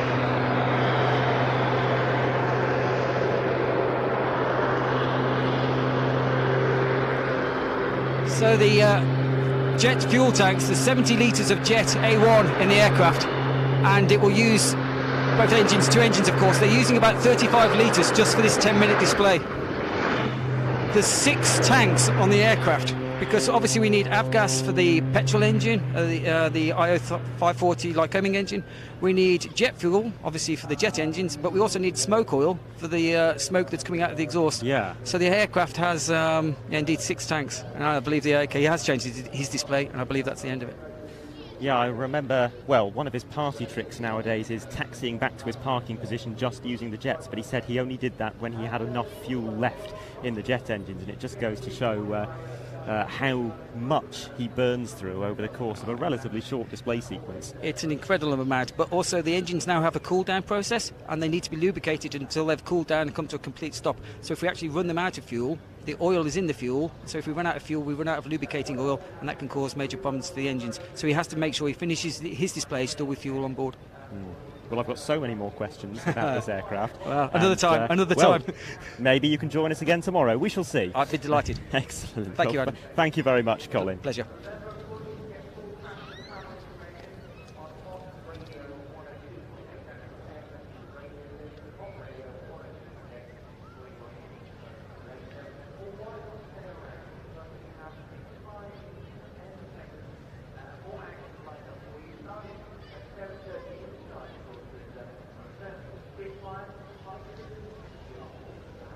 Colin will join us again tomorrow. If you do want to join us tomorrow, then uh, we are asking for a little bit of money. I know I've mentioned this uh, several times now, but tomorrow's live broadcast, in order to view it, you will either need to be a channel member here on YouTube, or better still, uh, you can sign up to our on demand service, watch.planestv.com. We're offering 50% off this weekend if you use the offer code Bournemouth. That's Bournemouth with a capital B at watch.planestv.com. It gives you 50% off. You can get a month for £5. And for your £5, you'll be getting our live stream from Bournemouth tomorrow with further input from Colin, I hope. But you'll also be getting our live stream from the Duxford Battle of Britain Air Show very shortly in uh, two weeks' time, plus access to our 30 year archive of programmes going all the way back to 1989.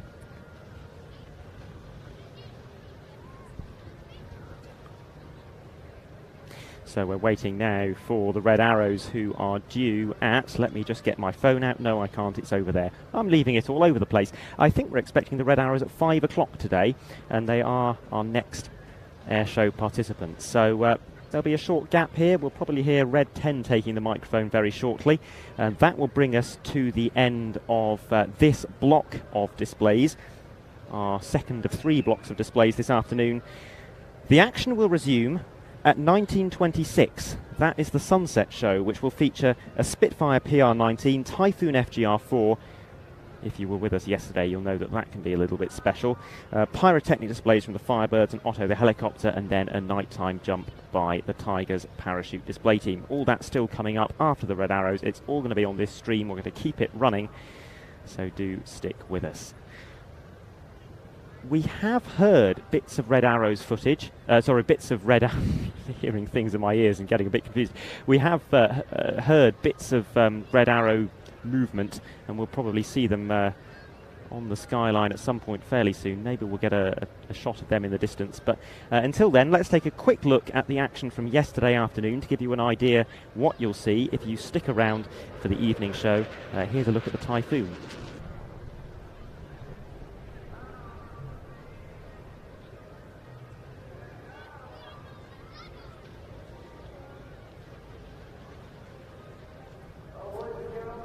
So fairly magical to see the uh, reheat actually illuminating the clouds of vapour there and the aircraft just catching the setting sun as well. That, even by the standards of Typhoon displays, was a fairly special one.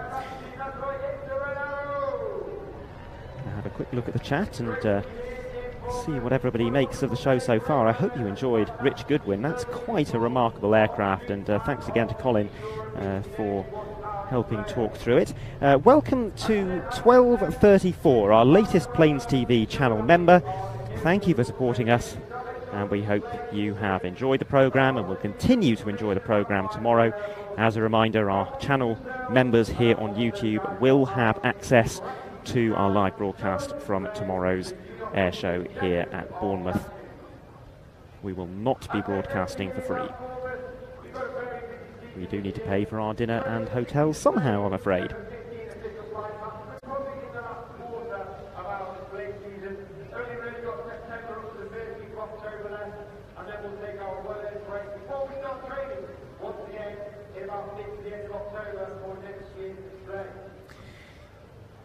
Our thanks go to the Cumberland Hotel, who have been hosting us on their roof, and this gives us a really excellent vantage point uh, of the Red Arrows display, which is due to start in just a few minutes' time. For the synchro pair, who are allowed down to 100 feet, we will be looking down at some of their manoeuvres. We're not only elevated on top of the hotel, but the hotel is elevated on top of a cliff. So I would guess, and I'm just plucking a number out of the air really, but I would guess that we've probably got a couple of hundred feet elevation uh, as compared to the surface of the water here. The Red Arrows are airborne. Red 10 has taken the microphone down below. Uh, if you are just joining us and you're wondering who the voice is and why Red 10 isn't talking you through this display himself, uh, hello, my name is Adam. I'm normally a camera operator with Planes TV, but uh, as we are up here on the roof of the Cumberland Hotel today, uh, it's not an option to uh, take the official airshow commentary. So I'm doing my best to talk you through the action, and uh, hope you've been enjoying it so far. It's, I hope, better than watching the airshow in silence.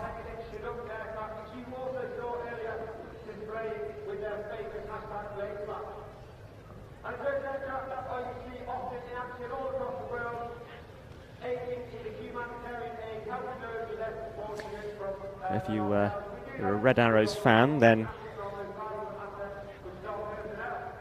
we've got plenty more Red Arrows displays that we'll be broadcasting over the coming weeks. We'll be following them up to the Ayr Show Festival of Flight in Scotland next weekend, following them to Jersey. A few days after that, well, they'll be displaying alongside their French counterparts, the Patrouille de France. Those will go out free on YouTube. And then, uh, in addition to that, we have the uh, Duxford Battle of Britain Air Show. That will be exclusively for uh, our watch.planestv.com subscribers. One more reminder before the Reds, we do have that 50% discount code. Use the code Bournemouth, and that will give you 50% off your first month, giving you access to Sunday stream with the Red Arrows and the Duxford Battle of Britain Airshow stream in two days, uh, two weeks' time. So we're scanning the horizon to our south now, and uh, Ian has picked them up. Yes, over the top of Bournemouth Town Centre. And looking at the cloud conditions, I would say this is going to be a full show. The red, white, and blue smoke about to come on as the Red Arrows arrive in wall formation and pull up for a loop.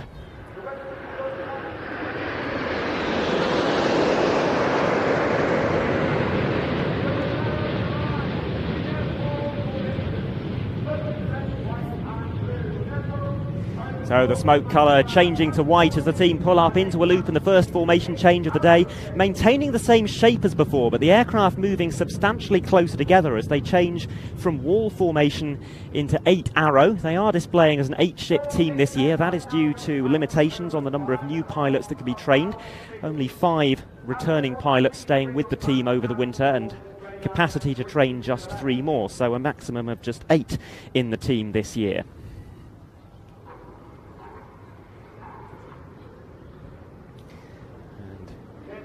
Some uh, wingtip vortices being pulled out of the moist sea air here at Bournemouth as the team exit that loop and head out to our left. We're about to see another formation change. And this will be into Vixen formation. We're watching Reds 7 and 8 on the extreme outside edges of the formation who are about to perform tight matched rolls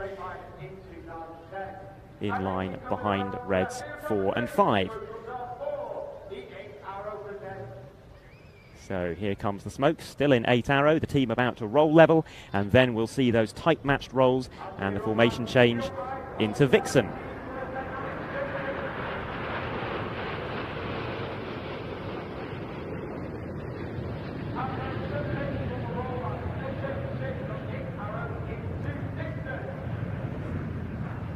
The Red Arrows fly the Hawk T Mark 1, an aircraft which has now been retired from its primary duties with the Royal Air Force. It did serve in the advanced jet training role. That has been taken over by the Hawk T Mark 2. It also served in the aggressor role, but it has been retired from that as well, meaning that the Red Arrows is the only unit that is left operating the Hawk T1. Although they uh, are also used for aeromedical research flights.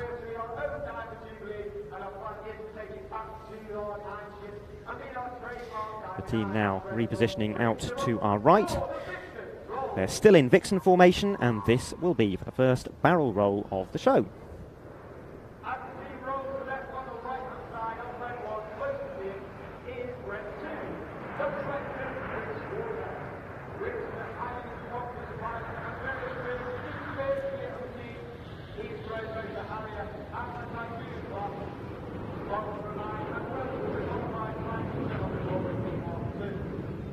Although the Hawk has been largely retired from its duties with the Royal Air Force, it, or rather the Hawk T1 has been largely retired, I should say, it remains a, a hugely successful aircraft. It's not the most produced advanced jet trainer in history, but it is arguably the best selling advanced jet trainer ever built in terms of export orders. It has been operated by countries as diverse as Canada, Kuwait, Malaysia, the United States, Switzerland, South Africa, and the Republic of Korea, among several others.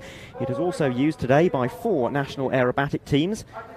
The Red Arrows, Surya Kiran from India, the Saudi Hawks, and if you subscribe to watch.planestv.com, you can see them in action at the Royal International Air Tattoo 2023, and also Finland's Midnight Hawks, Again, we've covered them at the Royal International Air Tattoo. That was in 2017, and you can see that film if you have subscribed to watch.planestv.com. Now, this year's Red Arrows display is uh, partially themed around the uh, relatively newly formed UK Space Command, and we're seeing a few space themed shapes uh, over the next couple of manoeuvres. This is the first of them. It is called Apollo Formation, inspired by the lunar landing craft.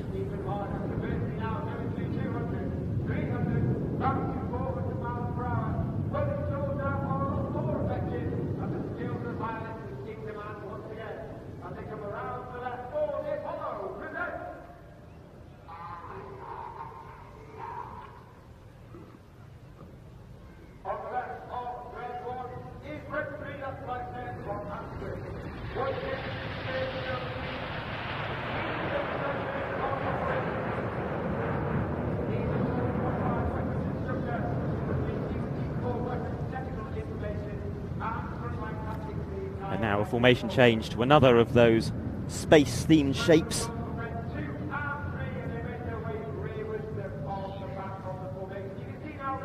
The team continuing around to our front and changing into eagle formation, completing this 360 degree turn. And they'll very shortly come back towards us for what the Red Arrows call a present, a belly up pass, giving us a good view of the formation shape. And this, again, inspired by the Apollo missions and specifically the Eagle landing craft.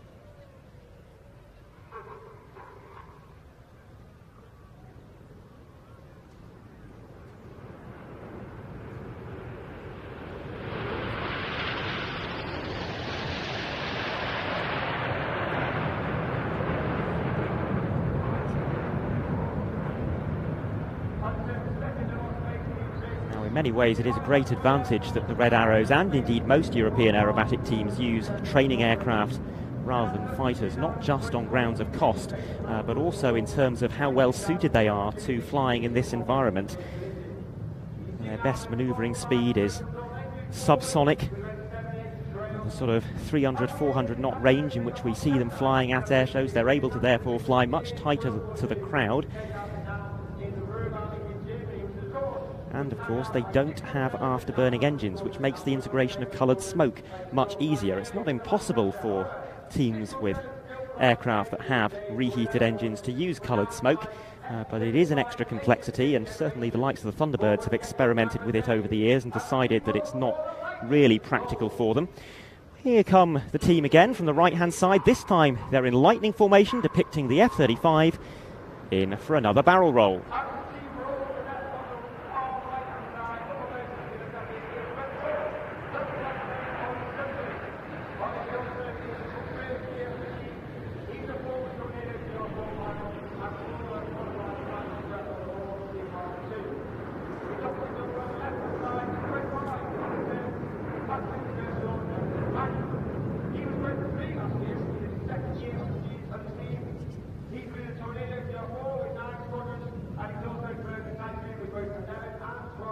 That uh, smoke system consists of a smoke pod on the underside of the fuselage, which is topped up before every flight. There's three tanks within the smoke pod one for white smoke with five minutes of smoke oil capacity, and then one each for red and blue smoke.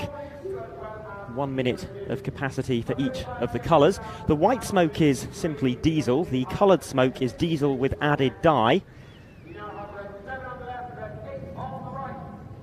It's interesting that uh, the Reds are relatively unusual in that uh, each aircraft has all three colours available. And many other teams, like the Patrouille de France, just have white smoke uh, and then one of the two colours. And the, the even numbered aircraft have red and the odd numbered have blue, or perhaps the other way around. Uh, and uh, the display just has to be choreographed to make sure that uh, the colours remain symmetrical throughout. The Reds have that extra flexibility of each aircraft being able to produce all three colours.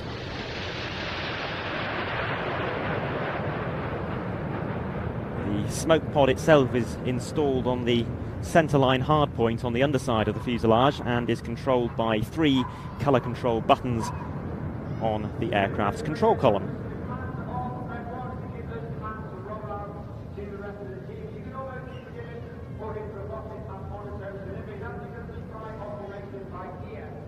So we have a real crowd favourite manoeuvre coming up next as the aircraft reposition out to our right hand side. I'm sure many of you who are watching this display know exactly what's coming up. You'll have all seen the red arrows plenty enough times. The aircraft splitting apart slightly. Red 7 and 8 following in a loose trail formation. 1 to 6 in a tight delta formation. They're about to roll out towards us. And then as the wings roll level, red 7 and 8 will start to barrel roll around the rest of the formation. This is Tornado.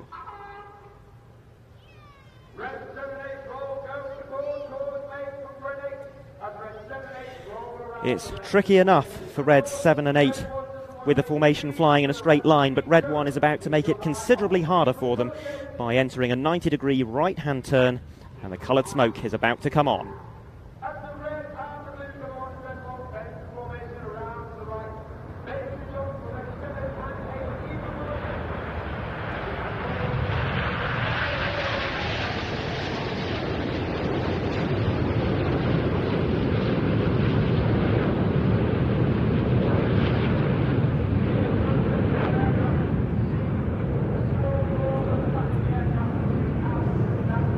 Well, we're coming towards the end of the first half of the Red Arrows display, and during this short break in proceedings, while the aircraft reposition out in front of the crowd, I just want to say hello and welcome to everyone who's joining us here on Planes TV. Welcome to the broadcast, uh, live from the Bournemouth Air Festival, putting it out free on YouTube today.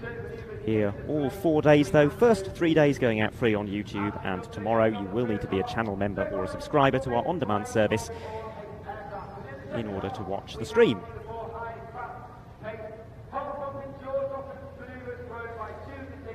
Coming now towards the start of the second half of the show. We're about to break the team down into smaller groups. Initially, we'll see the team rolling out towards us, five aircraft on the top in leaders benefit formation. They are going to split, and then three more aircraft at the bottom will put the coloured smoke on for a manoeuvre called the detonator. So those aircraft at the top of the formation, Reds 1 to 5, they are known as Enid, named after Enid Blyton's famous five. They break now, and then at the bottom we have Hanna, named after Ray Hanna, former leader of the Red Arrows, and now it's their turn to split.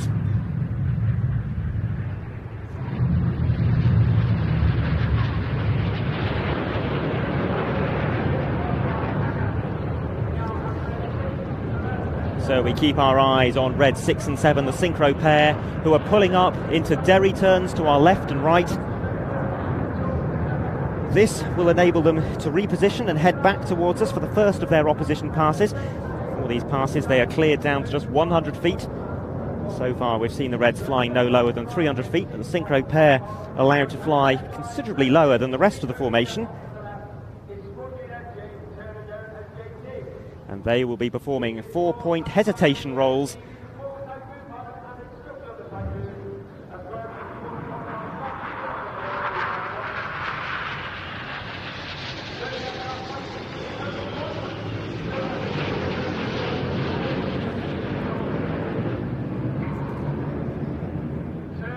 And we keep our eyes on the synchro pair out to our left and right, who will be turning back towards us for another opposition pass.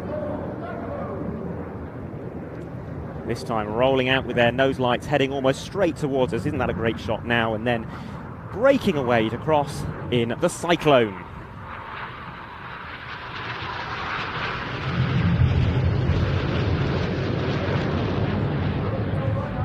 As the synchro pair depart to our front, Red 8 is approaching from the right hand side with blue smoke on. Meanwhile, out on our left 45, here comes Enid.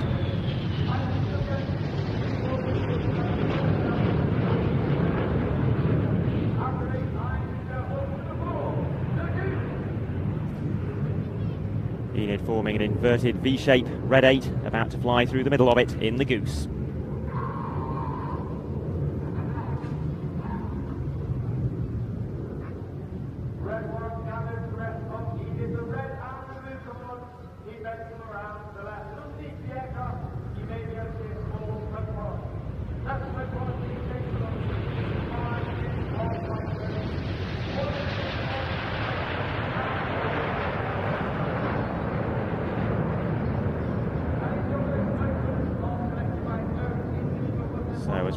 Reds 1 to 5 depart to our right hand side. You can see at the back of the aircraft the air brake extended. That introduces extra drag, means the aircraft need to use a higher power setting in order to maintain speed.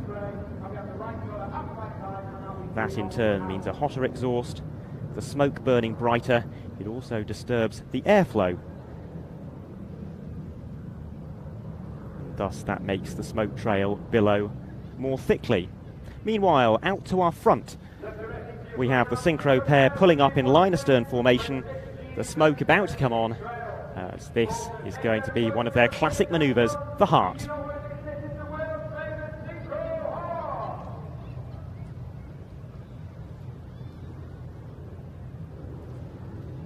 If you look top left corner of the heart, Red 8 about to draw a spear through the middle of it. He just climbed to altitude following the goose, setting up to draw that spear. Perfectly positioned and timed.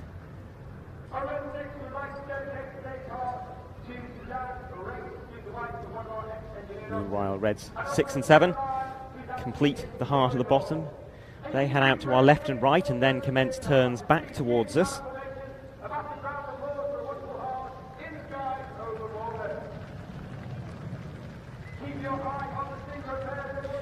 They're going to descend to just 100 feet above the water and then perform synchronized barrel rolls before crossing once again. This manoeuvre is called the double rolls.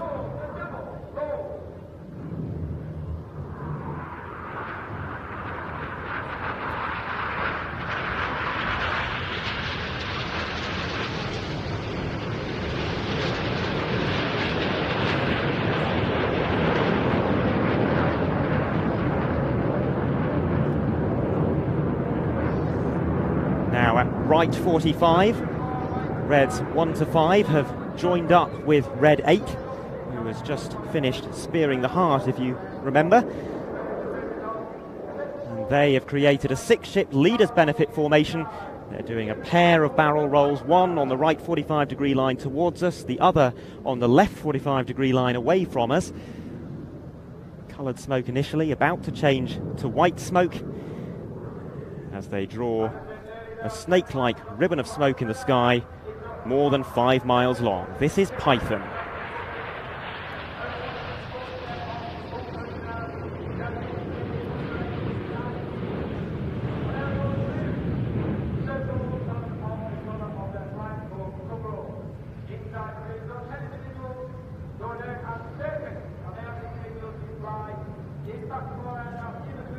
Really good view there of just why the barrel roll is called the barrel roll. You can see them transcribing the shape of the inside of a barrel as they complete the Python. And then we look to the left and right for the return of the synchro pair.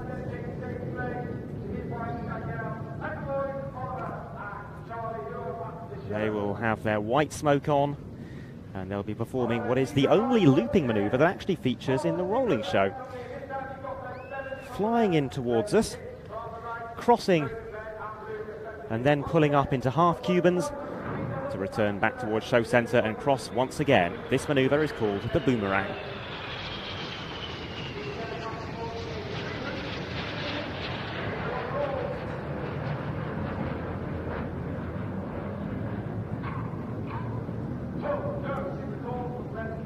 So there they go, pulling up with white smoke into two thirds of a loop and then a half roll on the down line before pulling back into level flight.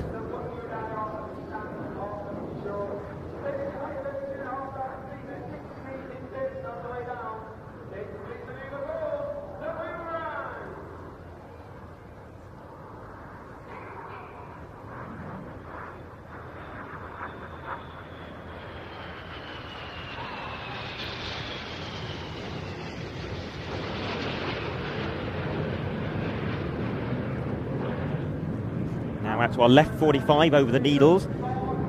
We have Reds 1 to 5. About to pull up into, I would say, my favourite manoeuvre of the 2023 Red Arrows display sequence.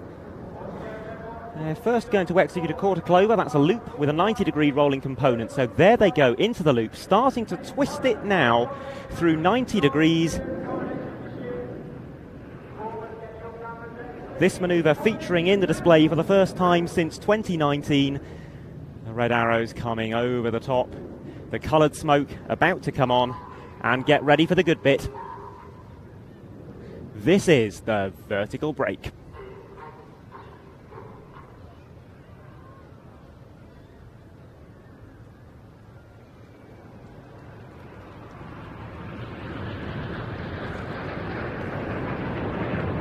We look next to our right hand side for the return of Hanna. Red 6, 7, and 8. Red 6 is going to roll inverted.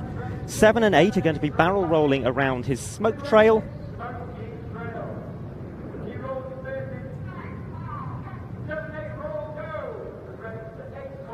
This is called the corkscrew.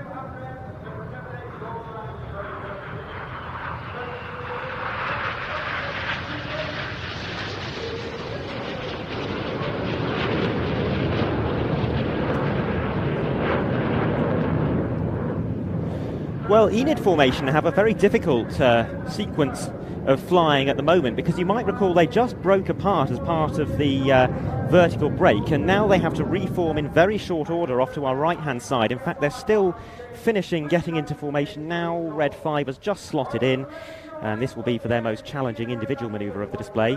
Reds three and four, Reds two and three, sorry, about to pitch up and perform tight matched rolls to the outside of the formation.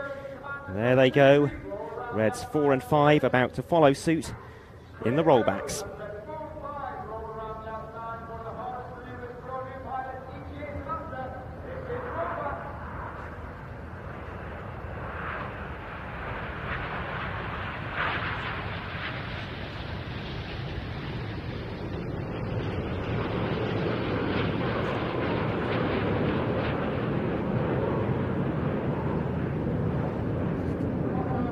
Enid complete their rollbacks to the left, Enid, sorry, Hanna is approaching from the front for one of their most photogenic manoeuvres of the display. Hanna has been renamed for the 2023 season. They were previously known as Gypo in honour of the first pilot to lead this back group of aircraft. Now known as Hanna, a former Red Arrows leader, the longest serving Red Arrows leader, in fact. It was under his leadership that the Red Arrows expanded to a nine ship team. He's now perhaps equally famous for his exploits in the uh, civilian airshow world flying warbirds. So here come Hanna now from the front, about to split in the Hanna break.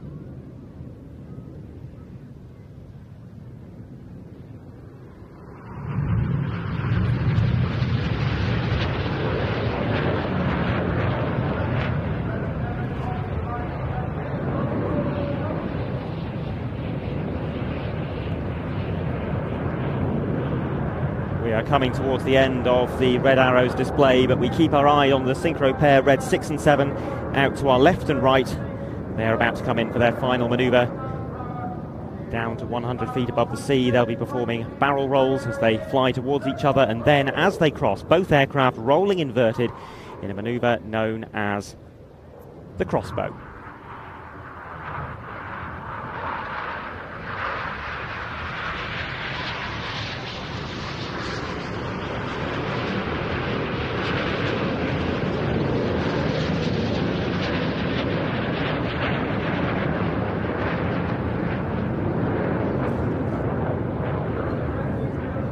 To our front.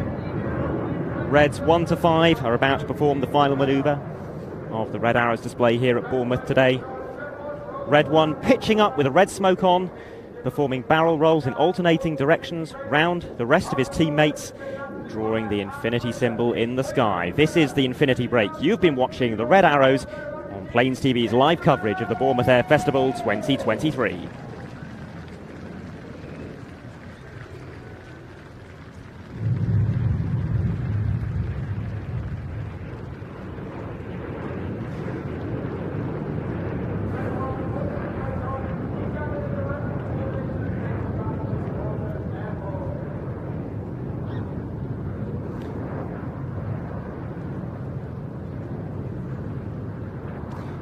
we hope you enjoyed that as much as we did.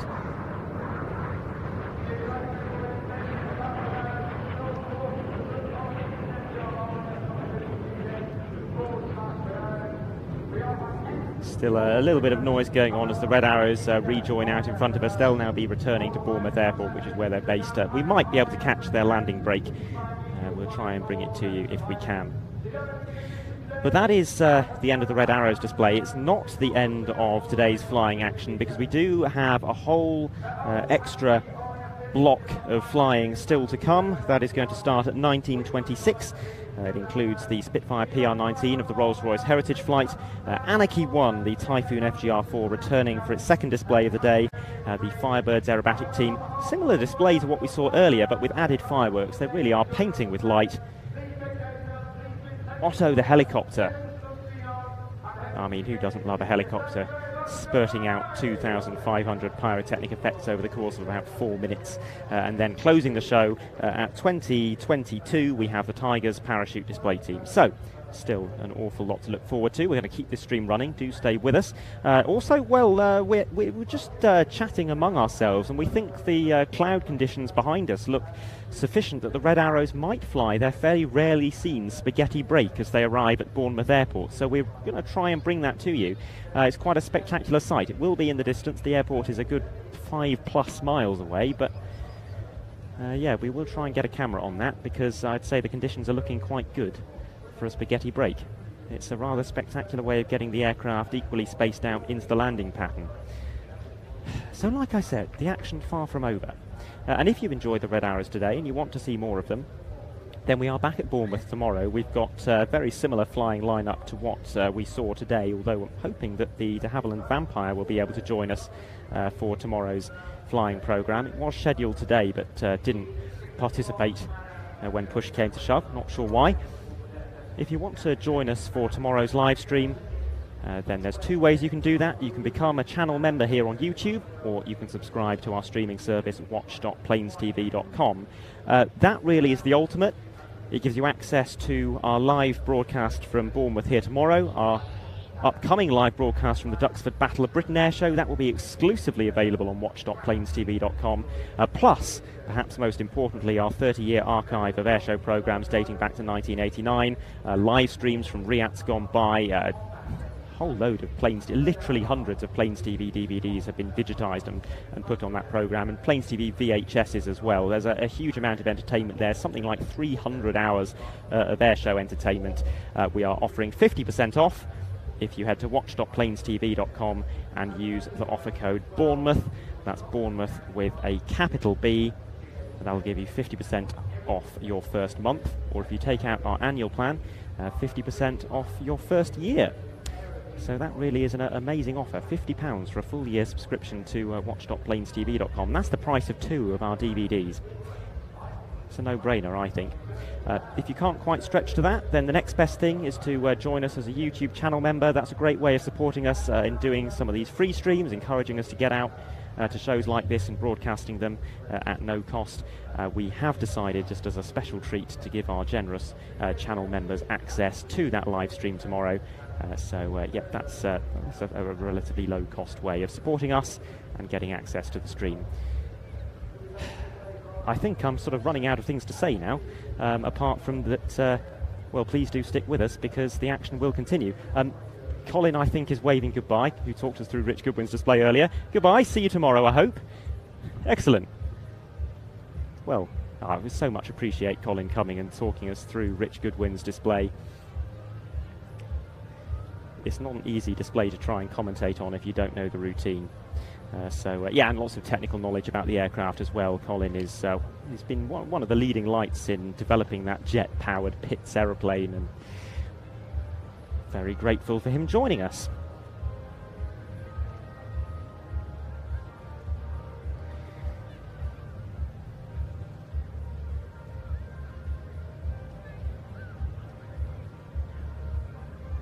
Bill Wilson, the guy on screen should get out in the sun more. I know I'm very pale, but honestly, I do this every single weekend. I'm always at air shows in the sun. I do try. Uh, good reaction to the red arrows in the chat. Glad you all enjoyed that as much as we did.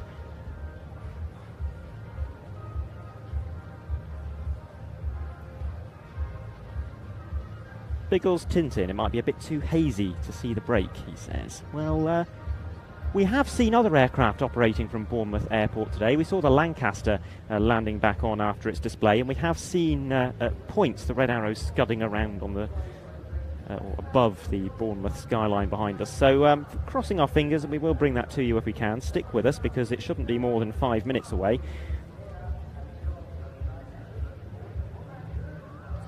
And uh, Trains Fan 21 asks if we're going to Southport on the 9th and 10th of September. No, we're not. That is because on that weekend uh, we are broadcasting the Ayr Festival of Flight up in Scotland. That will be going out free on YouTube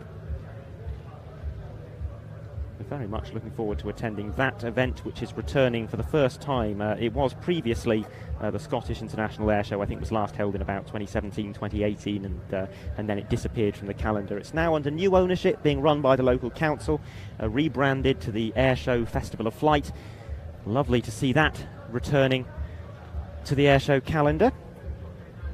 We will be bringing you that live. Make sure you are subscribed to our YouTube channel. Press the bell to get notified when we do go live from Ayr. And then following that, just a few days later, we are at the Jersey International Air Display, Red Arrows and Patrouille de France headlining that event. Then the Duxford Battle of Britain Air Show exclusively on watch.planestv.com. We are looking forward to seeing a sky full of Spitfires and Hurricanes, 12 Spitfires and 4 Hurricanes, with possibly more still to be added, all flying in a big wing formation. That's going to be quite special. B 17 flying with the Lancaster, possibly even more special. And more Red Arrows action, because who doesn't love that? And clearly my sales pitch has gone down fairly well because One-Eyed Dave has joined us as our latest Planes TV channel member. Thank you very much. We do appreciate it. It does help make all of this much more viable.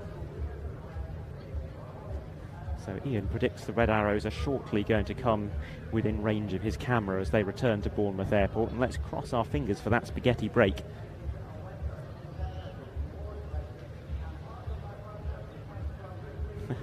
Joe Marshall says he's going to try and get our autograph uh, when we go to air next weekend.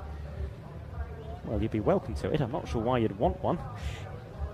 Here go the Red Arrows, pulling up for the spaghetti break. Changing from 8 arrow into vixen formation there as they go up over the top of the loop and watch for them to split on the down line.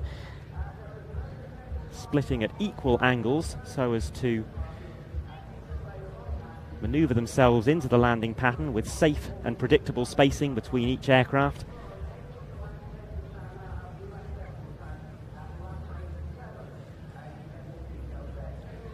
Sadly, not a manoeuvre they're allowed to perform when there are uh, when they're performing at uh, airfield-based air shows because it necessitates flying over the crowd. They do head away from the airport in every single direction.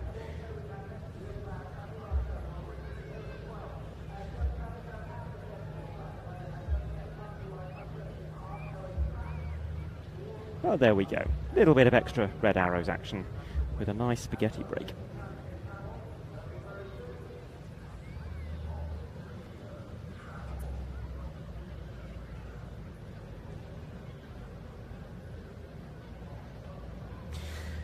Lima M Flight Simulator asks uh, about the Red Arrows flying as an 8 ship rather than the usual 9. Yes, uh, that has been the case uh, for the entirety of this season. They flew as a 7 ship uh, last year, uh, then, due to training limitations, the largest they could get next year. Uh, the largest they could get this year was an 8 ship. They are anticipating being back to a 9 ship next year. Next year is going to be a very busy season for them because it is their 60th anniversary year and there are big plans afoot for the Red Arrows 2023 display season.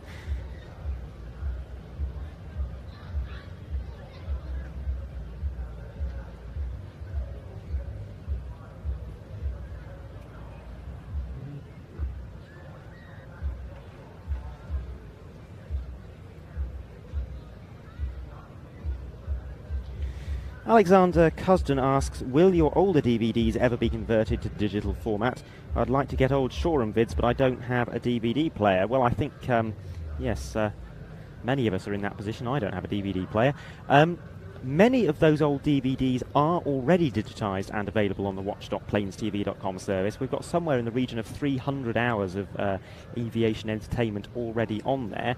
I don't know about the Shoreham videos specifically. I do know that uh, a lot of the British Airshow films are available on watch.planestv.com, and many of those will include Shoreham segments.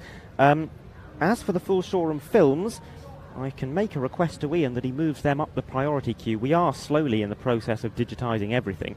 Um, I know one of the things that's next on his list because Adrian promised it earlier today uh, when someone inquired about it. Airshows 99, which is a fantastic DVD that I own and can no longer play. And th- that uh, features air shows right across Europe and North America, uh, recorded in the year 1999. A fair amount of stuff that we don't see anymore. It's very nicely filmed. Adrian says it's one of the programs that he's proudest of, even after something like 34 years in the business. So, uh, yeah, we're slowly working through that back catalogue of programs.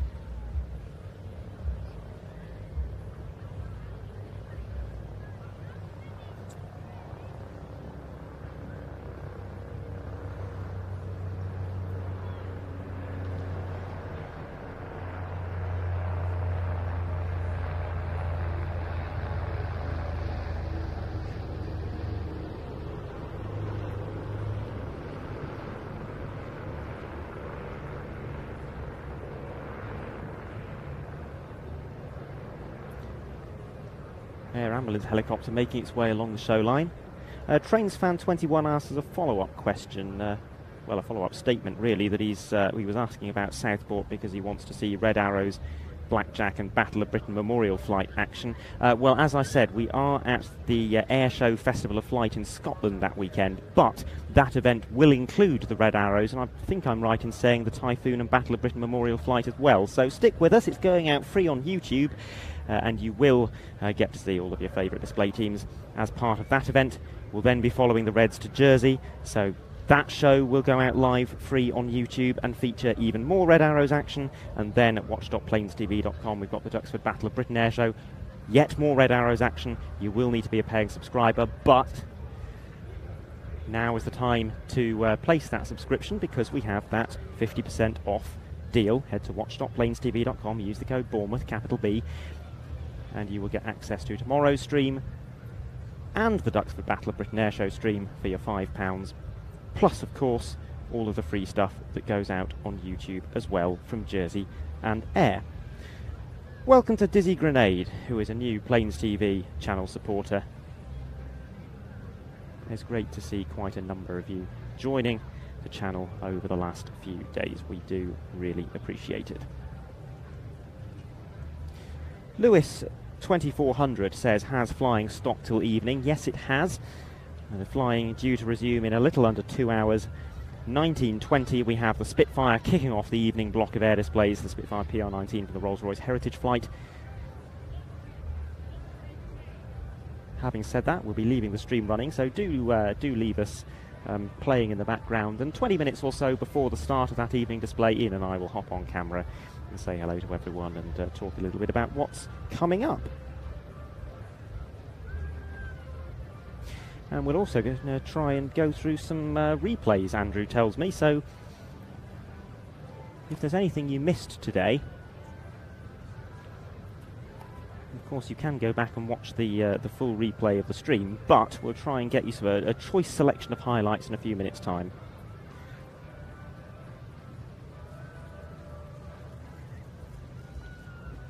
Biggles Tintin says he wouldn't be surprised to see the Thunderbirds with the Reds at RIAT next year. I'm afraid I would because the Thunderbirds 2024 schedule has already been provisionally released and uh, RIAT is not on it.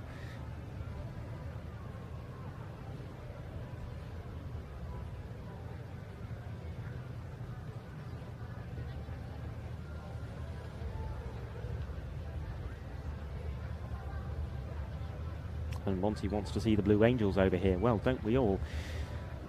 But it's uh, not been since 2006 since the Blue Angels visited Europe, and that was just a one weekend trip to Leeuwarden in the Netherlands. If you want an extensive European tour from the Blue Angels, you've got to go all the way back to the 1990s. You don't go abroad very often.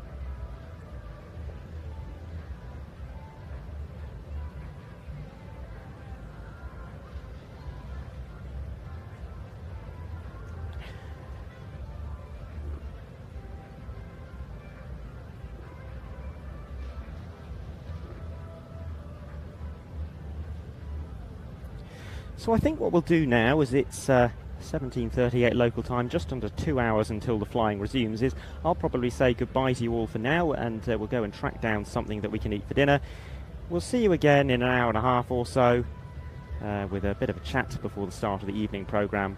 Do please stay with us because we have the Typhoon night display, we've got a Spitfire at sunset, we've got the pyro shows, it's going to be great. And uh, if you want to join us again tomorrow, you know what to do. Uh, subscribe to watch.planestv.com for the ultimate experience. If you can't do that, uh, join us as a channel member. We'll see you again in about an hour and a half, and enjoy your evening.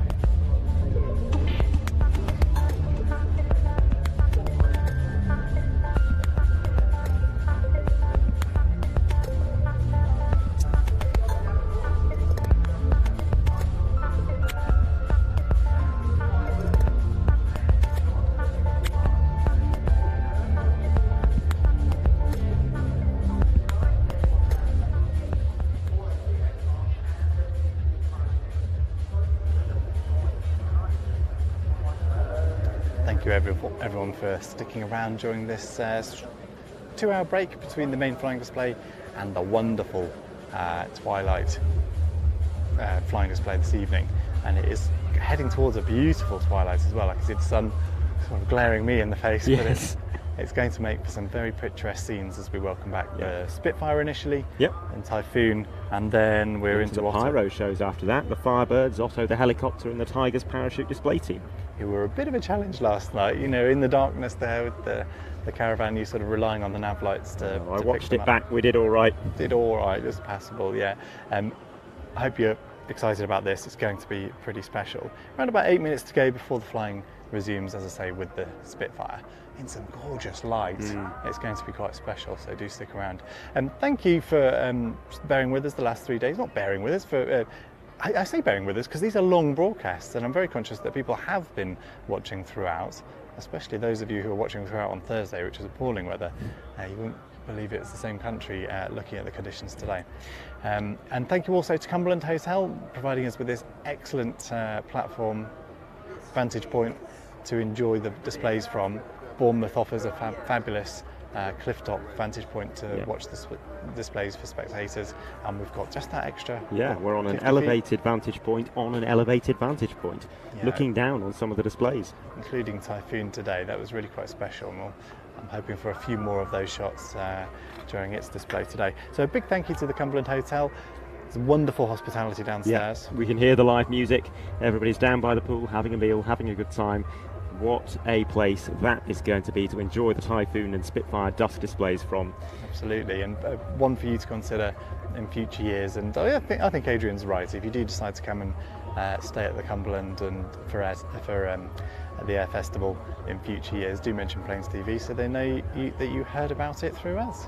And yeah, big thank you to the Cumberland. And also Airfix have supported us.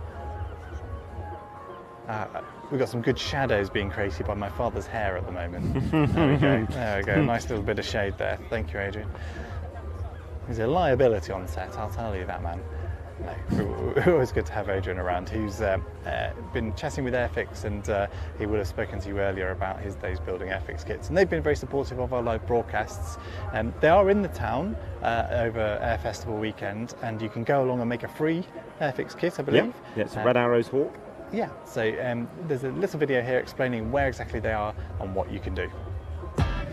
Hi everyone, my name's James. I'm here at Bournemouth Airs Festival with Airfix. Please come down and say hello. We're currently building three Red Arrows Hawks, all, also with all the glue, paint and everything included. Um, so if you're watching, please come down, please say hello and enjoy the Air Festival. We've been building these three red arrows from Airfix, and you can paint them and you can glue them together like this one that's nearly complete. We just have this little part here to put back on, on the wing, don't we? We do indeed. And we're also here with our shop, and some of our best deals here are uh, quick builds, which are two for twenty-five pounds. And over there we have our starter sets at ten pound each. Find Airfix at Bournemouth this weekend. We're currently outside the old Debenhams building. It's over here.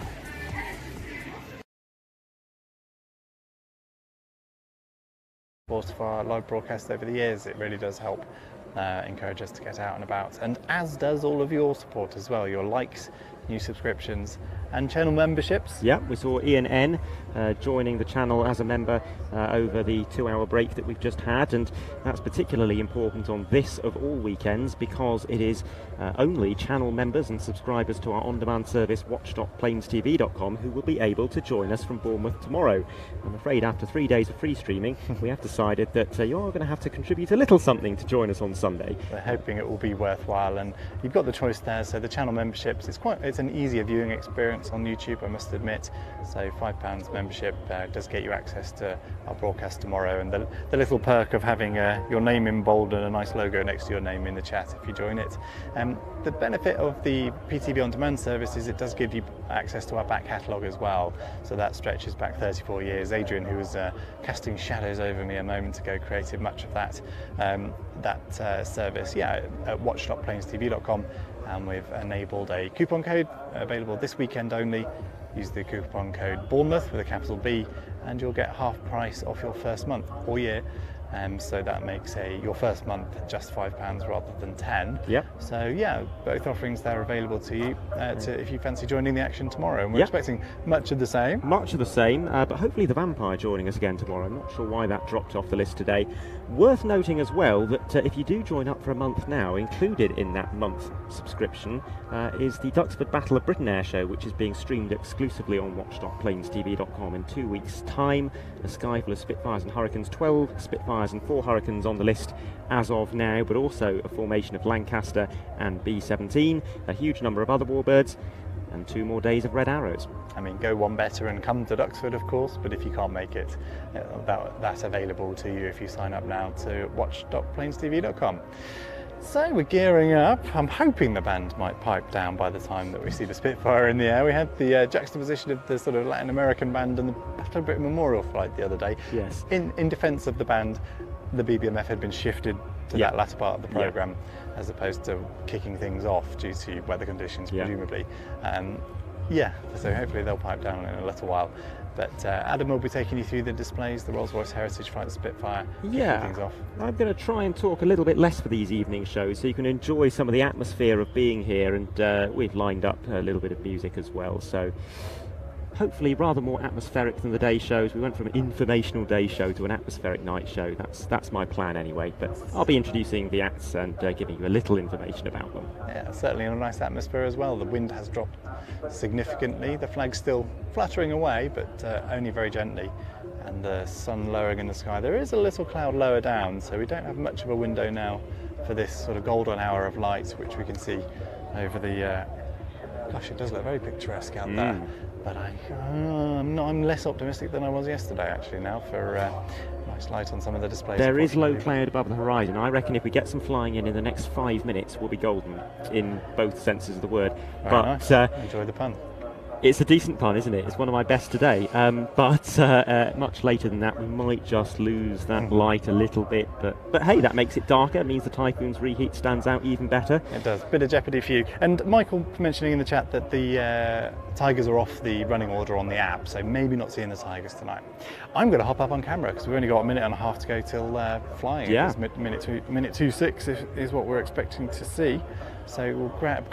Adrian can put his Pepsi down. I can hop up on the stand stage there and get on the camera, and I'll leave you in the hands of Adam to take you through these displays. Thank you very much for joining us. You can carry on chatting if you like, Adam. Yes, so one minute away from the start of this Spitfire display from the Rolls-Royce Heritage Flight. muted.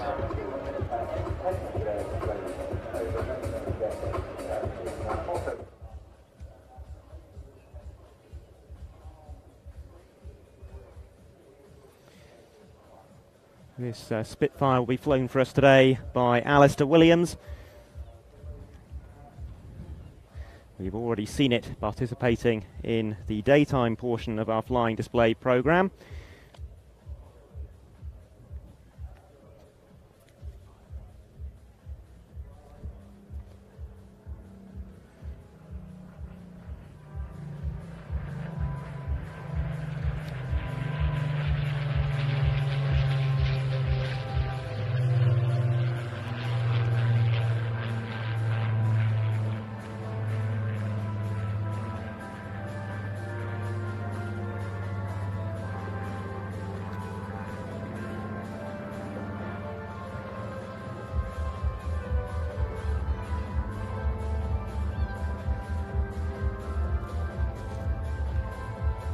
Does seem like today we've got not one music track but two accompanying the Spitfire display.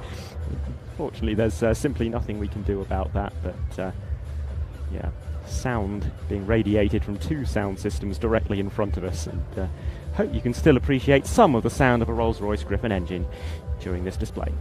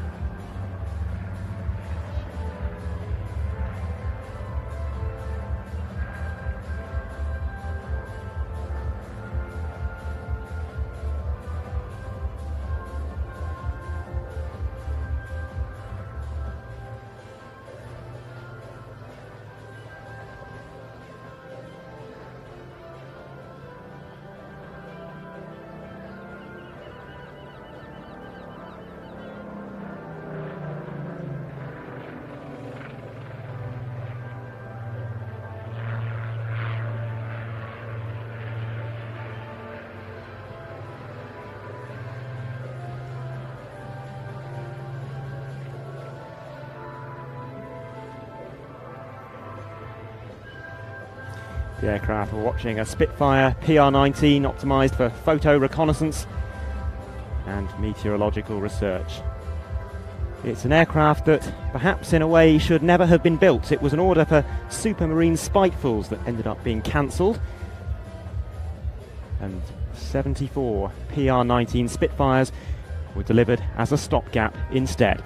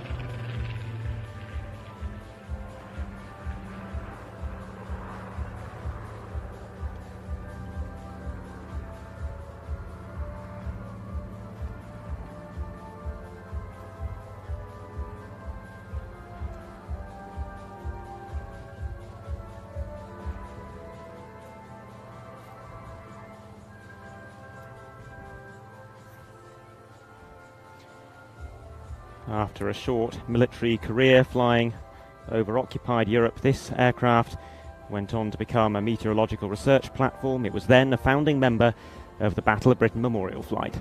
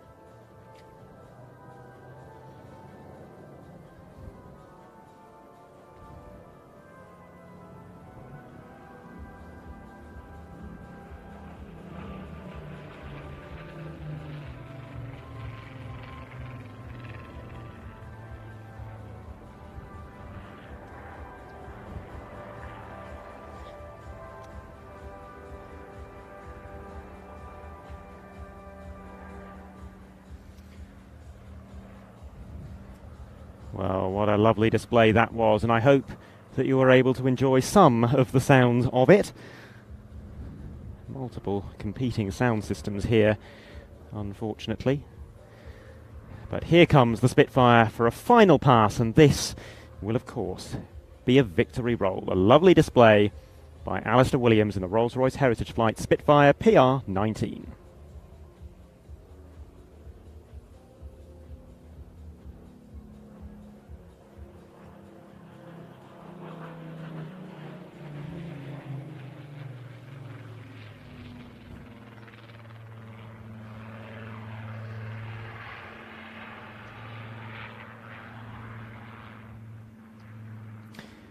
So amid that competing melee of sound, live band recorded music, Rolls-Royce Griffon, there was a fourth sound to take note of. which was the distant roar of the RAF Typhoon FGR4 taking off from Bournemouth Airport. It is now in the air and we will be holding out to our east. And as soon as we see that uh, strobe on the spine of the aircraft flashing away in the distance, we will get a camera on it for you.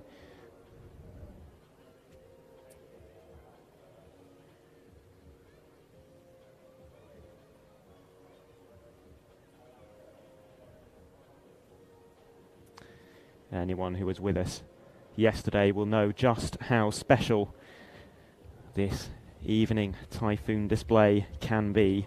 Flown in spectacular style by Flight Lieutenant Matt Brighty, this year's RAF Typhoon display pilot. He has designed an exceptional display routine, 28 pre-approved manoeuvres that he is able to choose from, along with all other new display pilots on the Typhoon, and they well, uh, in Brighty's case, went through YouTube looking at previous Typhoon displays and deciding what bits he liked, and he's come up with a sequence that has a fair few manoeuvres in that we haven't seen from RAF Fastjet displays in recent years. Also, a few old favourites as well.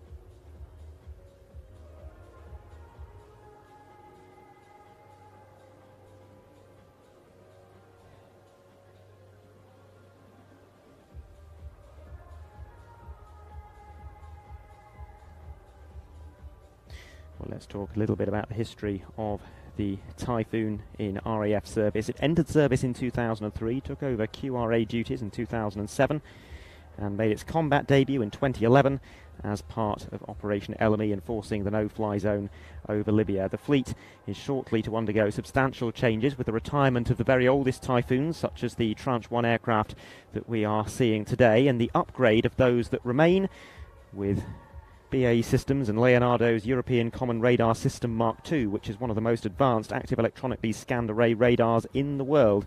That will give the Typhoon new and highly potent air-to-ground capabilities, as well as introducing electronic surveillance and electronic attack capability, allowing Typhoon pilots to find and degrade enemy radar. Another upgrade package known as P3EC is due in 2025.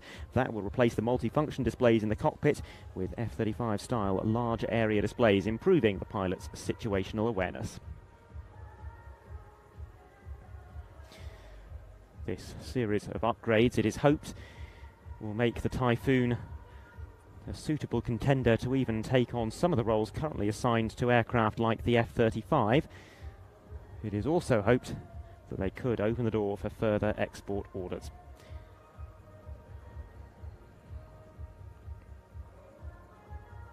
The Typhoon we're about to see, as I mentioned, is a Tranche 1 aeroplane. They are exclusively air defence fighters. They can be armed with short and medium range air to air missiles, but this particular aircraft does not have uh, any particular ground attack or reconnaissance capabilities, even though it is designated an FGR 4. You can just about see it in the shot there. I see Ian's tracking it very nicely in the distance uh, over the headland, the Isle of Wight behind that. So uh, we are just a few minutes out from the start of the Typhoon display.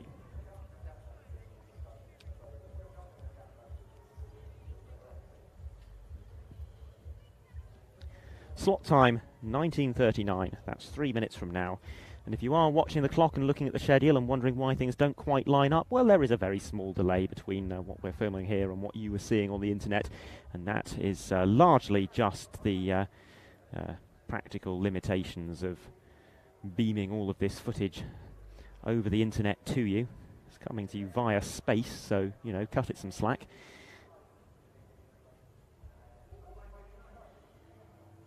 Gillian Russell saying we heard the Spitfire much better than yesterday. Don't know what you did, but it worked. Well, I'm very glad to hear that.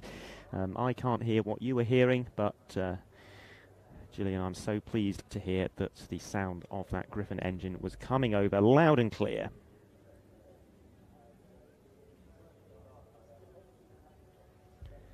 Andrew tells me that they've placed the uh, mics slightly differently today, such that they pick up a little bit less of the sound down below. Uh, we didn't know yesterday when we set everything up that that was necessarily going to be a problem, um, but today, with that prior experience, yeah, able to adjust the setup ever so slightly. So I'm glad that seems to have worked.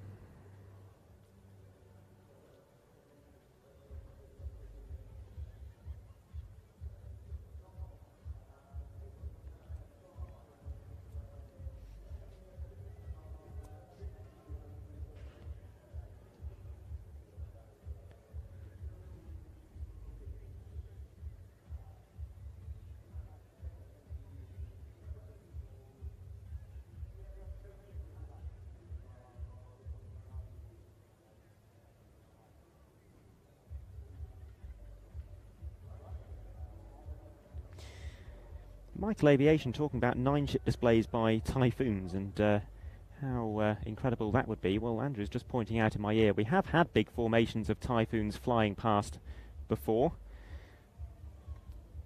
But we did have a four-ship Typhoon display at a RIAT some time ago. Anyway, here we go with a solo, the Typhoon FGR4.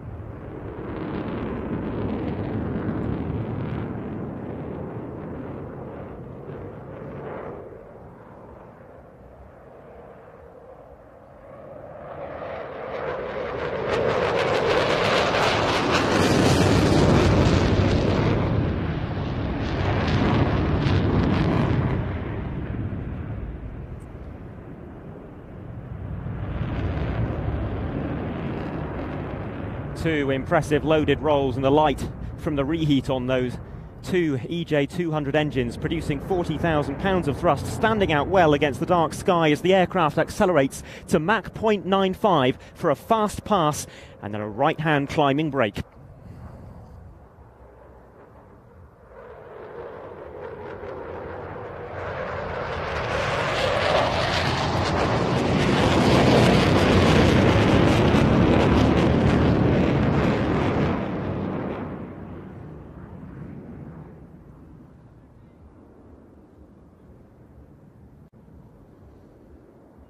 here, the first of the really interesting new manoeuvres that Brighty has introduced for this year's display sequence. A negative G on-crowd bunt, followed by an aileron roll, demonstrating the Typhoon's 250 degree per second rate of roll.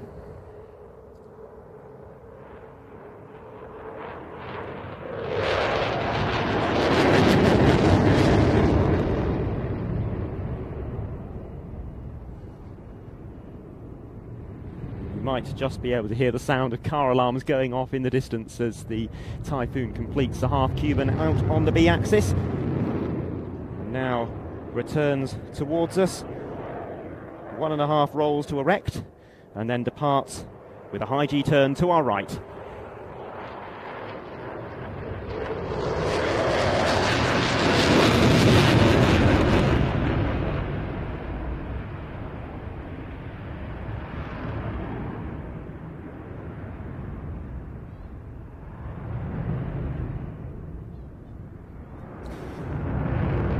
Just seen the Typhoon rolling very rapidly. Well, now it's time for a slow roll, and let's see how long this roll takes.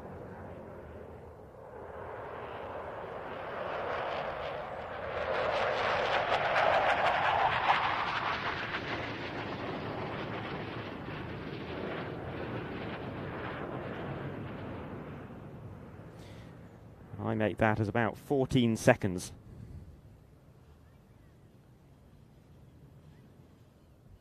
Giving a roll rate of 25 degrees per second and quite some piloting skill required to pull that off while maintaining level altitude because of course when the aircraft is in the knife edge portions the wings are not producing any useful lift. Well, they're certainly doing a lot of work to produce lift now at very low speed, and in fact, the effectiveness of the wings being increased uh, by the rather substantial angle of attack we're seeing demonstrated in this slow pass. The Typhoon limited by its flight control software to 24 degrees angle of attack.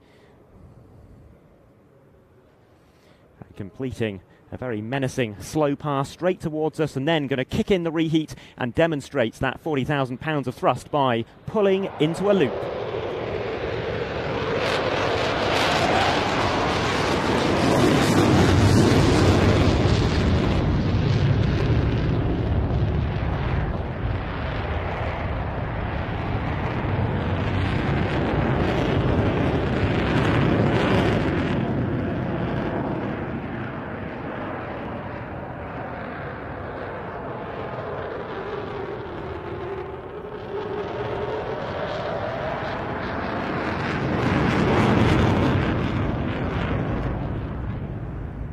Those mighty engines, those extraordinary afterburner flames are being used not only to control the speed of the aircraft, but also part of the visual effects of the show. And we're going to see some very effective use of that afterburner now.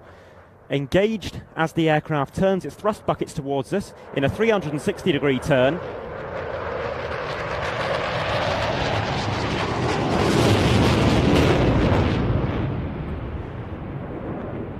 And the reheat flicks out around the back of the turn in order to control the aircraft's speed and turn radius. But before the thrust buckets become visible again, that afterburner will flick back on with a puff of smoke. There it is.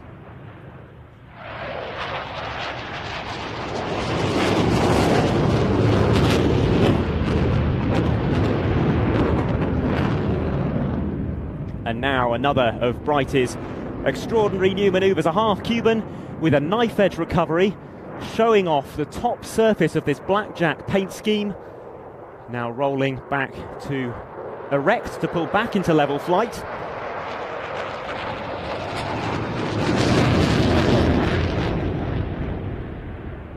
And a tall loaded barrel roll as the aircraft accelerates away to our right.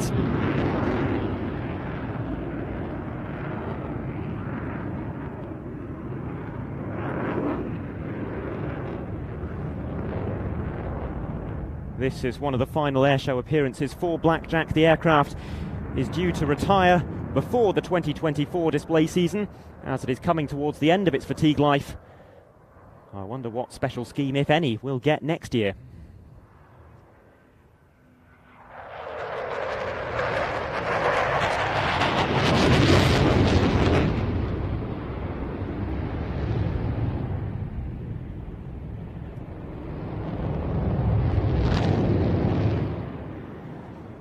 Reverse half Cuban as the aircraft extends away from us on the B axis and comes back towards us now for what's called a Derry turn. That's three quarters of an aileron roll and then pulling off to our left. A manoeuvre named after the test pilot John Derry, who popularised its use at air shows in the late 1940s.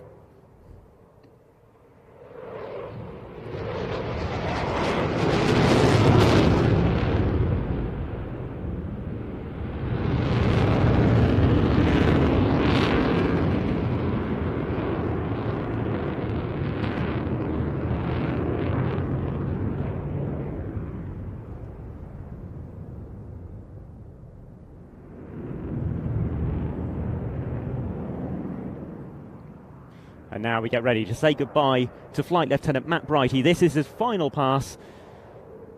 Ladies and gentlemen, the Typhoon FGR4.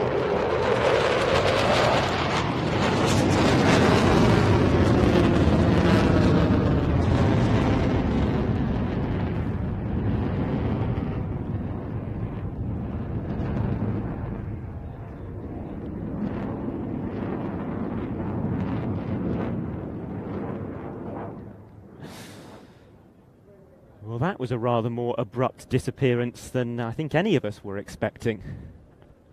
Straight into cloud at the top of that climb.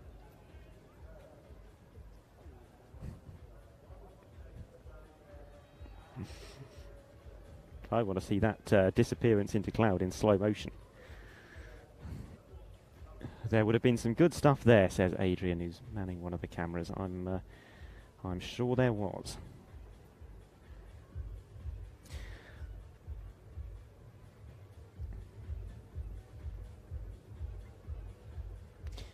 Well, I have seen mentioned by Michael on the chat that uh, we're not going to be seeing a display uh, by the Tigers today, at least not according to the Bournemouth Air Festival app. Uh, but we do still have two pyro displays on the schedule for this evening.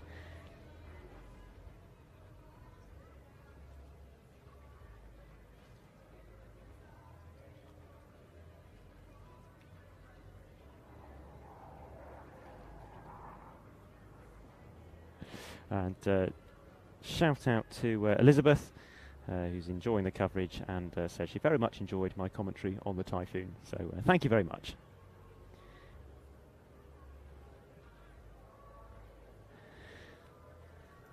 So change of pace next as we go from something loud, something dramatic, to something extremely graceful. We are going to be painting with light because next up we have two Vans RV4s equipped with fireworks. The team is called the Firebirds. What an appropriate name, as you shall shortly see. But that is not the uh, last typhoon action we shall see this weekend. We do have another typhoon display expected tomorrow. Uh, if you want to join us tomorrow, then uh, you can do so. We are streaming once again for the Sunday of the Bournemouth Air Festival, but we are asking uh, for a small amount of money in order to watch that stream. You can uh, either uh, pay up to be a YouTube channel member, that's a great way of supporting the channel and encouraging us to do more of this kind of thing, or if you want to go the full hog, then head to watch.planestv.com and sign up to our streaming service. We currently have a special offer code available. The offer code is Bournemouth with a capital B. That will give you 50% off your first month subscription to watch.planestv.com. So once again, head to watch.planestv.com and use the offer code Bournemouth.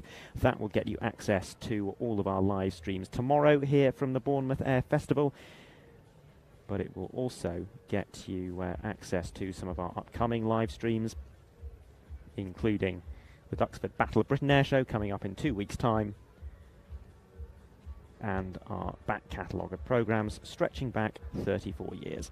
Well, we're showing you the Typhoon breaking to land at Bournemouth Airport. I thought I might have seen a, a, brief flash of afterburner there. It was difficult to make out on the screen in front of me, and the aircraft is a very long way, almost invisible to the naked eye. But the Typhoon breaking to land at Bournemouth, extending its landing gear now, and I'm sure Matt Brighty He's ready for a, a, bit of a break after a very intense display sequence. He's doing such a good job this season, and we've so much enjoyed seeing him display the Typhoon FGR4 for us.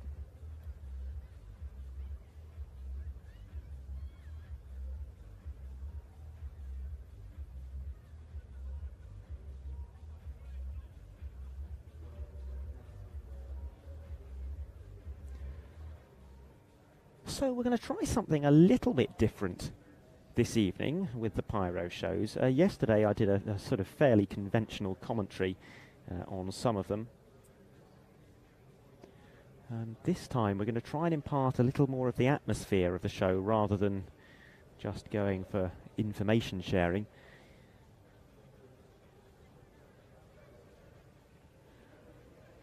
So I'm not going to talk so much. That means that I think probably the thing to do is to introduce the next act now so that I don't have to do quite so much talking once it's started its display. We're going to be seeing a pair of Vans RV4s known as the Firebirds. They are kit planes built by the Vans Aircraft Company. They have uh, some aerobatic performance, as we will see, but they are primarily touring aircraft. They've got two seats, rooms and baggage, a cruise speed of 200 miles an hour, 600 mile range. Service ceiling 23,000 feet.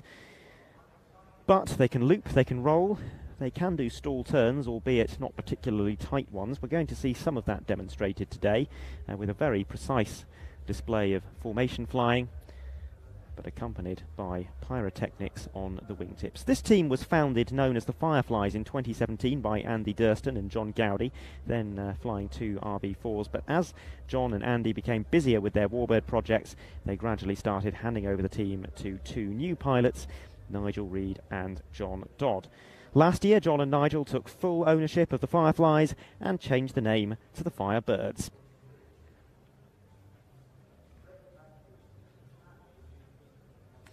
So we uh, normally see them while they're still in the hold off to our left. Uh, the fuselages have been adorned with LED lights, computer controlled, so that they can create a variety of colours and patterns. It does mean the aircraft stand out very well from a distance against a dark sky such as what we can see at the moment. And I can't see any lights yet, but as soon as we can see them, we'll get the camera on them and show you those uh, well, rather, rather, rather odd-looking aircraft as they appear with their lights on when they're in the distance. Uh, there's often reports when they are flying about of people who think they've seen UFOs. Sometimes the local press get hold of it and say uh, there's been UFO activity.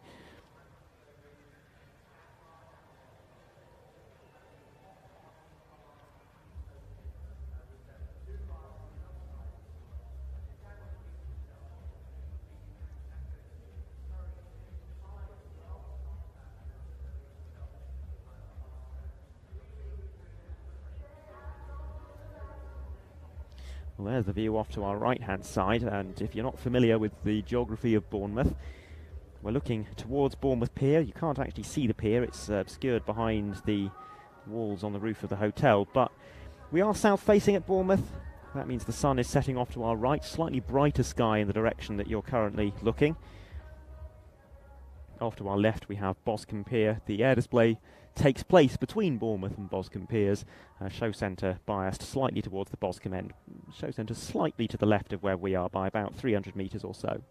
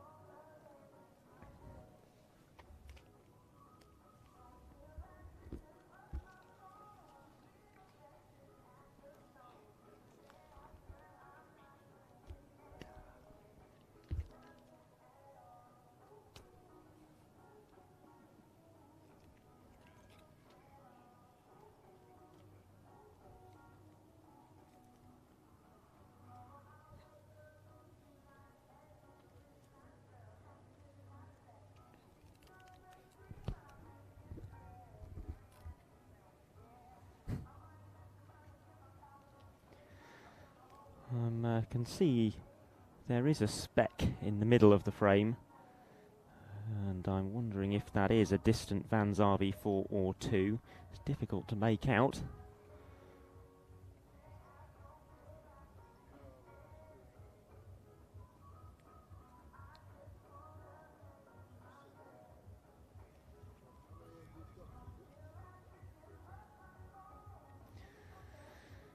Slot time, in all fairness, isn't until 1958, so still two minutes away. These nighttime displays do have to be very tightly timed because uh, it's not legal to display after the end of uh, the official twilight period. That's 30 minutes after sunset. So there's a good amount of contingency time that's been built into the schedule to make sure that any delays can be comfortably absorbed without running over that uh, hard stop time at sunset plus 30.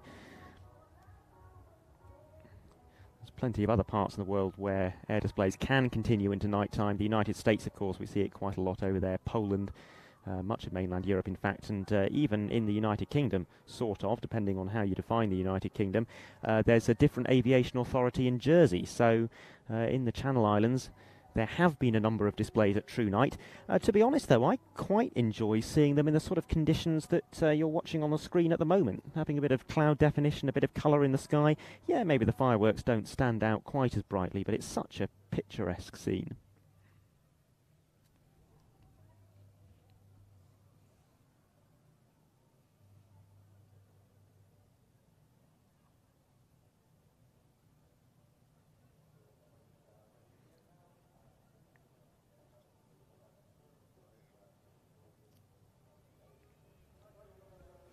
You've never seen a night show before, then let me assure you it is absolutely magical. We're not going to see fireworks initially from the Firebirds. They do the first half of their show uh, just with smoke and lights, and the fireworks will kick in around the halfway point. I'll give you a good amount of warning before they do.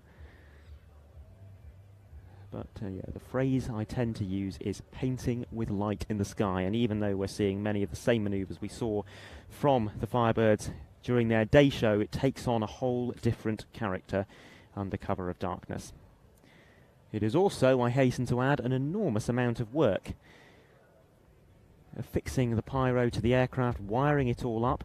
Uh, so there are metal attachments on the wingtips and the pyrotechnic effects usually come in cardboard tube and tubes and boxes. They are um, affixed into those metal attachments using tape and jubilee clips and zip ties. And then uh, each pyrotechnic effect has um, an E-match or igniter inserted into it. Uh, the other end of that goes into a like a socket uh, on a sort of a board of sockets on the wingtip, and uh, and then a switch in the cockpit that can send an electric current uh, to each of those sockets in turn. So you press the button, anything wired into the first socket will be ignited. Those fireworks will go off. Press the button again, anything connected to the second socket uh, will be fired, and so on and so on. I think the Fireflies have four uh, firing solutions, as they're known, four of those sockets that they can wire fireworks to uh, on each wingtip on each aircraft. Otto, the helicopter, has eight. We'll be seeing Otto after the Firebirds, and uh, the amount of pyro on that aircraft is absolutely ludicrous.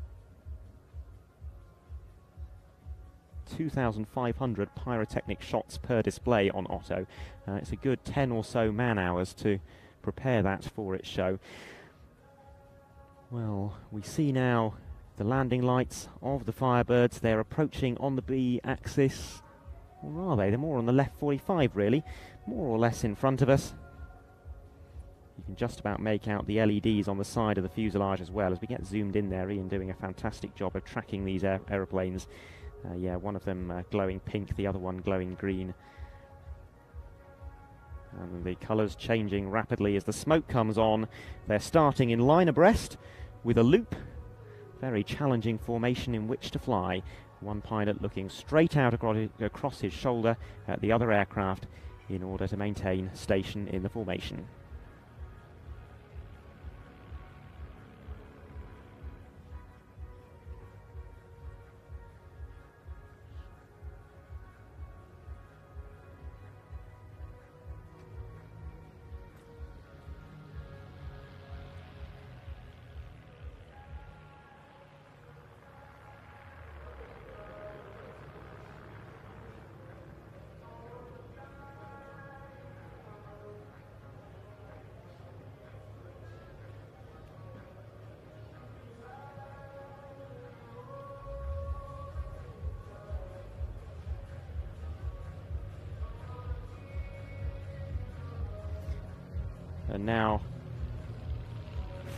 Line abreast to line astern, the aircraft not flying one beside the other, but one behind the other. That's a much easier shape in which to fly turns and barrel rolls.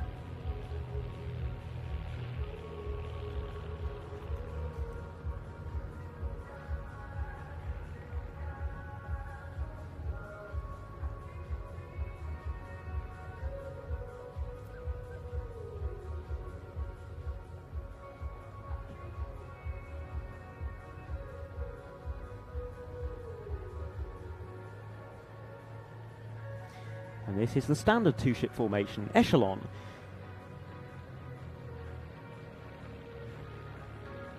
One aircraft flying slightly behind and out to the side of the other, usually a little bit of vertical separation as well.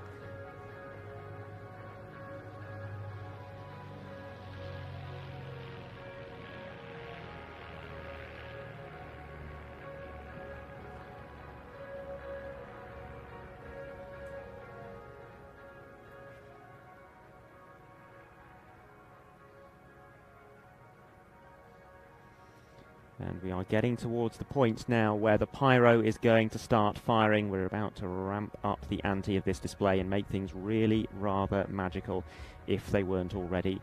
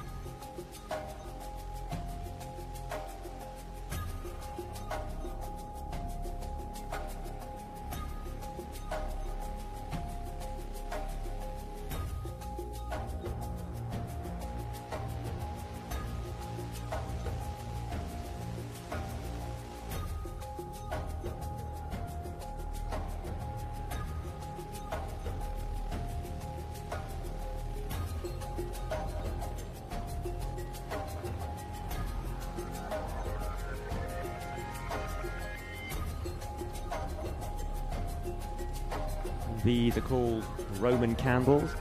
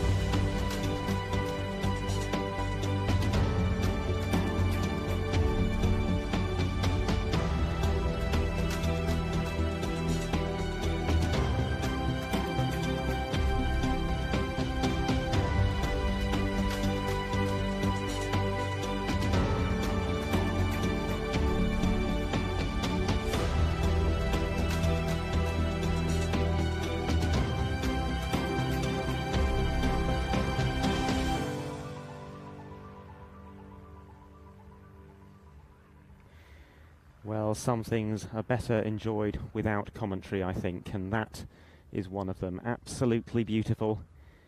And we're not quite over yet, because while the pyro has expired, we do have one last manoeuvre, an expression of appreciation from the Firebirds to all who have been watching and enjoying this display as they turn back towards show centre and they'll be drawing in the sky a heart.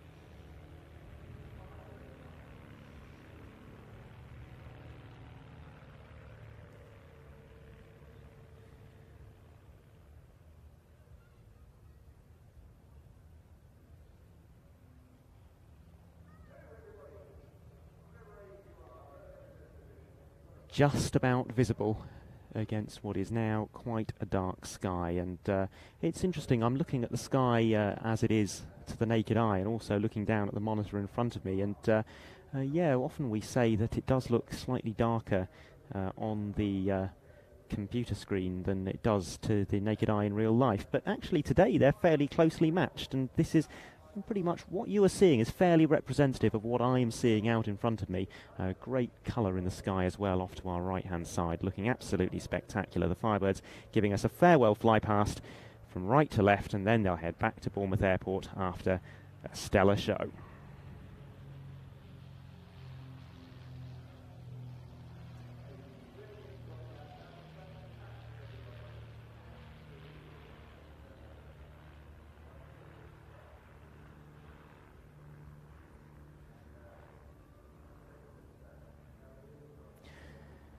And if you thought that was impressive, well, we're about to see a lot more pyro than that.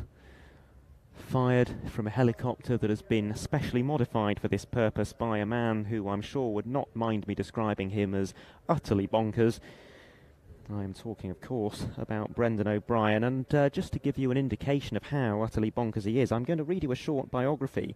Um, so he has 13,000 flight hours on over 300 aircraft types, including gliders, fast jets, hot air balloons, helicopters, float planes, microlights, and more. He's flown on every continent on Earth, including Antarctica, where he flew twin otters for the British Antarctic Survey.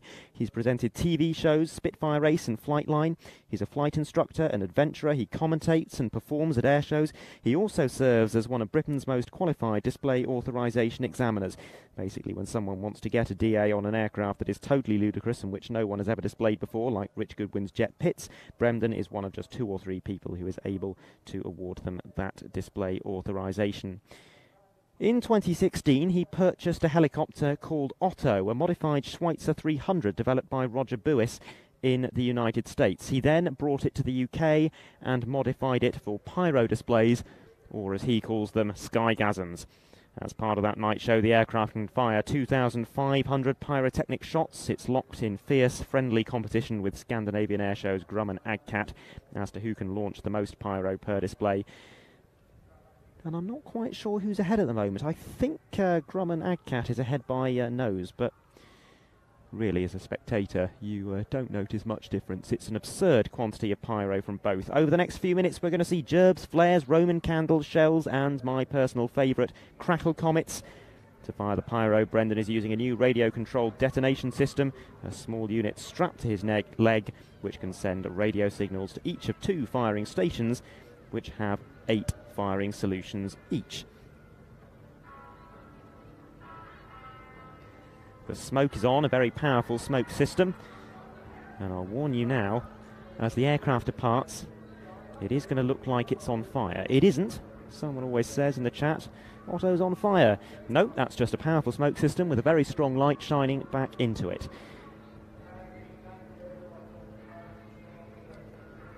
We're about to see the gerbs firing. There they go. These are very similar to the waterfalls we saw earlier, but cold burning. You can put your hand through them quite safely. There's a very short flame of a couple of inches, but the rest is not hot at all. These are stage fireworks. They can be used indoors, but we're about to up the ante substantially, and I think it is once again time for me to stop talking and hand over to the music.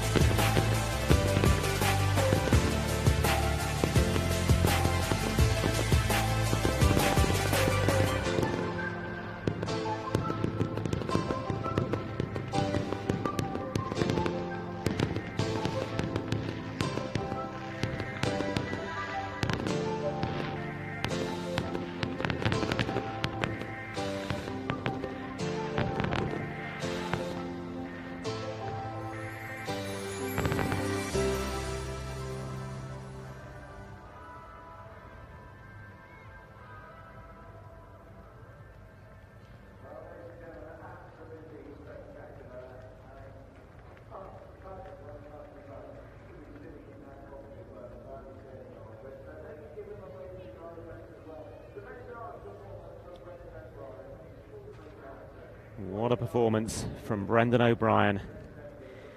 I hope you enjoyed that. I can't help but enjoy that. Seen it so many times, but uh, yeah, absolutely unbeatable.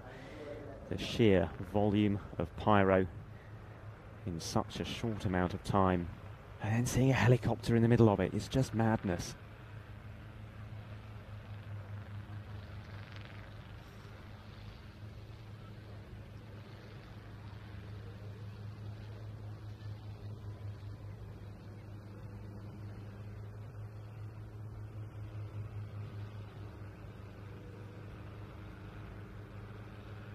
Nigel Luck sums up my thoughts exactly. He says, This is nuts.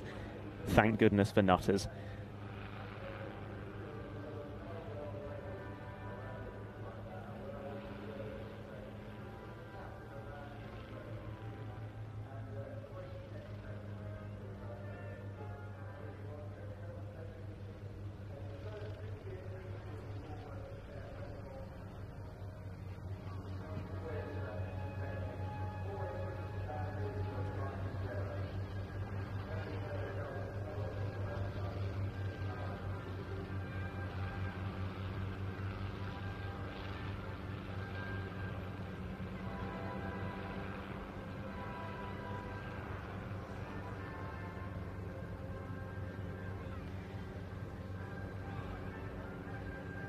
Departing back to Bournemouth Airport now. He's not taking part in the show tomorrow. That was his final appearance of the Bournemouth Air Festival 2023. So thank you very much to him.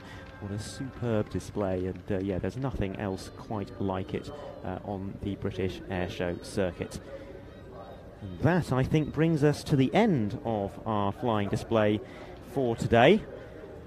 We'll keep the stream running a little while longer and have a bit of a chat with you all. But uh, before you all go, I do want to remind you it's not the end of the Bournemouth Air Festival. There is one more day to go, a full day of entertainment tomorrow, which we will be live broadcasting. But in order to watch tomorrow's live broadcast, we are asking you to do one of two things. Either uh, become a channel member here on YouTube, that's a great way of uh, encouraging us to do more of these free streams, uh, alternatively, go the full hog and subscribe to our on-demand streaming service watch.planestv.com. We have a special offer running this weekend, and if you use the code Bournemouth with a capital B at watch.planestv.com, you can get 50% off your first month subscription. That is one month for £5, giving you access to tomorrow's live broadcast from here at Bournemouth, plus uh, the exclusive to Planes TV um, live broadcast from the Duxford Battle of Britain Air Show in two weeks' time. That will be going out on our streaming service. And of course, for the duration of your subscription, you'll have access to our 34 year back catalogue of airshow programmes. We are in the process of digitising more of that back catalogue. And uh, I can attest to the fact that there's really not much better on a cold, miserable winter's evening than to be able to open up watch.planestv.com on your computer and watch a little bit of Mildenhall action from the 90s.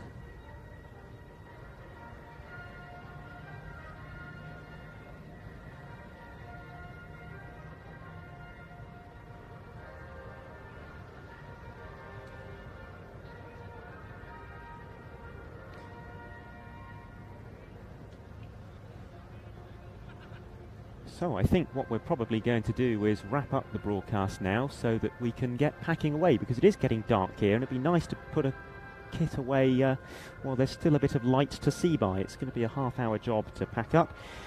Uh, it just remains for me to say thank you very much for joining us over the past three days. We hope that many of you uh, have either become channel members or subscribed to our on demand service so you can join us again tomorrow. Uh, welcome to Brad Pettit, who has just joined us in the last few seconds. Thank you very much, and we look forward to seeing you again on Sunday.